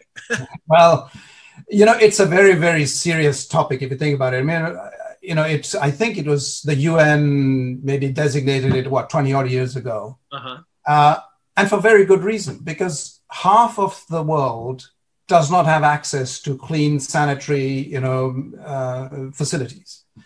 Um, and the one sure way of trying to protect an, a population is to look after, you know, a to provide sanitary, you know, uh, uh, facilities, and secondly, to where you do have them, to really look after them. And I think in the U.S., uh, you know, where EnviroMaster fits in is that this isn't something that we just invented, you know, yesterday. Uh, you know, the company's been going uh, 10 years, but uh, our founder and CEO, Pat Swisher, you know, he started this business 30 years ago. And he had an amazing foresight to say, well, let's focus on an area, the restroom, where it's an epicenter for disease and germs. And let's go in and try and kill the germs that might kill the business. So, um, I, I, you know, I had I knew nothing about toilets before we bought this um, this franchise, and I absolutely loved the biz, the business model because we it's a combination of the training that we give our technicians, um, how they are introducing themselves to the manager to the owner each time, the processes and the training that we give them of uh, how they use it consistently, whichever part of the uh, country you might be in, and the solutions and germicides that are proprietary to us. And the combination of those three things simply enhances the restroom environment for the customer, the patrons, the staff. Very good. Well, if people, Harminder, that would like to get in touch uh, with Enviromaster in Sacramento or beyond, how do they do it? Well, you you Google us, uh, you Google Enviromaster services in your area, and uh, we have uh, very well developed websites. You'll get directed to your local area. Uh, our headquarters are in Charlotte, North Carolina. Um, we um, each the the the the, the guarantee that you get that anybody gets is that the service you get from one is going to be entirely consistent. And this is why we service people like uh, Texas Roadhouse, for example. So whether in Sacramento or in San Francisco or in Houston or in Orlando, and you're going to use a Texas Roadhouse restaurant, you know that the service that that restroom has got has been entirely consistent. So Google us, um, uh, and you look at this. If you go to a place and you see a sticker you know, there's a phone number on it. Call it. All right. Hmm. Well, um, some great insights on toilets and uh, how to clean up our world a little bit. And hopefully, we can get COVID in our rear view mender, uh, uh, rear view mirror, not mender. That's you. Harminder Simi uh, out of Sacramento with Enviromasters. Want to thank you very much for joining us here on Fox. Well, thank you very much for having me. Again, big thank you to our sister station, Fox 2 KTVU. They do a lot of coronavirus special coverage for us right here on News Now from Fox. We're taking a live look, everyone, at my hometown, Phoenix, Arizona. I am currently missing it. It is the News Now from Fox headquarters. I'm going to head on over to our sister station, Fox 10 Phoenix's uh, website to see that it's 60 degrees and that makes me even more homesick. Oh my goodness. This is the time of year when you definitely want to get out hiking in Arizona, the Valley, Superstition Mountains. Ah, I'm definitely missing it, especially ahead of Thanksgiving. Going to be staying in Florida here with the News Now from Fox East Coast Hub, but I'm happy to be here with our team providing you all this News Now from Fox coverage. So I'm going to say hello.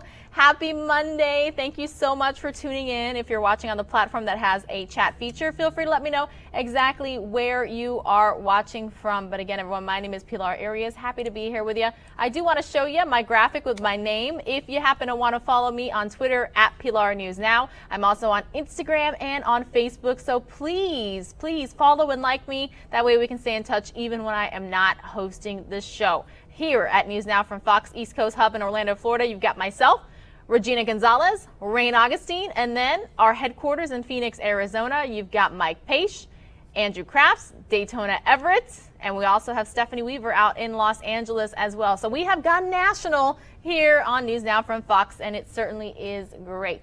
All right, everyone. So what else do we have? What can we take a live look at right now, right? We've got the U.S. Capitol in our nation's capital. Looks like it's a little bit cloudy there in Washington, D.C. We've also got a live look outside of the Fox News headquarters in New York City, right across from Radio City Music Hall. And we have a live look of the Dow Jones Industrial Big Board, currently up about 240 points. So tell me, are you all ready for Thanksgiving weekend? Do you have a four day weekend? Do you have just Thanksgiving off? Let me know. Again, you're watching News Now from Fox. My name is Pilar Arias. Happy Monday. Hope you all had a great weekend and hope you are prepared for this upcoming weekend. But again, you're watching News Now from Fox. My name is Pilar Arias. We're continuing on with our uh, coverage of top stories, coronavirus, politics, election 2020. Still not quite over just yet, but right now I'm going to take you out to Fox 6 in Milwaukee, and that's because we have a follow up to the mall shooting that happened over the weekend.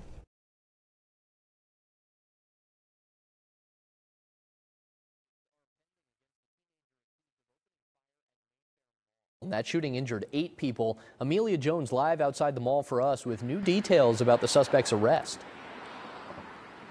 Carl, the suspect who was arrested was a 15 year old boy, and we are still waiting to learn what charges may be filed against him. Wauwatosa police say that some of the eight victims are out of the hospital and recovering this morning. Police say that the teen was involved in an altercation between two groups that led to the shooting at Mayfair Mall on Friday. Wauwatosa Police Chief Barry Weber says the 15 year old walked out of the mall with fleeing shoppers Friday while police and SWAT teams ran inside. More than 24 hours later, the teen was arrested at a traffic stop. The 15 year old boy is one of still an unknown number of people involved allegedly in the shooting. Police say of the eight injured, four were innocent bystanders not involved in the altercation.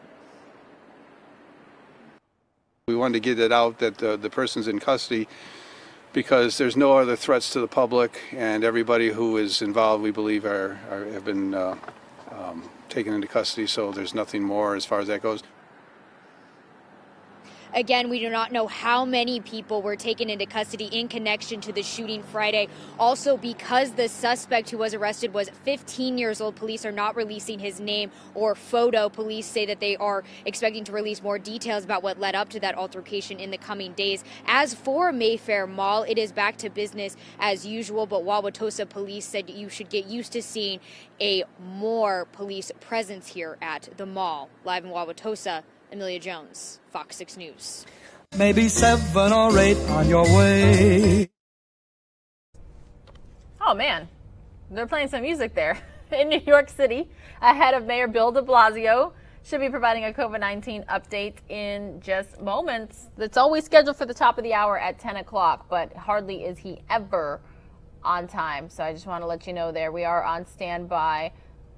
Meanwhile, I'm going to show you President Trump's latest public remarks. He was actually talking about lowering drug prices. We're going to watch that right now on News Now from Fox. Remember, we're staying on top of all breaking news for you in terms of the election, in terms of coronavirus. If anything happens live, raw, unfiltered, we've got you covered right here on News Now from Fox.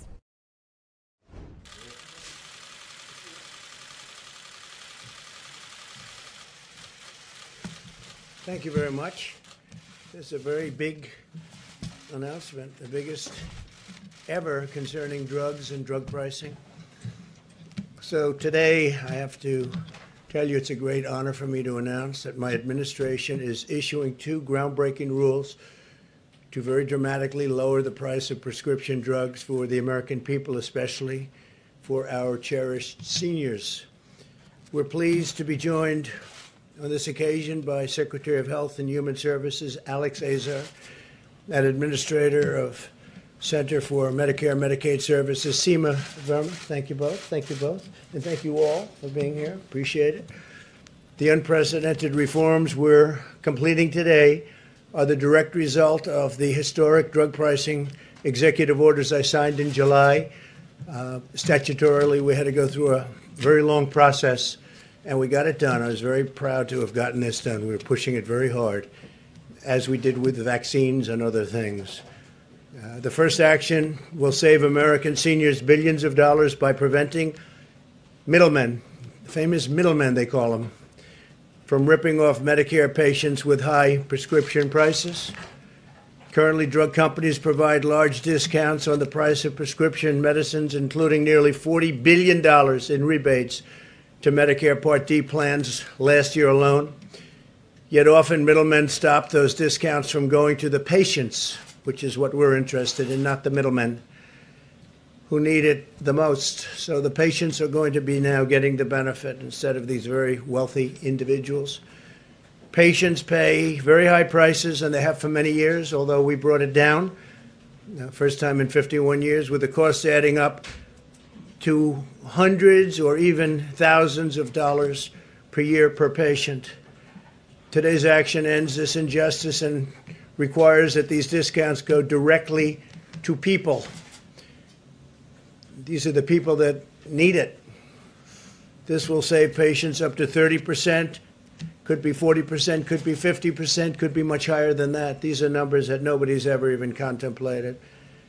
And uh, that doesn't include life saving drugs like insulin, which will be even higher. Insulin was destroying lives and destroying families because the cost was so high, and now it's uh, at a level that nobody can even believe. Is that correct, Seema? $35 a month from many times that number. The second rule we're finalizing today will transform the way the U.S. government pays for drugs to end global freeloading on the backs of American citizens and American patients. Until now, Americans have often been charged more than twice as much for the exact same drug as other medically advanced countries. Uh, we would be having a drug, identical drug, same company, and we'd pay many times the price of what that drug would sell for in certain countries.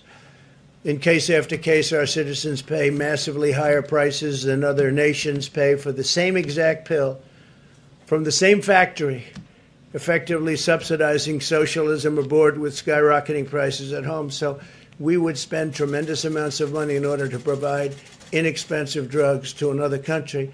And when I say the price is different, uh, you can see some examples where the price is beyond anything four times, five times different. For example, Medicare Part B recipients are forced to spend five times more for a common breast cancer medication than patients in other countries. So, five times more. And we have other examples that are substantially higher than that. To address this unfairness and to lower prices for Americans, we're finalizing the most favored nation rule. Remember that name, most favored nation rule. Uh, nobody's ever done this. Uh, the drug companies don't like me too much, but we had to do it. It took a long time before we were, we were able to do this because statutorily we had to go through a process. But they'll, there'll never be anything like this. I just hope they keep it. I hope they have the courage to keep it because the powerful drug lobby, Big Pharma, is uh, putting pressure on people like you wouldn't believe. Medicare will now look at the price that other developed nations pay for their drugs.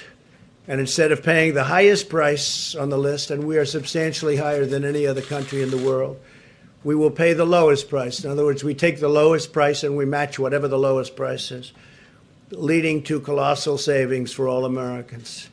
And we're talking about savings of 50, 60, 70%, 80%. Uh, different drugs, different prices. In addition, today, we're taking one more historic action to hold down drug prices. In the past, drug companies have been allowed to identify certain very old generic drugs that have been widely available for decades and exploit a misguided program called Unapproved Drugs Initiative. That's Unapproved Drugs Initiative, a program that has been around for a long time and uh, hasn't been too good for the the people that were supposed to benefit to obtain market exclusivity on these medicines. So uh, we are doing something that uh, nobody thought anybody would do. The savings is going to be incredible. Then they've jacked up the prices by as much as 1,000 to 5,000 percent on uh, this product. This program has also caused shortages of important medicines. Today I'm announcing that we are ending the Unapproved Drugs Initiative program to stop this unfair practice. So prices are lifted by 1,000% to 5,000%, in one or two cases, even more than that. And we're ending this. We are putting an end to it. Together, these reforms will save American patients many, many billions of dollars every single year. For generations, the American people have been abused by Big Pharma and their army of lawyers, lobbyists, and bought and paid for politicians. But I've been loyal to the special interests. I've been loyal to our patients and our people that need drugs, prescription drugs, and devoted myself to completely fighting for the American people. You see that? This is not an easy thing to do. Big Pharma ran millions of dollars of negative advertisements against me during the campaign, which I won, by the way, but you know, we'll find that out. Uh, almost 74 million votes. We had Big Pharma against us. We had the media against us. We had big tech against us. Uh, we had a lot of dishonesty against us. But Big Pharma alone ran millions and millions of dollars in ads. In fact, I looked at it. I said, "Who is it?" Uh, they, uh, I've never seen anything quite like it because I told them I'm going to have to do this. You know, I was put here to do a job, and Pfizer and others were way ahead on vaccines. You wouldn't have a vaccine if it weren't for me for another four years because FDA would have never been able to do what they did, what I forced them to do. And Pfizer and others even decided to not assess the results of their vaccine. In other words, not come out with a vaccine until just after the election. That's because of what I did with favored nations and these other elements. Instead of their original plan to assess the data in October, so they were going to come out in October, but they decided to delay it because of what I'm doing, which is fine with me because, frankly, this is just a very big thing. A very big thing. What I'm doing here, I don't know if anyone's going to appreciate it. These people can't even believe it. Alex, even you can't believe it, can you? Look at you. So they waited and waited and waited, and they thought they'd come out with it a few days after the election. Uh, and it would have probably had an impact. Who knows? Maybe it wouldn't have. I'm sure they would have found the ballot someplace, the Democrats and the group. These corrupt games will not deter us from doing what is right for the American people. And I will always put American patients first. And I think uh, it can never be shown better than what I'm doing today. Already, we successfully lowered drug prices for the first time in 51 years. In September, we finalized a rule allowing states, wholesalers, and pharmacies to safely and legally import drugs from Canada. Career politicians have promised to institute this reform for decades, and we got it done. The reason Canada, and this is going to be, I think, just a short term fix because until we have the favored nations fully ready, which we hope to be in January 1st, I think a very important thing is to say January 1st, it's right around the corner. Uh, but uh, I'm giving governors the right to go to Canada because they'll pay, pay approximately 50% less for their drugs for that they buy for their states. So the governors buying drugs for their states go to Canada. They buy the drugs for very, very much less, and they'll be able to pass that on to the people of Florida. Uh, Ron DeSantis uh, was the first one to ask, but others are asking also. And uh, it's a great thing. I mean, you'll save 50%. They're going to buy a lot from Canada uh, initially, and I think ultimately they'll be comparing prices. You'll get the lowest price anywhere in the world, so you won't need to buy from Canada. In a few weeks, my administration will also finalize rules requiring federally funded health centers to pass drug company discounts on insulin and EpiPens directly to patients, and the EpiPen prices come way down. We remember those horrible stories about EpiPen. Well, the prices now come way, way, way down. We capped insulin costs for many seniors at just $35 a month, as I said, saving them an average of nearly $500 to $1,000 a year just on insulin, saving $1,000 a year on insulin. Since I took office, we've reduced Medicare Part D premiums by 12%, putting nearly $2 billion back into seniors' pockets. Now, 12% is great by any standard, but 12% is peanuts compared to what we've done with favored nations. It's, uh, I think it's probably the biggest story that we've ever had re- relative to drug prices. There's never been anything like this. This is uh, something that has been talked about for many years, but nobody had the courage to do it because of the power of big pharma. We ended the gag clauses that prevented pharmacists from telling patients how to buy less expensive drugs. As you know, pharmacists could not talk to patients about how to buy drugs. How about that one? Think that's right? And now they can and should. We approved a record number of affordable generic drugs for three years in a row, and we put a very, hef- very heavy emphasis on generic drugs. And uh, the pricing there has become very good, but that pricing will also go down very substantially. No administration has ever fought harder or achieved more for our patients and for our seniors. But for America when you think of it for America because other countries were paying a fraction of what we were paying. In some cases, a small fraction. I mean, it was it was uh, what the numbers were just staggering. The difference between going to I won't name nations, but I could uh, name five of them right off the top of my head. That uh, it it is so incredible to think about. For years, what was happening? We've been working on this for two years statutorily, we had to go through a process. But when you think that our nation, for the exact same pill out of the exact same box, often made in the exact same factory, same company, and you take a look at uh, the cost was so much more, many, many times more. In four short years, we've instituted the most dramatic series of drug pricing reforms in decades. And you'll see that it all comes to fruition right now, starting on January 1st. And the American people will benefit from our actions for many, many decades. And it should be very immediate. Now, I presume they'll sue, but it's a suit that they should never be able to win. Uh, they should never, ever be able to win. So now I'd like to ask Secretary Azar to provide some more details as to the action. And then, Seema, I'd like to have you come up and say a word, few words. And uh, great job. We appreciate it. Thank you, Secretary.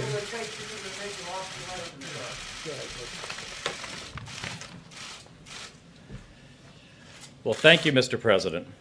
What an extremely exciting day for American healthcare. On top of the news that you just made, today, Pfizer will be filing an application for an emergency use authorization with the FDA for their COVID 19 vaccine that appears to be 95% effective.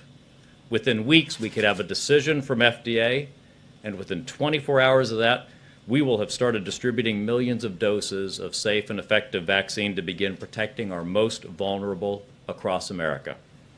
You know, the president mentioned his passion for getting drug prices down, and I can tell you I've seen that firsthand. When I became secretary in January 2018, the very first meeting we had in the Oval Office was to put together our plan for tackling drug prices.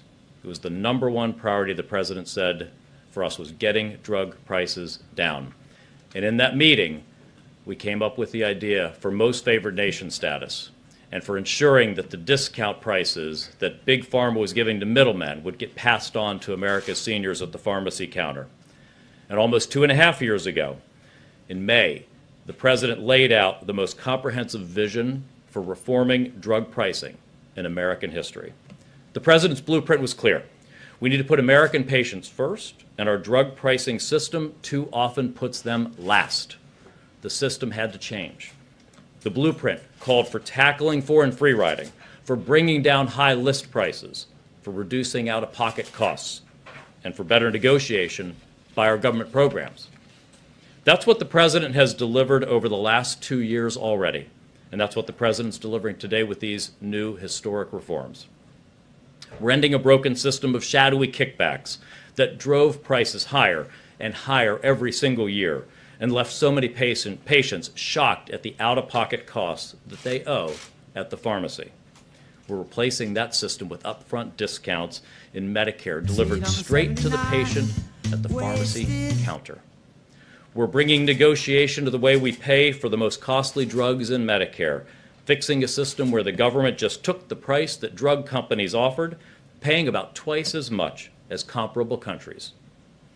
We're ending a program that's been used by drug companies to jack up prices on older drugs. The president's actions today boldly take on the big drug companies, take on the middlemen, and take on foreign countries' free riding off of Americans. If you don't believe how fiercely special interests have fought these efforts, you must not have watched any TV in Washington over the last couple of years. Special interests have run millions of dollars in ads against the president's drug pricing initiatives. Mr. President, they underestimated me, and they sure as the devil underestimated you. About two years ago, just over in the Roosevelt Room, the President signed legislation to ban pharmacy gag clauses alongside me and his drug pricing advisors. That included my friend and colleague, Dan Best, who passed away two years ago this month. And he devoted his life to lowering drug costs for American patients, putting them at the center of our healthcare system, just as President Trump has done. And he was one of the key driving forces behind the rules that we are announcing today. I wish Dan could have been here today, Mr. President, but today's actions are a lasting legacy for him and for you. The President's historic actions will transform drug pricing forever and build the system that American, the American people deserve, a system that puts American patients first. Thank you so much, Mr. President, for making today possible. Thank you, Thank you. Thank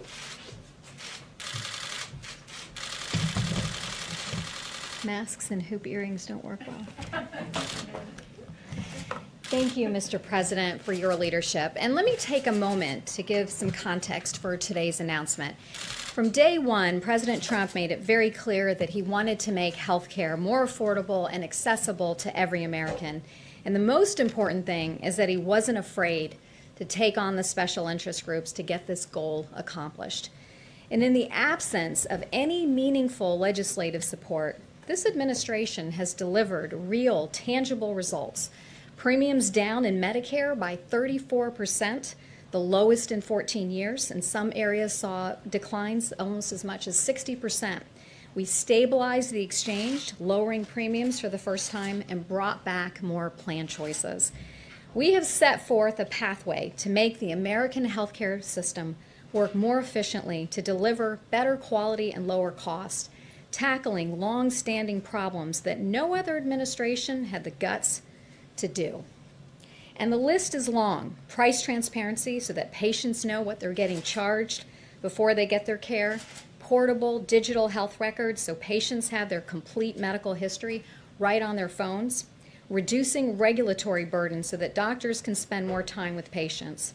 The healthcare system will work better because of what this administration and President Trump has accomplished. And as the president noted, our achievements on drug pricing are no less sweeping and unprecedented. Thanks to regulatory changes in 2017, the Part D premiums have dropped to some of the lowest rates in seven years, saving beneficiaries over $1.9 billion in premiums. And we're also bringing price transparency to Medicare so that doctors and patients have pricing information when drugs are prescribed so that patients can get the best deal. The President's Senior Savings Model has our Medicare beneficiaries cheering this year as they are selecting plans in this year's open enrollment. They have over 1,600 plans that are offering insulin for just $35 a month or less, and that is a massive 66% savings. Today's announcement is about Part B, where the Medicare program has been nothing but a powerless price taker. And the problem is simple. While there are market forces and negotiations that serve to reduce costs in other parts of the healthcare system, it just doesn't exist in Part B, which pays for drugs that you get in a doctor's office, cancer drugs, and other infusions. In Part B, American seniors and taxpayers pay whatever drug companies want to charge. And doctors also get paid a percentage add on. So the higher the drug costs, the more they get paid, giving an overt incentive to prescribe higher priced drugs and for manufacturers to increase its prices. And so it's no wonder that American seniors are paying twice as much as what other countries are paying. And because of this, over the past five years, Medicare spending for Part B drugs has gone up by 55% on average and drug spending in Part B is responsible for over a third of the premiums that our seniors pay. So the bottom line is higher drug costs lead to higher premiums and higher copays. Doctors do well, drug companies do well, but patients pay more. This effort is going to save over $85 billion over seven years and saving seniors over $28 billion as well. And so I want to thank the President for being a problem solver willing to be to think big and to act boldly on behalf of the American patients. His record of success over the last four years is a testimony to that mentality. Thank you. Thank you, Sue. Thank you. Thank you.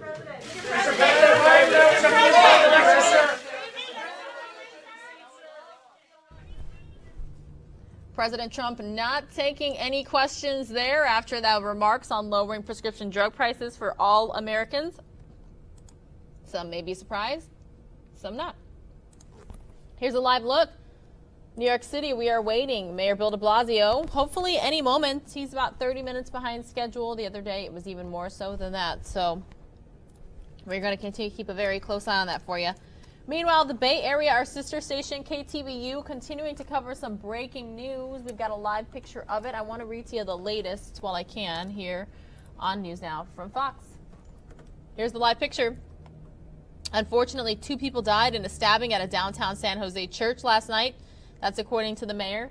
There were, quote, multiple stabbing victims, victims, some with life-threatening injuries, end quote, at Grace Baptist Church about 8:45 in the evening last night, according to the San Jose Police Department. They actually tweeted it. The violence did not occur during a religious ceremony, the police said. Instead, the attack apparently involved people who were receiving shelter in the church. This is a quote Unhoused individuals were brought into the church to get them out of the cold, the police department said. A source said Kate told KTVU there were victims inside and outside the church, which serves overnight as a shelter. Mayor Sam Liccardo tweeted that a suspect had been arrested, but then he later deleted that tweet when police would not confirm that information. Investigators have not said what led to the stabbing. Police said there would be more information released later in the day. The deaths raised the city's homicide total to 41 this year in 2020. So again, we are on standby just a few moments. Hopefully, New York City Mayor Bill de Blasio will return. Meanwhile, we're going to head on over sister station Fox 35 Orlando actually talking about how things are going to be prioritized when a COVID 19 vaccine is officially released. It is a race to see which company in which location can get it first. Some of you are going to see a very quick commercial break. We'll see you in two minutes.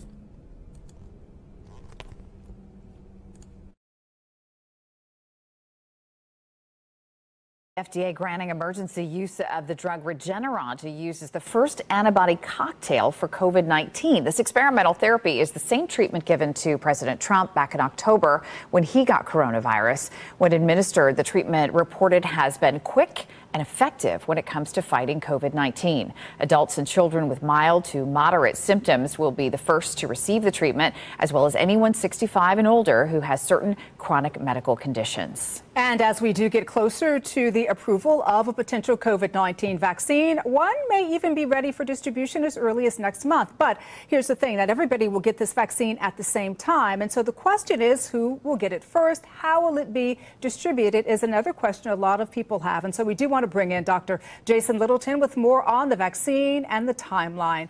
Good to see you, Dr. Littleton. Happy Monday. Happy Monday. How are you doing, Danielle?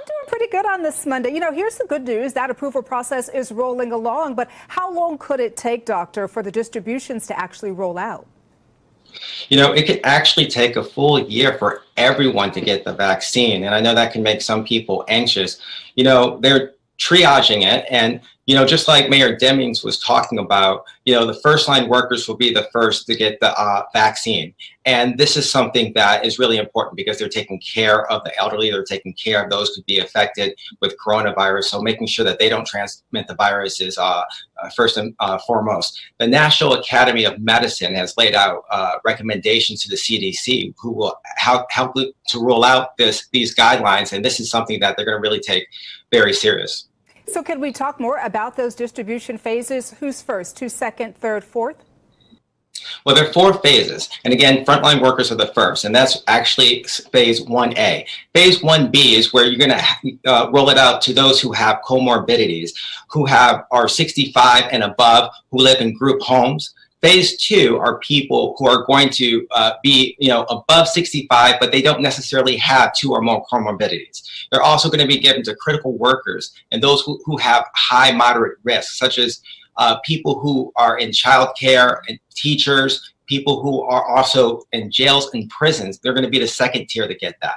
Mm. And then in the third tier, you're going to have people who are young adults and children, those who are college age, those who are essential businesses, such as hotels, banks, um, and other factories. And then lastly, the rest of the population will be the uh, fourth tier to be able to get the, um, the vaccine. Okay, very interesting. You say it could be about a year before everybody is able to get that vaccine. And I know these vaccines are different. They're going to have to be stored differently. And you heard Mayor Demings talking about already purchasing some of the refrigerators for the ones that have to be stored in exceptionally cold conditions. Will this doctor affect distribution in terms of which hospitals or pharmacies are likely to get which vaccine? Absolutely. Now, the Pfizer vaccine has to be stored at negative 98 degrees Fahrenheit. So you have to uh, purchase a special freezer for that. So that's a big hurdle on that vaccine. The Moderna vaccine will be negative 4 degrees Fahrenheit. So these are sub zero freezers that uh, hospitals, um, you know, clinics have to store. Now, the AstraZeneca will have a conventional refrigeration. So that's probably going to be the easiest one, but they all have different efficacies. So this is going to be something that can be a challenge. Not just that, price can also be a challenge. And they're priced out differently as well. You know, you've heard people say, yes, I'm going to get the vaccine as soon as I'm able to. Others are saying they're not going to get the vaccine. Can we dispel any myths about it being unsafe? Because people are saying, listen, I don't want to be the first one to get this. I don't know how safe it is. Are there any safety concerns associated with this vaccine? Well, again, even right now, as they they're uh, uh, getting ready to have emergency use authorization, it's still an investigation still going on. There are safety concerns, no doubt about it, but most of the trials and phase three trials have had minimal side effects, things like maybe fever, headache, fatigue, but there hasn't been any severe symptoms like anaphylactic shock or other immunologic uh, reactions. So there's still concerns. I understand people who may be a little concerned about, let's see how this rolls out, and that's granted. Um, so I, I, think you have to take it with a grain of salt, but I think there is a need to help protect the elderly and those at high risk. So I think there are going to be a lot of people who are still eager to get this vac- this vaccine. Dr. Jason Littleton, it is Thanksgiving week, so I just want to tell you how thankful we are for you. Thank you so much for all of Thank you so much. I'm so grateful for you guys. Thank you so much. We appreciate you. All right. Again, big thanks to our sister station, Fox 35 in Orlando, for that special coronavirus coverage. Taking a live look at the Dow Jones Industrial Big Board, currently up about 180 points. We are still on standby for New York City Mayor Bill de Blasio. He is about 38 minutes behind schedule because they are always scheduled for the top of the hour. Meanwhile, it was a very busy weekend for the White House. Not only did we hear from President Trump himself about lowering prescription drug prices, but we heard from Press Secretary Kayleigh McEnany. So we're going to listen to that right now on News Now from Fox. Don't worry if any news breaks across the country or worldwide we have a camera there or we can bring you the info, we will do so right here on News Now from Fox. We are all about live, raw, unfiltered, and showing you events in their entirety. Again, happy Monday. I hope you all had a great weekend. I know lots of us are gearing up for Thanksgiving. It's going to be my very first here on the East Coast in Central Florida.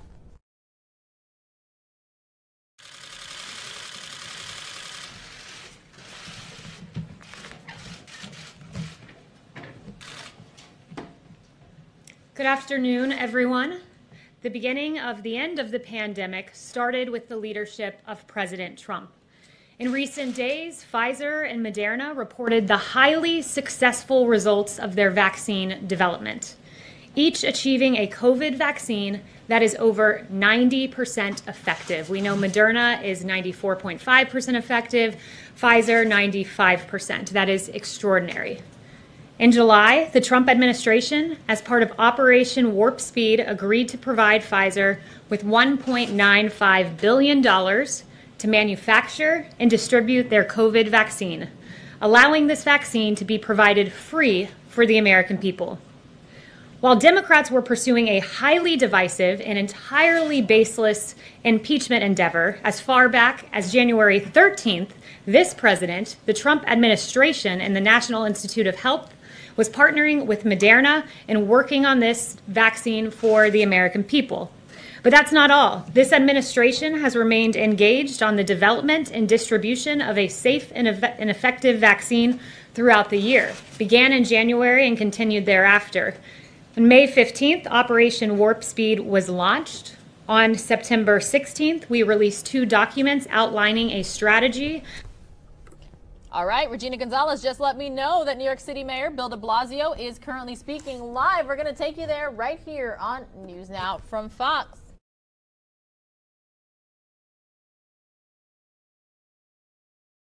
People some encouragement because everyone's been working so hard to protect people's livelihoods and bring them back, and it is having an impact. I'm going to talk about our schools, which we closed for the safety of all but are coming back with a plan to intensify our safety measures and bring our schools back. So we need to reference all those facts and remember what we're capable of as New Yorkers and how that's going to move us forward. At the same time, we could recognize the real challenge we face with this second wave bearing down, with COVID cases rising, all the things that we need to do to stay safe. So let's talk about schools. I know it's on everyone's mind, and it's on my mind as well all the time. We can and we will bring back our schools. It will take a lot of work. And I just want people to understand that from the beginning. Bringing back the schools this next time will take an extra effort.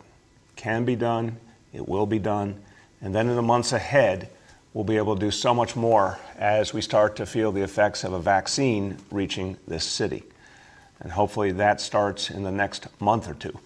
But in the meantime, to bring schools back, we have to take our core vision, which is health and safety first, and intensify it. The, the data and the science govern all our decisions. We saw these numbers rise. We made a decision based on the standards we put forward months ago. But now a new reality is coming into play the strong, strong likelihood that in a matter of days, uh, the state of New York will determine that New York City is an orange zone according to state standards. Now, I'm not going to speak for the state or the exact timing. I'm just taking their numbers, looking at them, and acknowledging the clear trajectory and basing it on what the state has said already. There is a likelihood, as soon as next week, even, uh, that New York City will be declared an orange zone. Once that happens, uh, we will be in a position to take additional measures to reopen schools. And there's a clear um, protocol for that. It involves a lot more testing. It's a very conservative, cautious approach. Again, a lot more work, but we will go through that hard work together. I know how much parents want their kids back in school. I know how much educators and staff want to be there to serve kids. It will take a lot more testing, a very aggressive approach, a very proactive approach, but we can do it. Testing has to be done, in fact, in advance of kids and staff coming back to school. And constant testing uh, throughout the school year, much more than we've even been doing already, and we've been doing a lot. Remember, New York City, first of all, we opened our schools when almost no major city in America did, but second, we put a strong testing approach into place and the situation room to act quickly if anyone in the school community tested positive and when necessary to close the school. That whole approach was working and working very well. We're going to now build upon that, intensify it, and make sure that there's testing constantly. Now, I'm going to say again, as I said several times last week, if you're a parent, you want your kid back in school as soon as they reopen, get that test consent form in because that will be absolutely required for any child to come into the school uh, to have a test consent form on file. And that includes all those who opted back into blended learning uh, over the last few weeks. Now, how will this work? Well, a lot of details have to be worked out between the city and the state, but we can say for sure that we're going to focus on the uh, most important and most vulnerable elements of our education system. So, first of all, our special needs kids and the families with special needs kids have been saying very, very clearly how much they need in person education. I couldn't agree with them more. So when we come back, the first thing we're going to focus on is getting what's called District 75 schools, special ed schools, back and up and running across all grades. Uh, next, the youngest grades, early child education, such a difference maker for children. Bringing that back, 3K, pre K, will be a high priority followed by elementary school. And we'll keep building from there. So this is a, an initial vision, a lot of work to do to make it come together.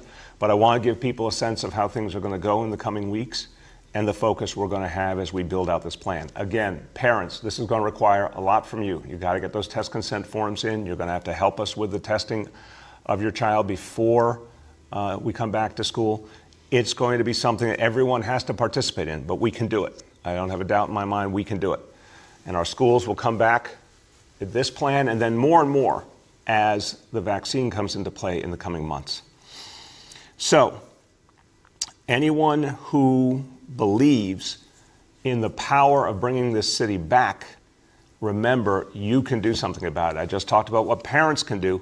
Everyone can contribute to this city coming back, and it comes down to this, as always, wearing this mask consistently and practicing social distancing, but also the choice we all have to make now at the holidays. I've talked about this. It's a painful reality. We're going to have to do something very different this Thanksgiving, very different throughout the December holidays. Uh, do not travel if you can possibly avoid it. If you travel, it just greatly intensifies the exposure you could have and the risk you would take.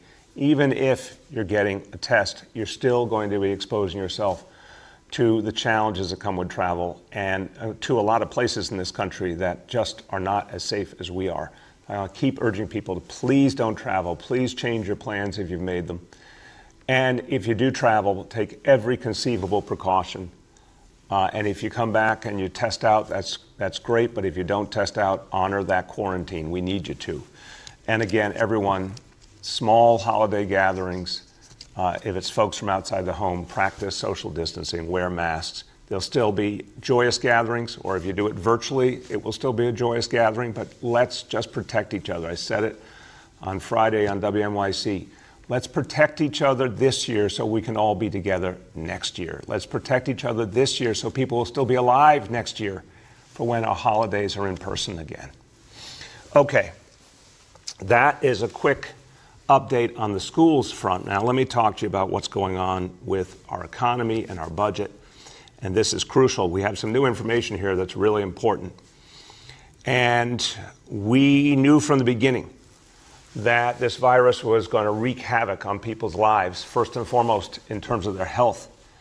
And we mourn everyone we've lost, but we also feel such pain for everyone who lost their job, everyone who lost their livelihood. Uh, so much pain in so many families. But we have now real data, real evidence of the power of a stimulus, of what the federal government can actually do to help people, because we now have a better sense of what the previous stimulus packages did for New York City. Our Office of Management and Budget has totaled up everything the impact of those individual checks that were sent to people, the $1,200 checks, the unemployment benefits, the PPP loans for small business, all of that combined the impact on New York City has been $40 billion. This is new information. It's very important information. When you combine all those previous stimulus programs, $40 billion reached the people of New York City. And that is part of why we have been able to make it through, even with all the challenges. Now, it's also proof positive of why we need a new stimulus quickly, because all of those good investments are now wearing off and people are running out of money and they're running out of time, and we need another stimulus, and this is exactly the right time for it. Now, I want to give you an example of what that has meant, first in terms of our economy, then we're going to talk about our city budget. Uh, go back to February. It's amazing to think this is not ancient history. February 2020, this year, New York City was arguably at its all time economic high, the peak of our economic strength in our entire history. 4.7 million jobs, all time high. 3.4% unemployment as of February, record low. That was just 10 months back that we had this extraordinary strength. Along comes the horror of COVID, decimates our economy between March and April, the immediate aftermath of the, the worst of what we went through, almost 900,000 jobs were lost in this city. But then we started to feel the impact of that federal stimulus, that 40 billion we're now recognizing the full impact of. 40 billion dollars came into the city over the course of months. People worked hard to bring their businesses back. Everyone worked hard to bring down the COVID levels and open up the space for economic recovery. As a result of all those efforts at the end of the spring going into the summer, now over 300,000 of the jobs that were lost have been recovered. So it's an amazing beginning. We lost 900,000 jobs, but 300,000 are back already. We've got a long way to go. But so important that this city's ability to rebound is already in evidence. Now, unemployment is still way too high 13.2%, way too high, not something we can ever accept. Many people suffering, a long way to go. Parts of our economy are going to take a long time to bring back. But you now can see the impact of a stimulus, the way it kept people afloat, the way it helped people bring back their businesses, and the way it could do that again, and the sheer impact of New Yorkers doing the right thing and fighting back this disease and opening up the space for us all to recover. As we face the danger of a second wave of COVID, again, there couldn't be a more important time for a new federal stimulus. And it is going to be the difference maker. It's the only thing that could be the difference maker. New Yorkers are doing a hell of a job fighting back this second wave. We're, we're in real danger here, but people are fighting. They're doing the right thing. But again, we're running out of time on the economic side as well. We need that stimulus to keep people going. And that means now. This Congress that's in Washington right now could pass a stimulus to help New York City and the whole country. And then the new administration could do even more in January and February. And that's going to mean everything starts to move. People have the money for the basics. It's going to help jobs come back. It's going to help us expand our reopening of our schools. Everything gets a boost from a stimulus, protecting all our essential services. It's the difference maker. So now let me talk about what we have achieved, in part with the help of that stimulus money and other federal support, uh, and what it means for where we go from here. And this now takes us to our city budget. Now, Lord knows we had to make extraordinary changes between February. I put forward a preliminary budget for this fiscal year in February. What a different world that was. By April, when the next budget submission was due, we had to change everything. By June, we end up with a budget that looked very, very different from what we thought it would. We had to cut a lot. There's a lot of things that we thought were important, but we just couldn't do. And a lot of savings had to be found and found quickly, and a lot of jobs were either cut back or not filled. We were able, through those actions, to keep ourselves going, to keep essential services happening for the people of the city, to help spur that recovery. We've got a lot more to do. So today we're releasing our November financial plan. This is something that happens each year. Normally we wouldn't be highlighting it as much, but it's important because there's some major changes and it speaks so powerfully to the impact of federal support. So the budget now for New York City for fiscal 21, the fiscal year that we are in now, will now be $92 billion and remains balanced. And that is because of federal support, overwhelmingly. The money that came from that first stimulus that ended up in people's pockets, some of that turned into revenue for the city as well, but also the direct grants that came to the city through stimulus, and of course, FEMA aid, which has been absolutely crucial. We have depended on FEMA so intensely in this crisis and even though we're still not seeing the kind of reimbursement that we deserve or any other city deserves, and that still needs to be addressed, uh, the FEMA aid is coming in and is playing a huge impact. And that is all about the things that we have focused on to protect people, feeding people, making sure no New Yorker went hungry, making sure we could build a strong test and trace core, which has been crucial to holding back this disease. Everything we had to do to get our schools open, all the things we've been doing all the health and safety measures. You've heard about them, the gold standard we set for our schools, layering health and safety measures one on top of another. That all cost a lot of money.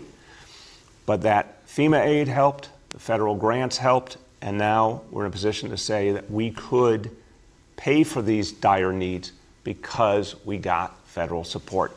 If we could get more federal support, it would be transcendent. It would help take us forward into our recovery. At the same time, we have to do things constantly to tighten our own belt. And we have the furloughs that we moved for uh, city officials, senior officials, management. Uh, everyone was asked to sacrifice. New Yorkers are all hurting. It was important for your leaders and the people who run the city government to sacrifice as well. So we did the furloughs. Uh, the savings that we found, we have a whole set of agreements we've come to with our labor partners that resulted in savings. But in addition to that, $1.3 billion in new savings being announced in this November plan. And that is for both this current year, fiscal 21, and for next year, fiscal 22. So the budget reserves, uh, these reserves continue to be strong, and we're going to continue to protect them and that's something that has been a crucial, crucial part of our work as well and has helped us work our way through. We made a big focus for years on reserves, kept them strong. We're going to continue to have a strong reserve as we go forward. Now, What I've told you is at least some good news. There's some good news. A lot of federal money came in. There's some good news. It really helped families keep going. There's some good news. It helped us, the city government, to keep going. But there's not only good news, to say the least. There's some bad news on the budget front as well, and that's what we see for the next fiscal year. Right now, an almost $4 billion gap looming. $4 billion now. But of course, that gap could easily grow. If there's not a stimulus, we're going to see less and less revenue coming in. If there's not a stimulus, the state of New York is going to be in dire, dire shape, and unfortunately might have to pass on cuts to localities. So, as much as I'm happy to give some good news, I have to also frame the reality that comes into play very soon. Again, almost $4 billion that we don't have to keep ourselves going next fiscal year. And we have to present a new budget in January that will be adopted in June for the new fiscal year. And right now, we don't have a way to close that gap without federal support. That's why it's so crucial that we see action at the federal level. And I'll conclude this before going to our indicators with this simple point. New administration coming, thank God. Uh, vaccines now here, thank God, that's huge. The way forward is clearer than ever. With a stimulus, all these pieces come together. It's the perfect time. Without a stimulus, we struggle. We struggle in many ways, and the suffering continues. And we know that it's at some of the most dire points that some of the greatest things are achieved. Sometimes in a moment of crisis, people rise to a higher level. That's what happened in the Great Depression. That was what led to the New Deal of Franklin Delano Roosevelt. We need this again. We need this Congress to act. We need our new president to act in this crisis to find a way forward beyond anything we've seen. We really can come back strong. Let me go over today's indicators. Number one, daily number of people admitted to New York City hospitals for suspected COVID 19. Threshold 200 patients. Today's report 100 patients confirmed positivity, 43.27%. So, again, that positivity rate has gone up. That's the, the number, excuse me, the percentage amongst those patients who actually are proven to have COVID. That number's gone up a lot in recent weeks. That's a real concern. The 100 patients, too many, but again, we see an interesting gap here in that that number does not grow consistently so far. We are not out of the woods, but again, an interesting and important point. That number has not been growing as markedly as we might have expected, and ICUs have not been as full as we might have expected, but we are far from out of the woods. Now, number two, this is clear as a bell and again continues to be a huge challenge. New reported cases on a seven day average, threshold 550, that's been blown by many times over, and we're now at uh, 1,381 cases. So, very, very uh, tremendous concern there. But some of that accounted for by more testing, and we encourage constantly more testing to get us the truth about what's happening. And number three, percentage of people testing positive citywide for COVID 19, threshold 5%. Today's report, 2.95%. The seven day rolling average, 3.06%. Okay, a few words in Spanish. Nuestra ciudad ha enfrentado muchos desafíos. Welcome, everyone, here from the News Now from Fox. Thank you again for joining us here worldwide. As always, we do appreciate you being part of News Now from Fox. When there is live events, you know we got you covered right here as uh, we are taking a listen right now of Mayor Bill de Blasio in New York City talking about the latest COVID 19 numbers that he is seeing in his city. And uh, we will have full coverage from other cities as governors and mayors continue to update on the global pandemic right here on News Now from Fox. And we will also have uh, some Thanksgiving travel updates as well. So we got you covered right here on News Now from Fox today. We'll now begin our Q&A. With us today, we have Health Commissioner Dr. Dave Chokshi, Budget Director Jacques Jiha, First Deputy Budget Director Ken Godiner, Deputy Director for City Revenue Policy and Planning Francisco Brindisi, and Senior Advisor Dr. Jay Varma. With that, we'll go to Juliet from 1010 Wins. Good morning, everybody. Good morning, Mr. Mayor. Um, I wanted to ask you about uh, subway pushings. There have been more frequent, they're on the rise. So, how are you addressing the mental health issues involved with those accused? And what do you say to New Yorkers who are getting increasingly worried and afraid to use the subway?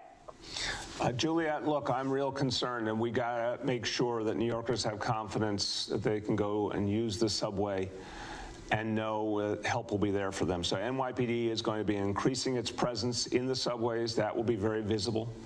We continue to expand our mental health efforts. Uh, the thing we've got to do is find people and get them help before something like this happens, and we need medical intervention which our city agencies will do. If we find someone who we think might be a threat to themselves or others, uh, we're going to get them to a medical facility, get them um, tested and evaluated. If it's someone who should not by law be on the streets, we're certainly going to act. But I also would say, Juliet, New Yorkers uh, are strong, resilient folks. We know that we can overcome anything, so I understand the fear, but people should know uh, that we're going to get that presence out there to keep people safe. Go ahead. Yeah, so have you spoken with Commissioner Shea? So is, are there, when you say more police are going to be on the platforms, how many? Is there a, an announced effort to do this? Will uh, transit, extra transit police or MTA police be there? How does that work?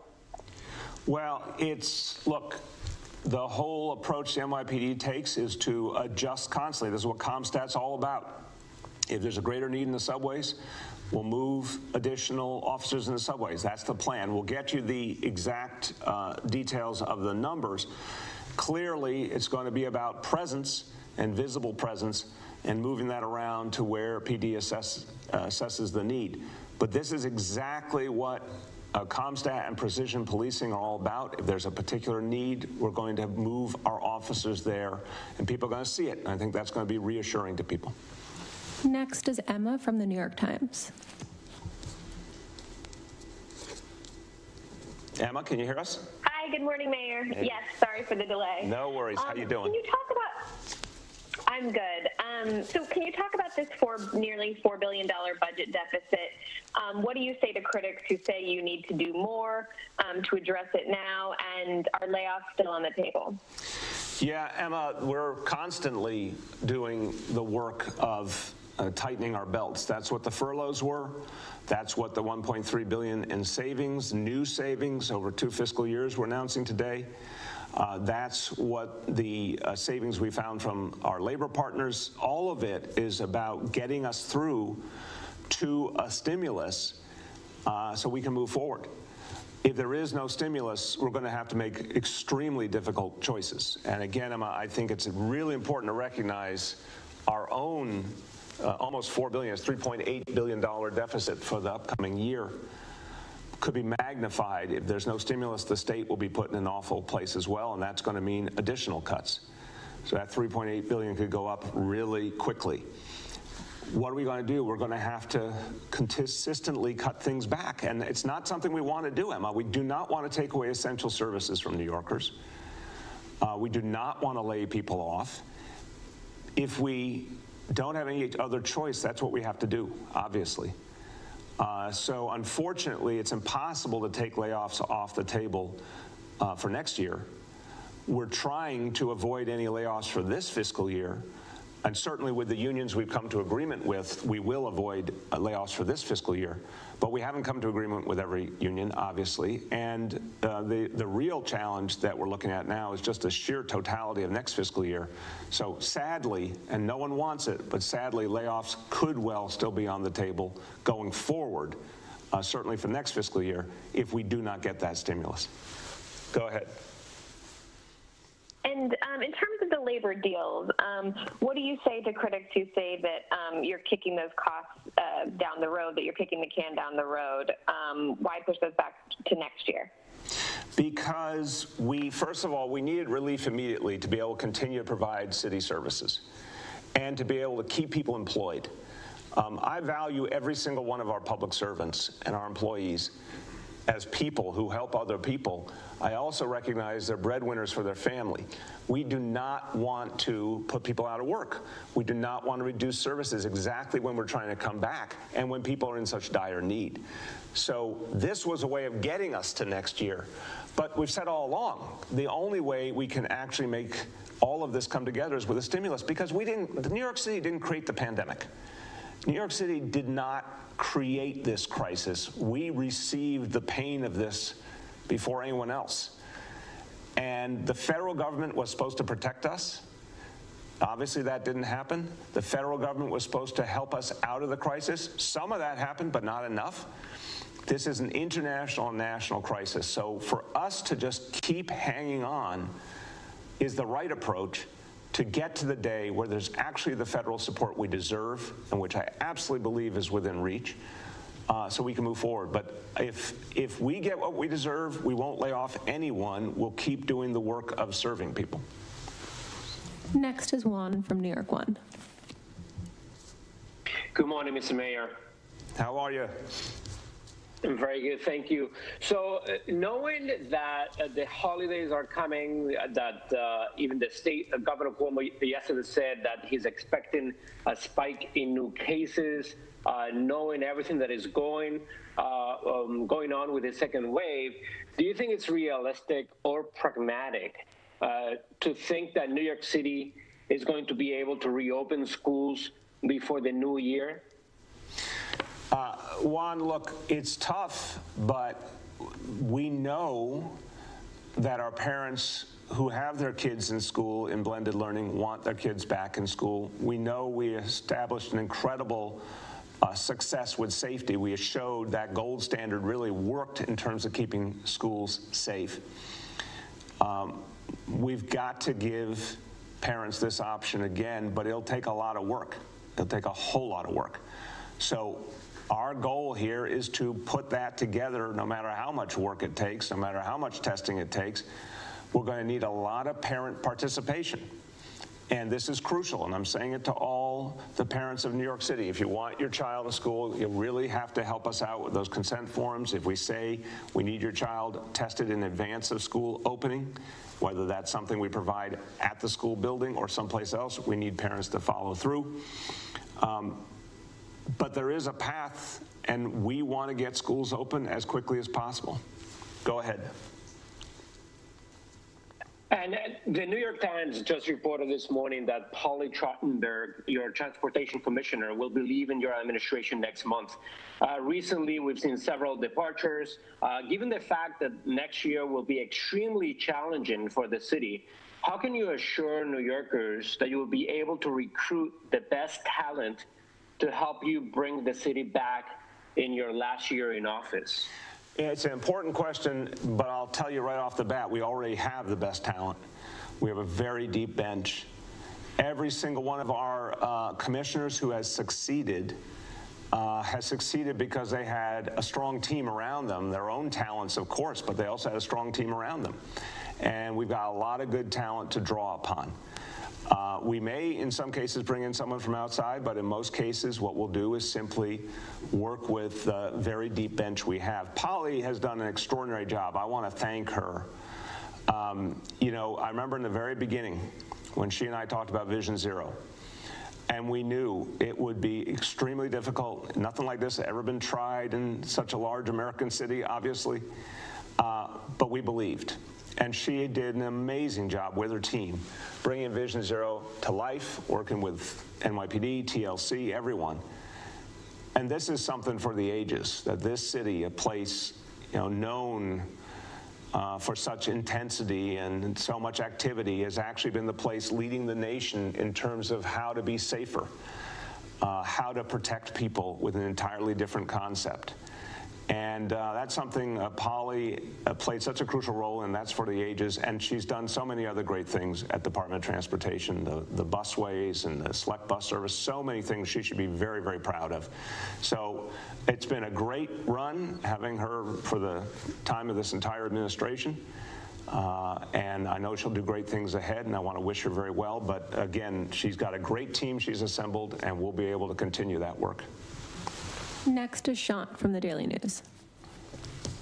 Yeah, good morning, Mr. Mayor. Um, I was just quickly reviewing, you know, some of the state's guidelines for reopening schools uh, once the orange zone designation is in effect. And I mean, it just looks like a huge logistical challenge entailing testing opportunity on school grounds or facilitating testing from other places, um, making sure you know the right population is being tested. So can you say if the city is, is laying the groundwork for that logistical challenge now and, and what steps are, are taking place?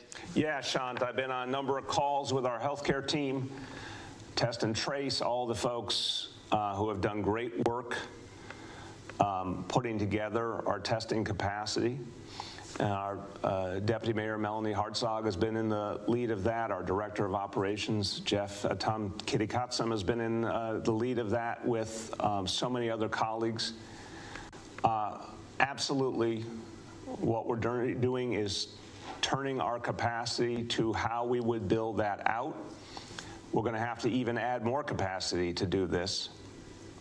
But uh, the point I would say is it can be done. It absolutely can be done. We proved uh, with the monthly testing program and with the weekly testing in the yellow zones, it can be done. Uh, we proved we can keep schools safe, and the Situation Room, I want to thank uh, Commissioner Melanie LaRocca and her whole team. They've done an amazing job with the Situation Room. We've proven that works. Our stakeholders all agree that that's been a huge success. Um, it's going to mean more testing.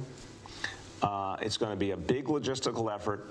It's going to take a lot of parent involvement, and we're going to have to do it in stages, most likely, uh, starting with special education. Uh, but it can be done. And Sean, the other thing I'd say is this is a point along the way. Uh, we're going to fight back this second wave. We're going to get through the holidays into a time where we're going to start to feel the impact of the vaccine. Take, it will take months and months, obviously, for the full impact to be felt. But with every passing month, once we have the vaccine, with every passing month, I really believe we can make things better. So we're going to be constantly doing the work of bringing our schools back farther and farther and getting more and more kids back in the classroom. So no time like the present to start that work. Go ahead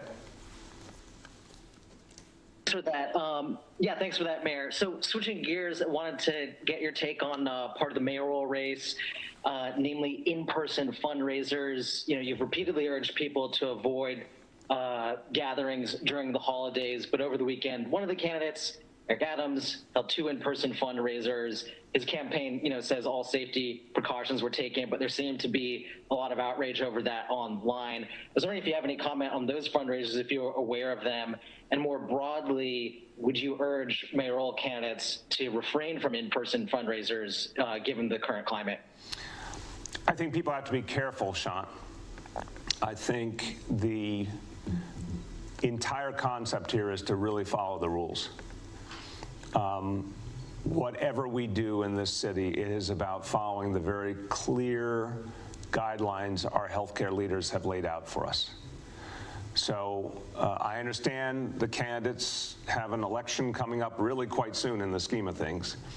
I understand that they need to get their message out, and it's important for the people to hear their messages and make a decision on who will be the next mayor in this time of crisis.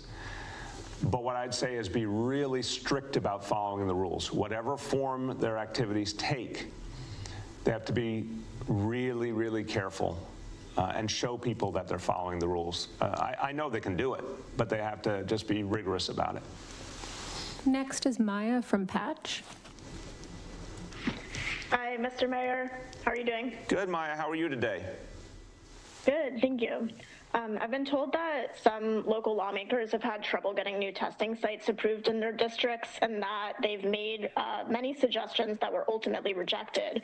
Can you talk about the criteria that you use to determine new testing sites, and especially given the hours long lines we've been seeing both at city sites and urgent cares, what you're doing to streamline that process? So, Maya, on the lines, um, you know, and I'll let uh, Dr. Chokshi get in on this one, obviously. The I would say until very recently, we saw, um, we didn't see lines for quite a while. Then we saw them more at the urgent cares than we saw them at health and hospitals. Obviously, we're having a particularly intense moment because people are preparing for the holidays. Uh, so I don't think this is necessarily going to be the norm going forward. But uh, what we've just been doing in general is expanding uh, testing capacity to the maximum we can. There are obviously some limits. You need the test materials, there's staffing, there's uh, processing. You know, you can, at any given moment, you can only go so far, but we're trying to constantly push farther to see how much more we can do each day. As for finding sites, I mean, we're obviously led by the data and the science, and you see the zip codes now every day, you know, where we're trying to put our emphasis. Um, elected officials are trying to serve their community. That makes sense. And sometimes what they ask for really fits the overall priorities, and sometimes it doesn't. We work with them in each case. I'm looking forward to us having more and more testing with every passing month, and that's going to help us answer more and more of those requests. Dr. Chokshi, you want to talk about the, the lines and how we're addressing that? Yes, sir. Thank you, Mr. Mayor. I, will just start by echoing that um, it's exactly right. The, um, the city sites uh, are uh, ones that we, um, we hope more New Yorkers will take advantage of. Uh, we do know that there have been uh, some longer lines at city sites as well, but on the whole, um, city sites do have uh, capacity um, for, uh, you know, for this major upsurge in demand that we're seeing. Um, there are a few things that we have done to try to address, um, you know, the, the particular uh, increase in demand that we've seen in recent days. Um, one is making sure that uh, for those units, uh, those testing units that are mobile, uh, we're bringing them to the brick and mortar sites where we see uh, longer lines. So essentially shifting supply uh, to match up with demand.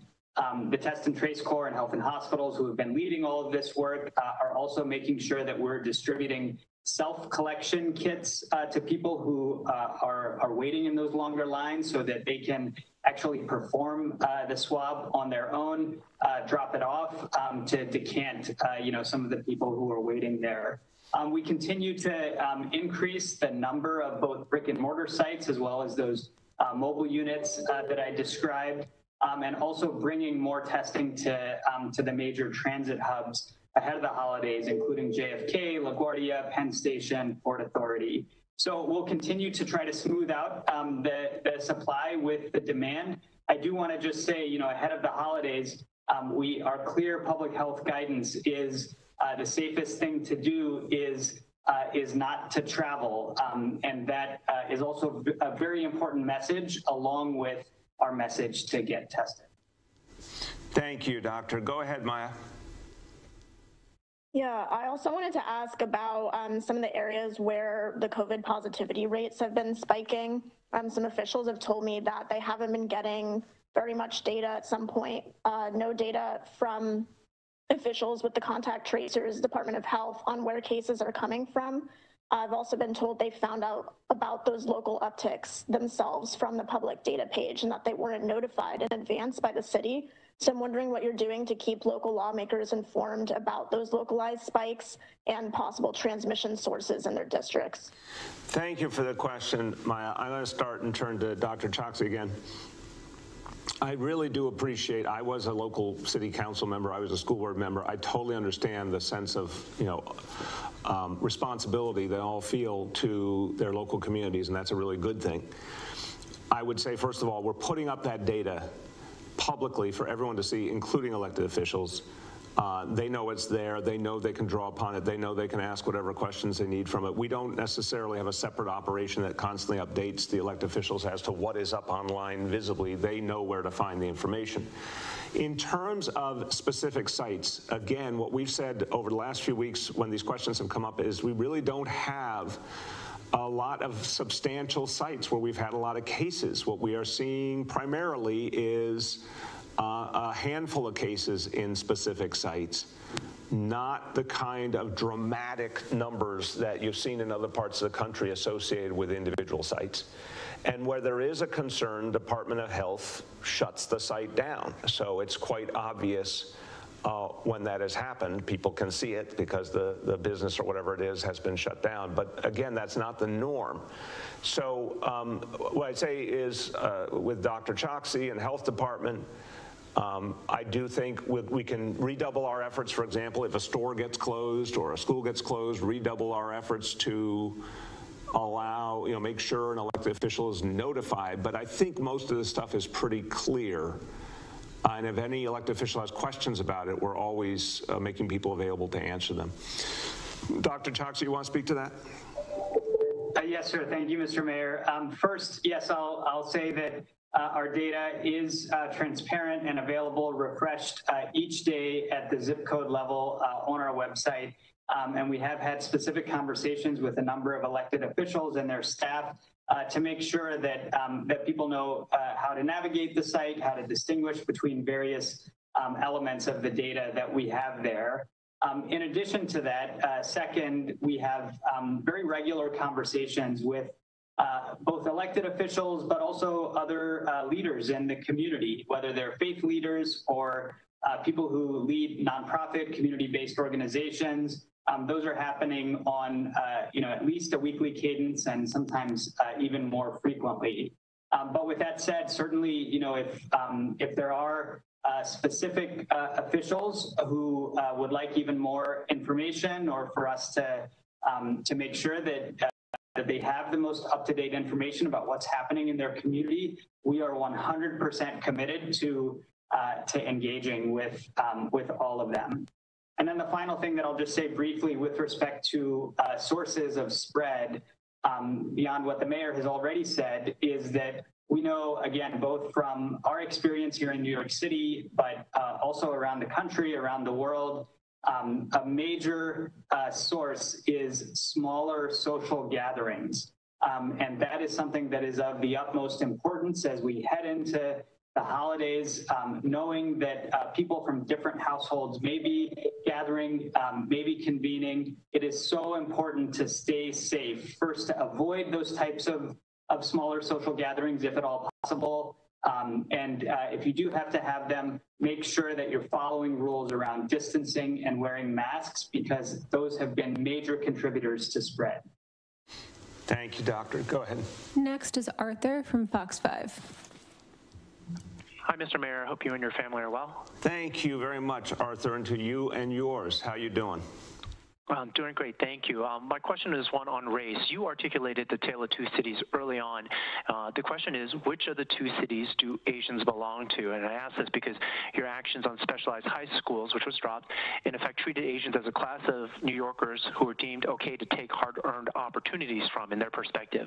Yet Asians are a minority, and despite the myths, as you all know, the vast majority of Asians struggle as uh, their uh, fellow citizens that are African American and Latinos do in the city with things like income and housing and education education. And yet, even with uh, Asian owned small businesses devastated by the impact of the pandemic, leaders there say they've been excluded from your racial inclusion and equity task force.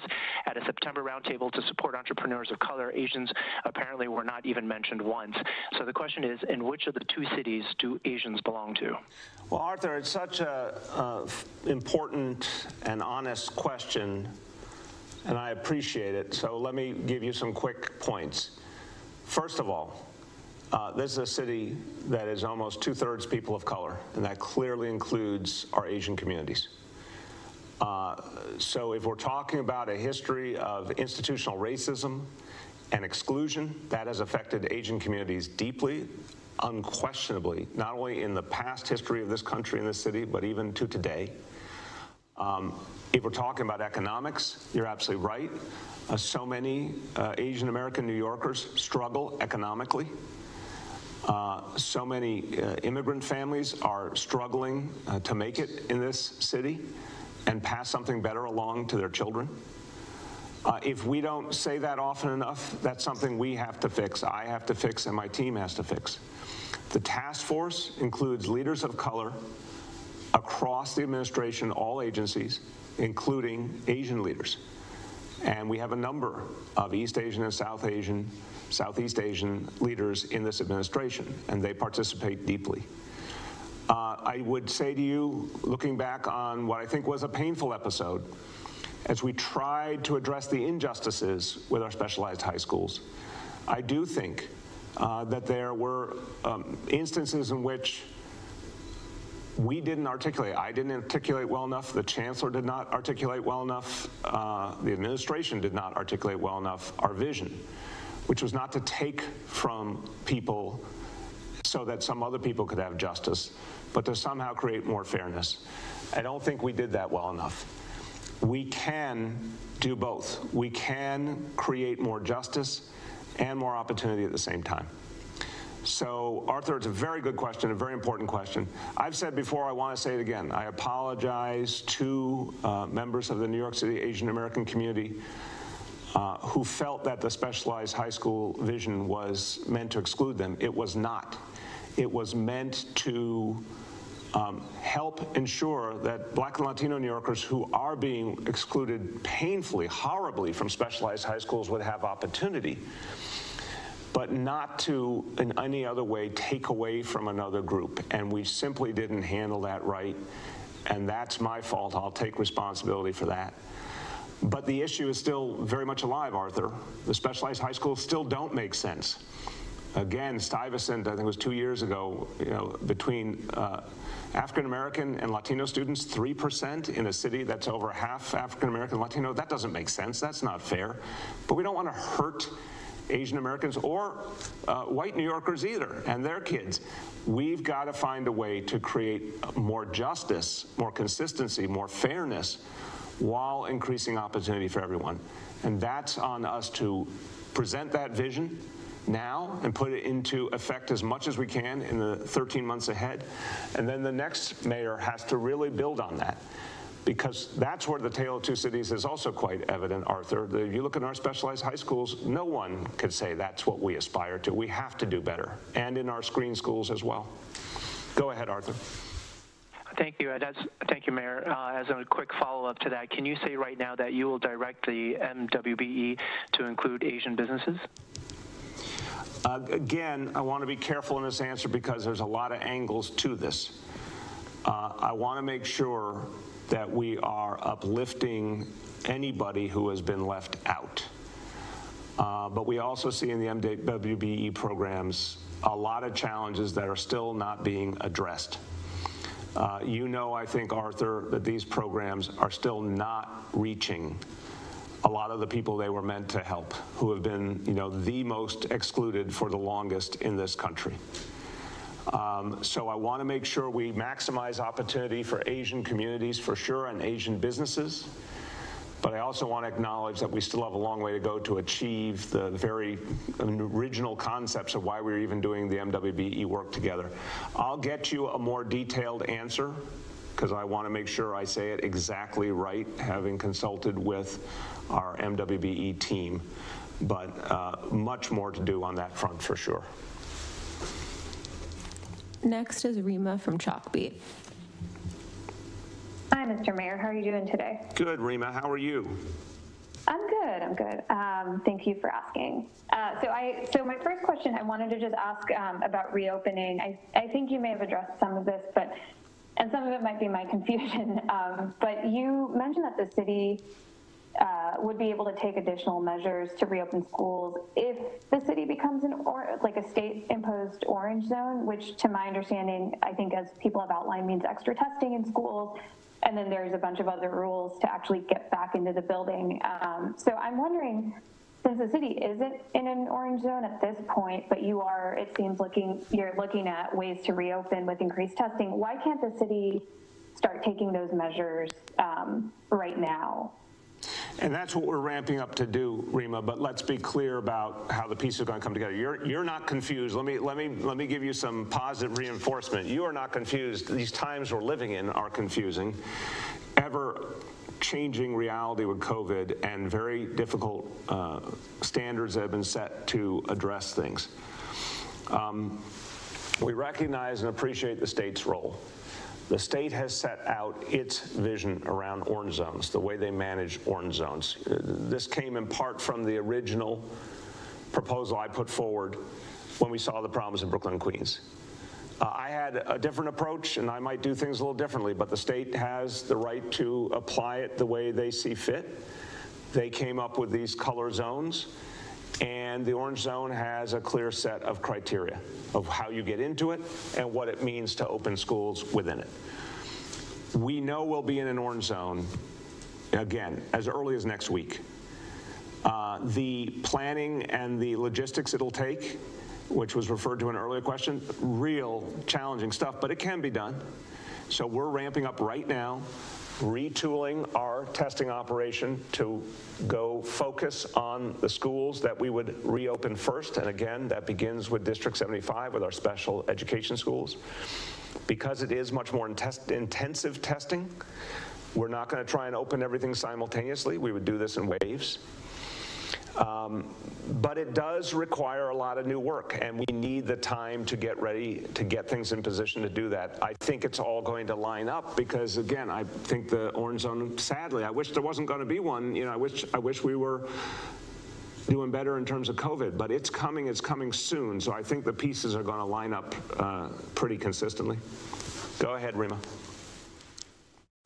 Okay, uh, my second, and thank you for the positive reinforcement. Um, my second question is about learning bridges. Um, we know, you know, the city has said that there hasn't been a lot of uptake in learning bridges, and we've heard that the hours and locations can be inconvenient. And then there, I believe there was a report in CBS uh, today that kids with disabilities are being turned away from these sites. So does the city understand why there's been less enrollment than expected? And what are you doing to make sure that the program is more convenient for the families who actually need it?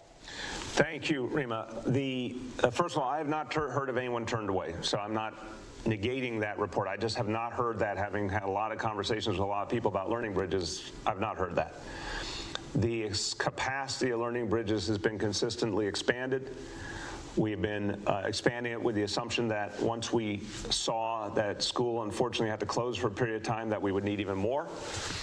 But uh, what has been clear is there has not been the uptake we expected. Um, I want to emphasize to any parent who wants to uh, take advantage of learning bridges, you know, it's quality uh, childcare and a safe setting. It's first and foremost now for essential workers as we are dealing with this danger of a second wave. But also there are uh, prioritized slots for uh, families in shelter and others who have particular challenges. And then if there's more beyond that still available, uh, anyone can apply. And anyone who wants to apply can call 311 uh, and learn how to apply and get their name in. But um, I think the important parallel here, and I imagine you saw this, Reema, we thought in the spring and summer that our regional enrichment centers were going to be a lot more full than they were. As you know, uh, never saw the kind of enrollment we expected. We ended up having to uh, cut back a number of those centers because there just weren't people using them. Why? I don't think we have a perfect picture. I think, unfortunately, one of the reasons why is very much about COVID. So many people are home. A lot of people who, thank God, still have a job are working rem remotely. A lot of people who don't have a job to date are home for that reason. I think for many families, there's been a decision to keep their kids close rather than taking them to uh, childcare or some other kind of option. I think that's part of what's happening here. But um,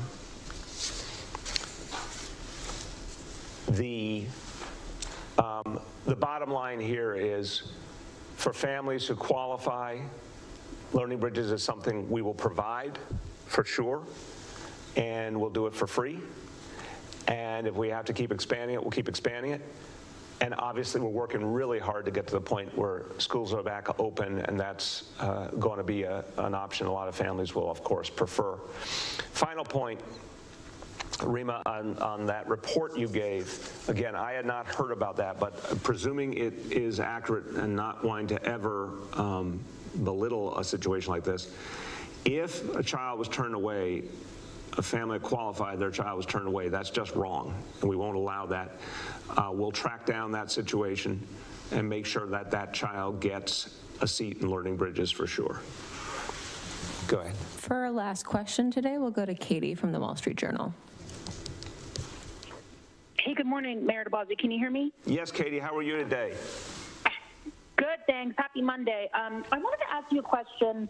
Uh, I hope you got a chance to read it. It's from a colleague of mine writing about um, the hundreds of uh, deceased New Yorkers who are being stored in morgue trucks um, in Brooklyn.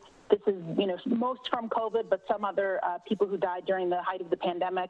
And I'm curious, you know, when we spoke, when he spoke to officials at the medical examiner's office, you know, this was sort of due to, um, obviously they were very overwhelmed. This was unprecedented, but we were curious, um, you know, they use a lot of temporary measures to kind of get through the peak of the pandemic? And are there any plans from you to increase money to OCME if there is a second wave? Um, you know, God forbid there are uh, increased deaths because of this, but I don't know if you have any plans to increase the funding there or make any changes. Well, thank you for the question, Katie. It's a sad, sad but real question. Um, you know, we've made clear whatever we need to do uh, to support the medical examiner's office, we will. A lot of extensive efforts were put into place uh, back in the spring. Very, very tough time and tremendous support we got from the federal government. That's one of the places where the federal government really did step up and help us, and I'm very thankful for that. But um, the sad reality to that story, I haven't, I haven't read it, but I got it summarized to me, is you know those those um, who we lost. Uh, their families are still trying to determine the best way to provide services for them and uh, just have been struggling because of the pandemic and other challenges. So we're, we're trying to work with each and every family of those we lost who are in that situation to make sure that they uh, can have the kind of uh, services they want to have at the right time. But we'll provide the support we need to. Uh, I don't see, thank God, I don't see anything like what we went happened in uh, March and April. We haven't seen some of those particular warning signs yet, thank God, but we are very, very vigilant. Uh, but we'll make sure medical examiners ready either way. Go ahead. Thank you. And my second question um, is about this, you know, the upcoming closures in the orange zone. You know, this has been asked multiple times, I guess, throughout this whole pandemic, but the small businesses and just business in general that will be affected the most by these closures. Um, I know obviously everyone's waiting for a federal stimulus, but is there anything more the city can do to help these businesses? I hear from a lot of business owners who are really desperate. There's no other way to put it because of just everything is falling down on them. They can't pay rent. Their uh, their revenue has completely been cut. So, is there anything more the city can do to offer assistance financially, especially to a lot of these businesses? Katie, it's a, a question. It has been asked a lot of times. It's also a fair and important question. Um, there's a lot we can do to help each business. It is not what we ideally would like to do. Um, you know, the, the thing that would help businesses the most is to get an infusion of direct assistance, cash assistance to keep going. Because you're right, with the orange zone will come restrictions again, and, and businesses will have an even tougher time.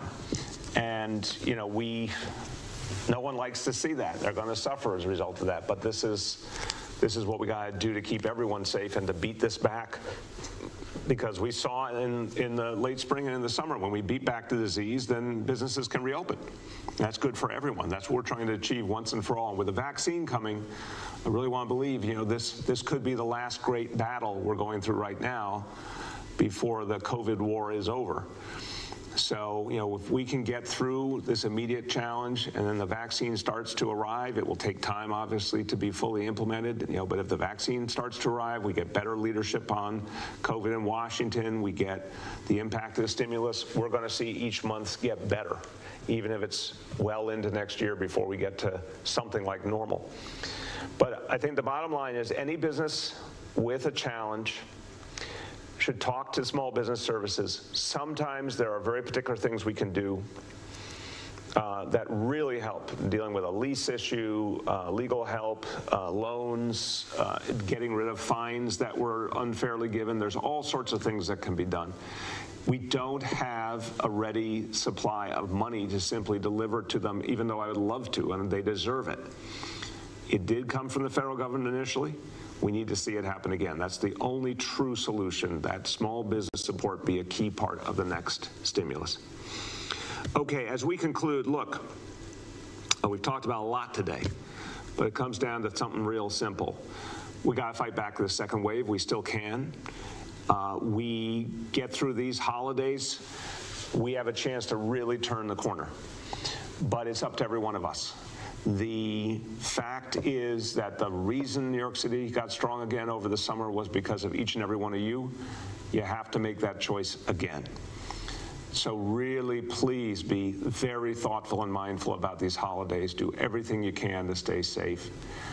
Help us turn this last corner so we can beat this disease once and for all and bring our city back. And when we do, I don't have a doubt in my mind that all the energies, all the pent up energies of the city will surge forward to give us an extraordinary recovery. But we need every one of you to be a part of it. And then we need our colleagues in Washington to do the thing that they should have done a long time ago and give us one more big stimulus to get us on that clear path to recovery. And I know it can be done. We've got to fight for it. Thank you, everybody. And we continue to roll on here for you on News Now from Fox. Thank you again for joining us worldwide here today as we continue to always bring you the very latest from across the country, live, raw, and unfiltered, right here on News Now from Fox. Let's go out to uh, Georgia right now, where the Secretary of State's office holding a uh, briefing on the recount effort now requested by the Trump administration. Lower court on that point and they were trying to make us go through Friday with postmark by Tuesday. But then we went to the 11th Circuit and overturned that. So this office has done a lot to defend the integrity of this election. Um, and one of the things that was cited by some people is that there's really a widespread questioning of, of the outcomes of this election. But the widespread questioning has been pushed by people who have, you know, they're angry, but they're lacking in evidence. Uh, we saw yesterday that even the president is distancing themselves now from an obvious member of their legal team in, in Sidney Powell. Um, so that's happening right now. And we anticipate, you know, additional lawsuits now that we've reached the certification phase. We don't know when they're going to come. You know, we see on social media people talking about blockbusters and krakens. And I want to remind everybody that krakens are myths. So we anticipate we will continue to follow the law and follow the process as we have done since the beginning. We had a very successful election on November 3rd. We had average two minute wait times. Uh, we had good processing. We got through the uh, counting of the ballots and in a relatively normal time. It happened to be an abnormally close election. And anybody who can look at the political science of this can see specifically, there were eight counties, six metro, and then two, Athens and Clarke, Clarke and um, uh, Oconee, that in those eight counties alone, President Trump received 19,000 fewer votes than Senator Perdue. Obviously, that covers the entire margin. There were over 20,000 people who voted in the state who chose not to vote in the presidential election at all. Again, that could feed into part of that. None of this is that odd looking in terms of if you're actually following what's happening in this state. Republicans still got 53% of all the state House votes, 54% of all the state Senate votes, and 51% of all the congressional votes. And you take the combined votes in the in the jungle primary and the Senate Perdue's race, they were in first place in all of those. So again, I understand that there are people out there who are upset, who are listening to people who are also upset, but have so far shown a lack of evidence, at least in this state, of any widespread issues. We, we said before, and we'll say again, if somebody has an illegal vote they want us to track down, it's very binary. Either it was illegal or it wasn't illegal. So we will investigate those. We continue to do so. We look at every affidavit. We have 23 investigators. We have hundreds of different claims that have come in both through our portal, through the hotline, and through information we're getting from the Republican Party mainly. And so we're looking at all of them. And they're all being taken as equally seriously as, as any other one and treated fairly and even handedly by our investigations division. But so far, we have not seen anything widespread. And I think we've been saying that. But again, it doesn't have to be widespread to affect the potential outcome of this election, although 12,670, which I believe, where we are now, is going to be a heavy lift to have that many votes flipped over. And the secondary question on the absentee ballot audit there's no way to track those back to the ballots they were that were there. So the only remedy is to throw out legal ballots along with potentially illegal ballots if there's even an issue at all.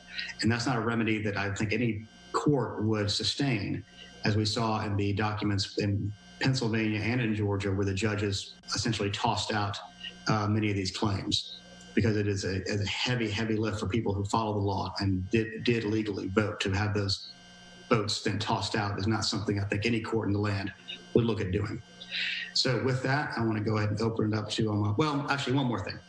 In the disinformation day, Dominion and Smartmatic, completely different companies. Smartmatic was, was truly out of Venezuela. Dominion uh, is based in Denver. So, and Dominion, ES&S, and Smartmatic all bid in Georgia on this process to get to get the unified voting system we had. Um, the top two finishers in that were ES&S and Dominion. So we brought them in for addi- additional negotiations. And when we first were doing it, um, we were really pressuring them both to try to throttle down the costs, and we did. We, they both came down by several million each off their initial bid get their last and final offer, best and final offer. And the winner of that was Dominion. We followed the Department of Administrative Services rules and laws around the Georgia procurement law. All these documents are available for viewing at the DOAS website. It was an open bid process. So the concept that somebody, either the governor or Sec- uh, Secretary Raffensperger or his family members were somehow paid off or kickbacks or anything that is flat out false and makes zero sense when you look at the very open, transparent process we had and went through. And we know that it was a good process because there was no challenge to the bid after it was awarded from either of the other two losing parties. So again, facts and reality fly in the face of these Facebook and Twitter accusations. So with that, I want to go and open up the door to any questions we might have. And Walter, you, you will again be unmuting people and announcing them so they can follow this protocol we've got set up and get from one person at a time. Okay, uh, first is Nick Wooten. Uh, hey, Gabe, Nick Wooten with McClatchy. Um, had a question for you about the governor's comments Friday. Um, he mentioned specifically uh, a signature audit, essentially comparing the absentee ballot envelopes that are stored for two years by the counties to the state's uh, voter database. Is that, and I, I know that ballot secrecy protects comparing the ballots to the envelopes, but is, is there anything in law that would prevent comparing these envelopes to the signatures held by the state? We will do that if a, if a court orders it or if we have specific investigatory reason to do it. But a generalized, we don't like the outcome, we don't control those ballots. Those are counties that control those ballots. Who's going to pay for it? How is it done? What's the structure? Are we going to take it to the GBI? Do we do it internally? This sounds like he said a simple request, but it really isn't, especially in light of the fact that we have counties running elections this week, including early voting. We have the January 5th election coming. We have a recount we have to do. They just did a hand audit. There's only so much these counties can possibly do. And again, what is the remedy? What is what? Is, what are you trying to do at this point? I, I don't see a, a, path. Like I said, we haven't finalized this decision. We're trying to look at law to see if there's a, a way for it to potentially be done. But right now, it doesn't look like there is a potentially easy path like was laid out to us to do something like that.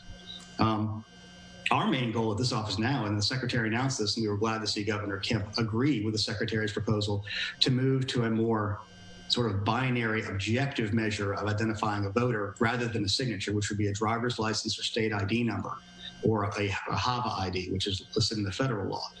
Those are the kind of things that you can say, yes, for certain, this is the person. It takes away this subjectivity.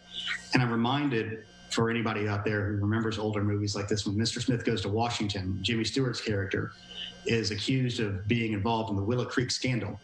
And they have documents and they bring in experts from both sides arguing this is an obvious forgery. This is obviously this man's real signature. And it becomes subjective and people just do finger pointing and arguing. It just can lead to chaos. So without a, a, a path laid out of a specific investigatory purpose, like we've seen in this county we've heard that this person did this. We and investigating that versus a randomized. We're going to check all 159 counties, like 10 percent. We're working on a structure if we have to go down this path to see how we would do that. But right now, who pays for it? What is the structure? What are you What are you trying to finally get to? Because we have no evidence. Because, like I said, the percentage of rejection rate is pretty much the same as we've seen historically. And that's with the addition of the cure period and the curability on these ballots now, so that there is an issue, come in with their voter ID and cure it. So we have essentially, there's no prima facie evidence that there's been an issue. And there's no specific evidence that anybody's brought to us that anybody has done anything wrong. And again, both parties had the opportunity to view this in real time when it was being done. Both of them made, I assume, a decision that they didn't need to do that. And that's unfortunate now that they now believe that there might have been an issue on that. But without specific evidentiary cause, it's hard for us to do that because if we make a precedent of, I don't like the outcome, therefore we should start investigating random parts of the process, that means in the future, if somebody asks for the same thing, say Stacey Abrams comes up short in two years when she likely runs for governor, and then starts accusing the process of being wrong without any specific evidence. So it's a bad precedent unless we can find a legal path with specific evidentiary routes to follow. Right, and there's nothing currently in Georgia law that would spell out uh, a recertification of, of signatures, right? Right. There's nothing. I mean, these things have already been checked twice, and one of one of the things of the settlement agreement that has just been completely mischaracterized to a point of you know perversion. The settlement agreement literally only did one thing. It said we have a cure period. We're the state will send out an official election bulletin to tell people they need to do the to remind people if they get it within I think 11 days of the election, they have 24 hours to notify the voter. That's the only fundamental thing that changed because what people are talking about when you moved it only to matching it to the request. That's not exactly true because the request has already been matched to what was on the state or the local file of the signature. So what happens, the process is supposed to be that new request signature should go into the file now too. So you have multiple versions of a person's signature because the Georgia Bureau of Investigation has told us it's better to have the compendium of all their signatures. So the request has already been added. So by the transitive property, you're really comparing it to the ballot, to the request, to the original thing on the state file. So nothing in that system changed. I, I hope that makes some sense on that front. Right. Yeah. I just had one more really quick. Um, the Nation had something uh, published, I think it was Friday, sort of talking about Georgia's um, audit. And I think it was Philip Stark, professor at the University of California, Berkeley, who's sort of the father of the risk limiting audit, called this a Franken count. Um, you know, he said, I think he said that his estimate was uh, the Secretary of State's office could have looked at 2,500 ballots instead of the the full recount that the office suggested, and that some of this uh, canvassing, basically the county's making sure these ballots were found, should have been done before the audit was conducted to basically You know, he's, build listen, he's, he's in part right. He's also a, he does not like BMDs. He doesn't believe that you, you can trust BMDs, and that there's no reason to believe on that front. We work with Voting Works, the nationwide leader in conducting risk limiting audits. This hand count came back with a margin difference on the number of ballots of 0.1053 and a on the margin difference 0.0099%. This was a good audit. And, you know, the people who sit in ivory towers and don't actually have to administer elections can, they always tend to sit in the, at the side and criticize and snipe it for the detail of some of these things. And we had a lot of people in the room who are also experts in risk limiting audits who said we did a really good deal. I suggest you talk to Ben Adida and other people from Voting Works who are actually there helping us conduct this this uh, hand tally. And the thing is, we also put the, the numbers into the Arlo tool. He, uh, Dr. Stark, in this particular front, is just wrong. And he knows, and he said before, I think he said three, two or three weeks ago, specifically, that once you get to 10 or 20% of the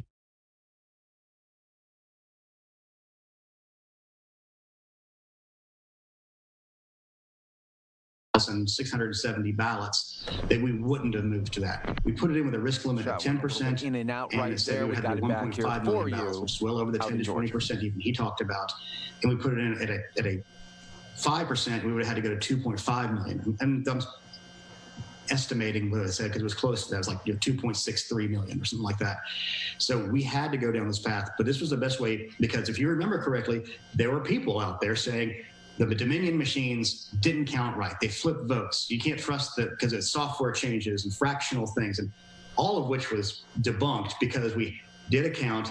It nearly exactly lined up with what we saw, and the audit proved the machines did their job properly of counting those ballots. So thanks, Nick. Yeah, thanks. Uh, next, we have Ann Walker. Uh, Hi, Gabriel. Can you hear me? Yeah, I got you. Hey, I just want to compliment you and thank you for everything that you've been doing, and you really know what you're talking about, and appreciate you explaining everything in the minutia. So, so um, big kudos to you. Um, regarding the signature audit, because there's been so much disinformation by the president, by the RNC, um, and just misinformation floating out there. Just want to clarify. So, again, we've been saying over and over, it's impossible to rematch the ballot where there's the marked vote for whoever presidential candidate that was voted for. You cannot match that to the signed envelope. So then, then what would an audit accomplish? If you can't trace which presidential candidate was voted for, and you end up throwing out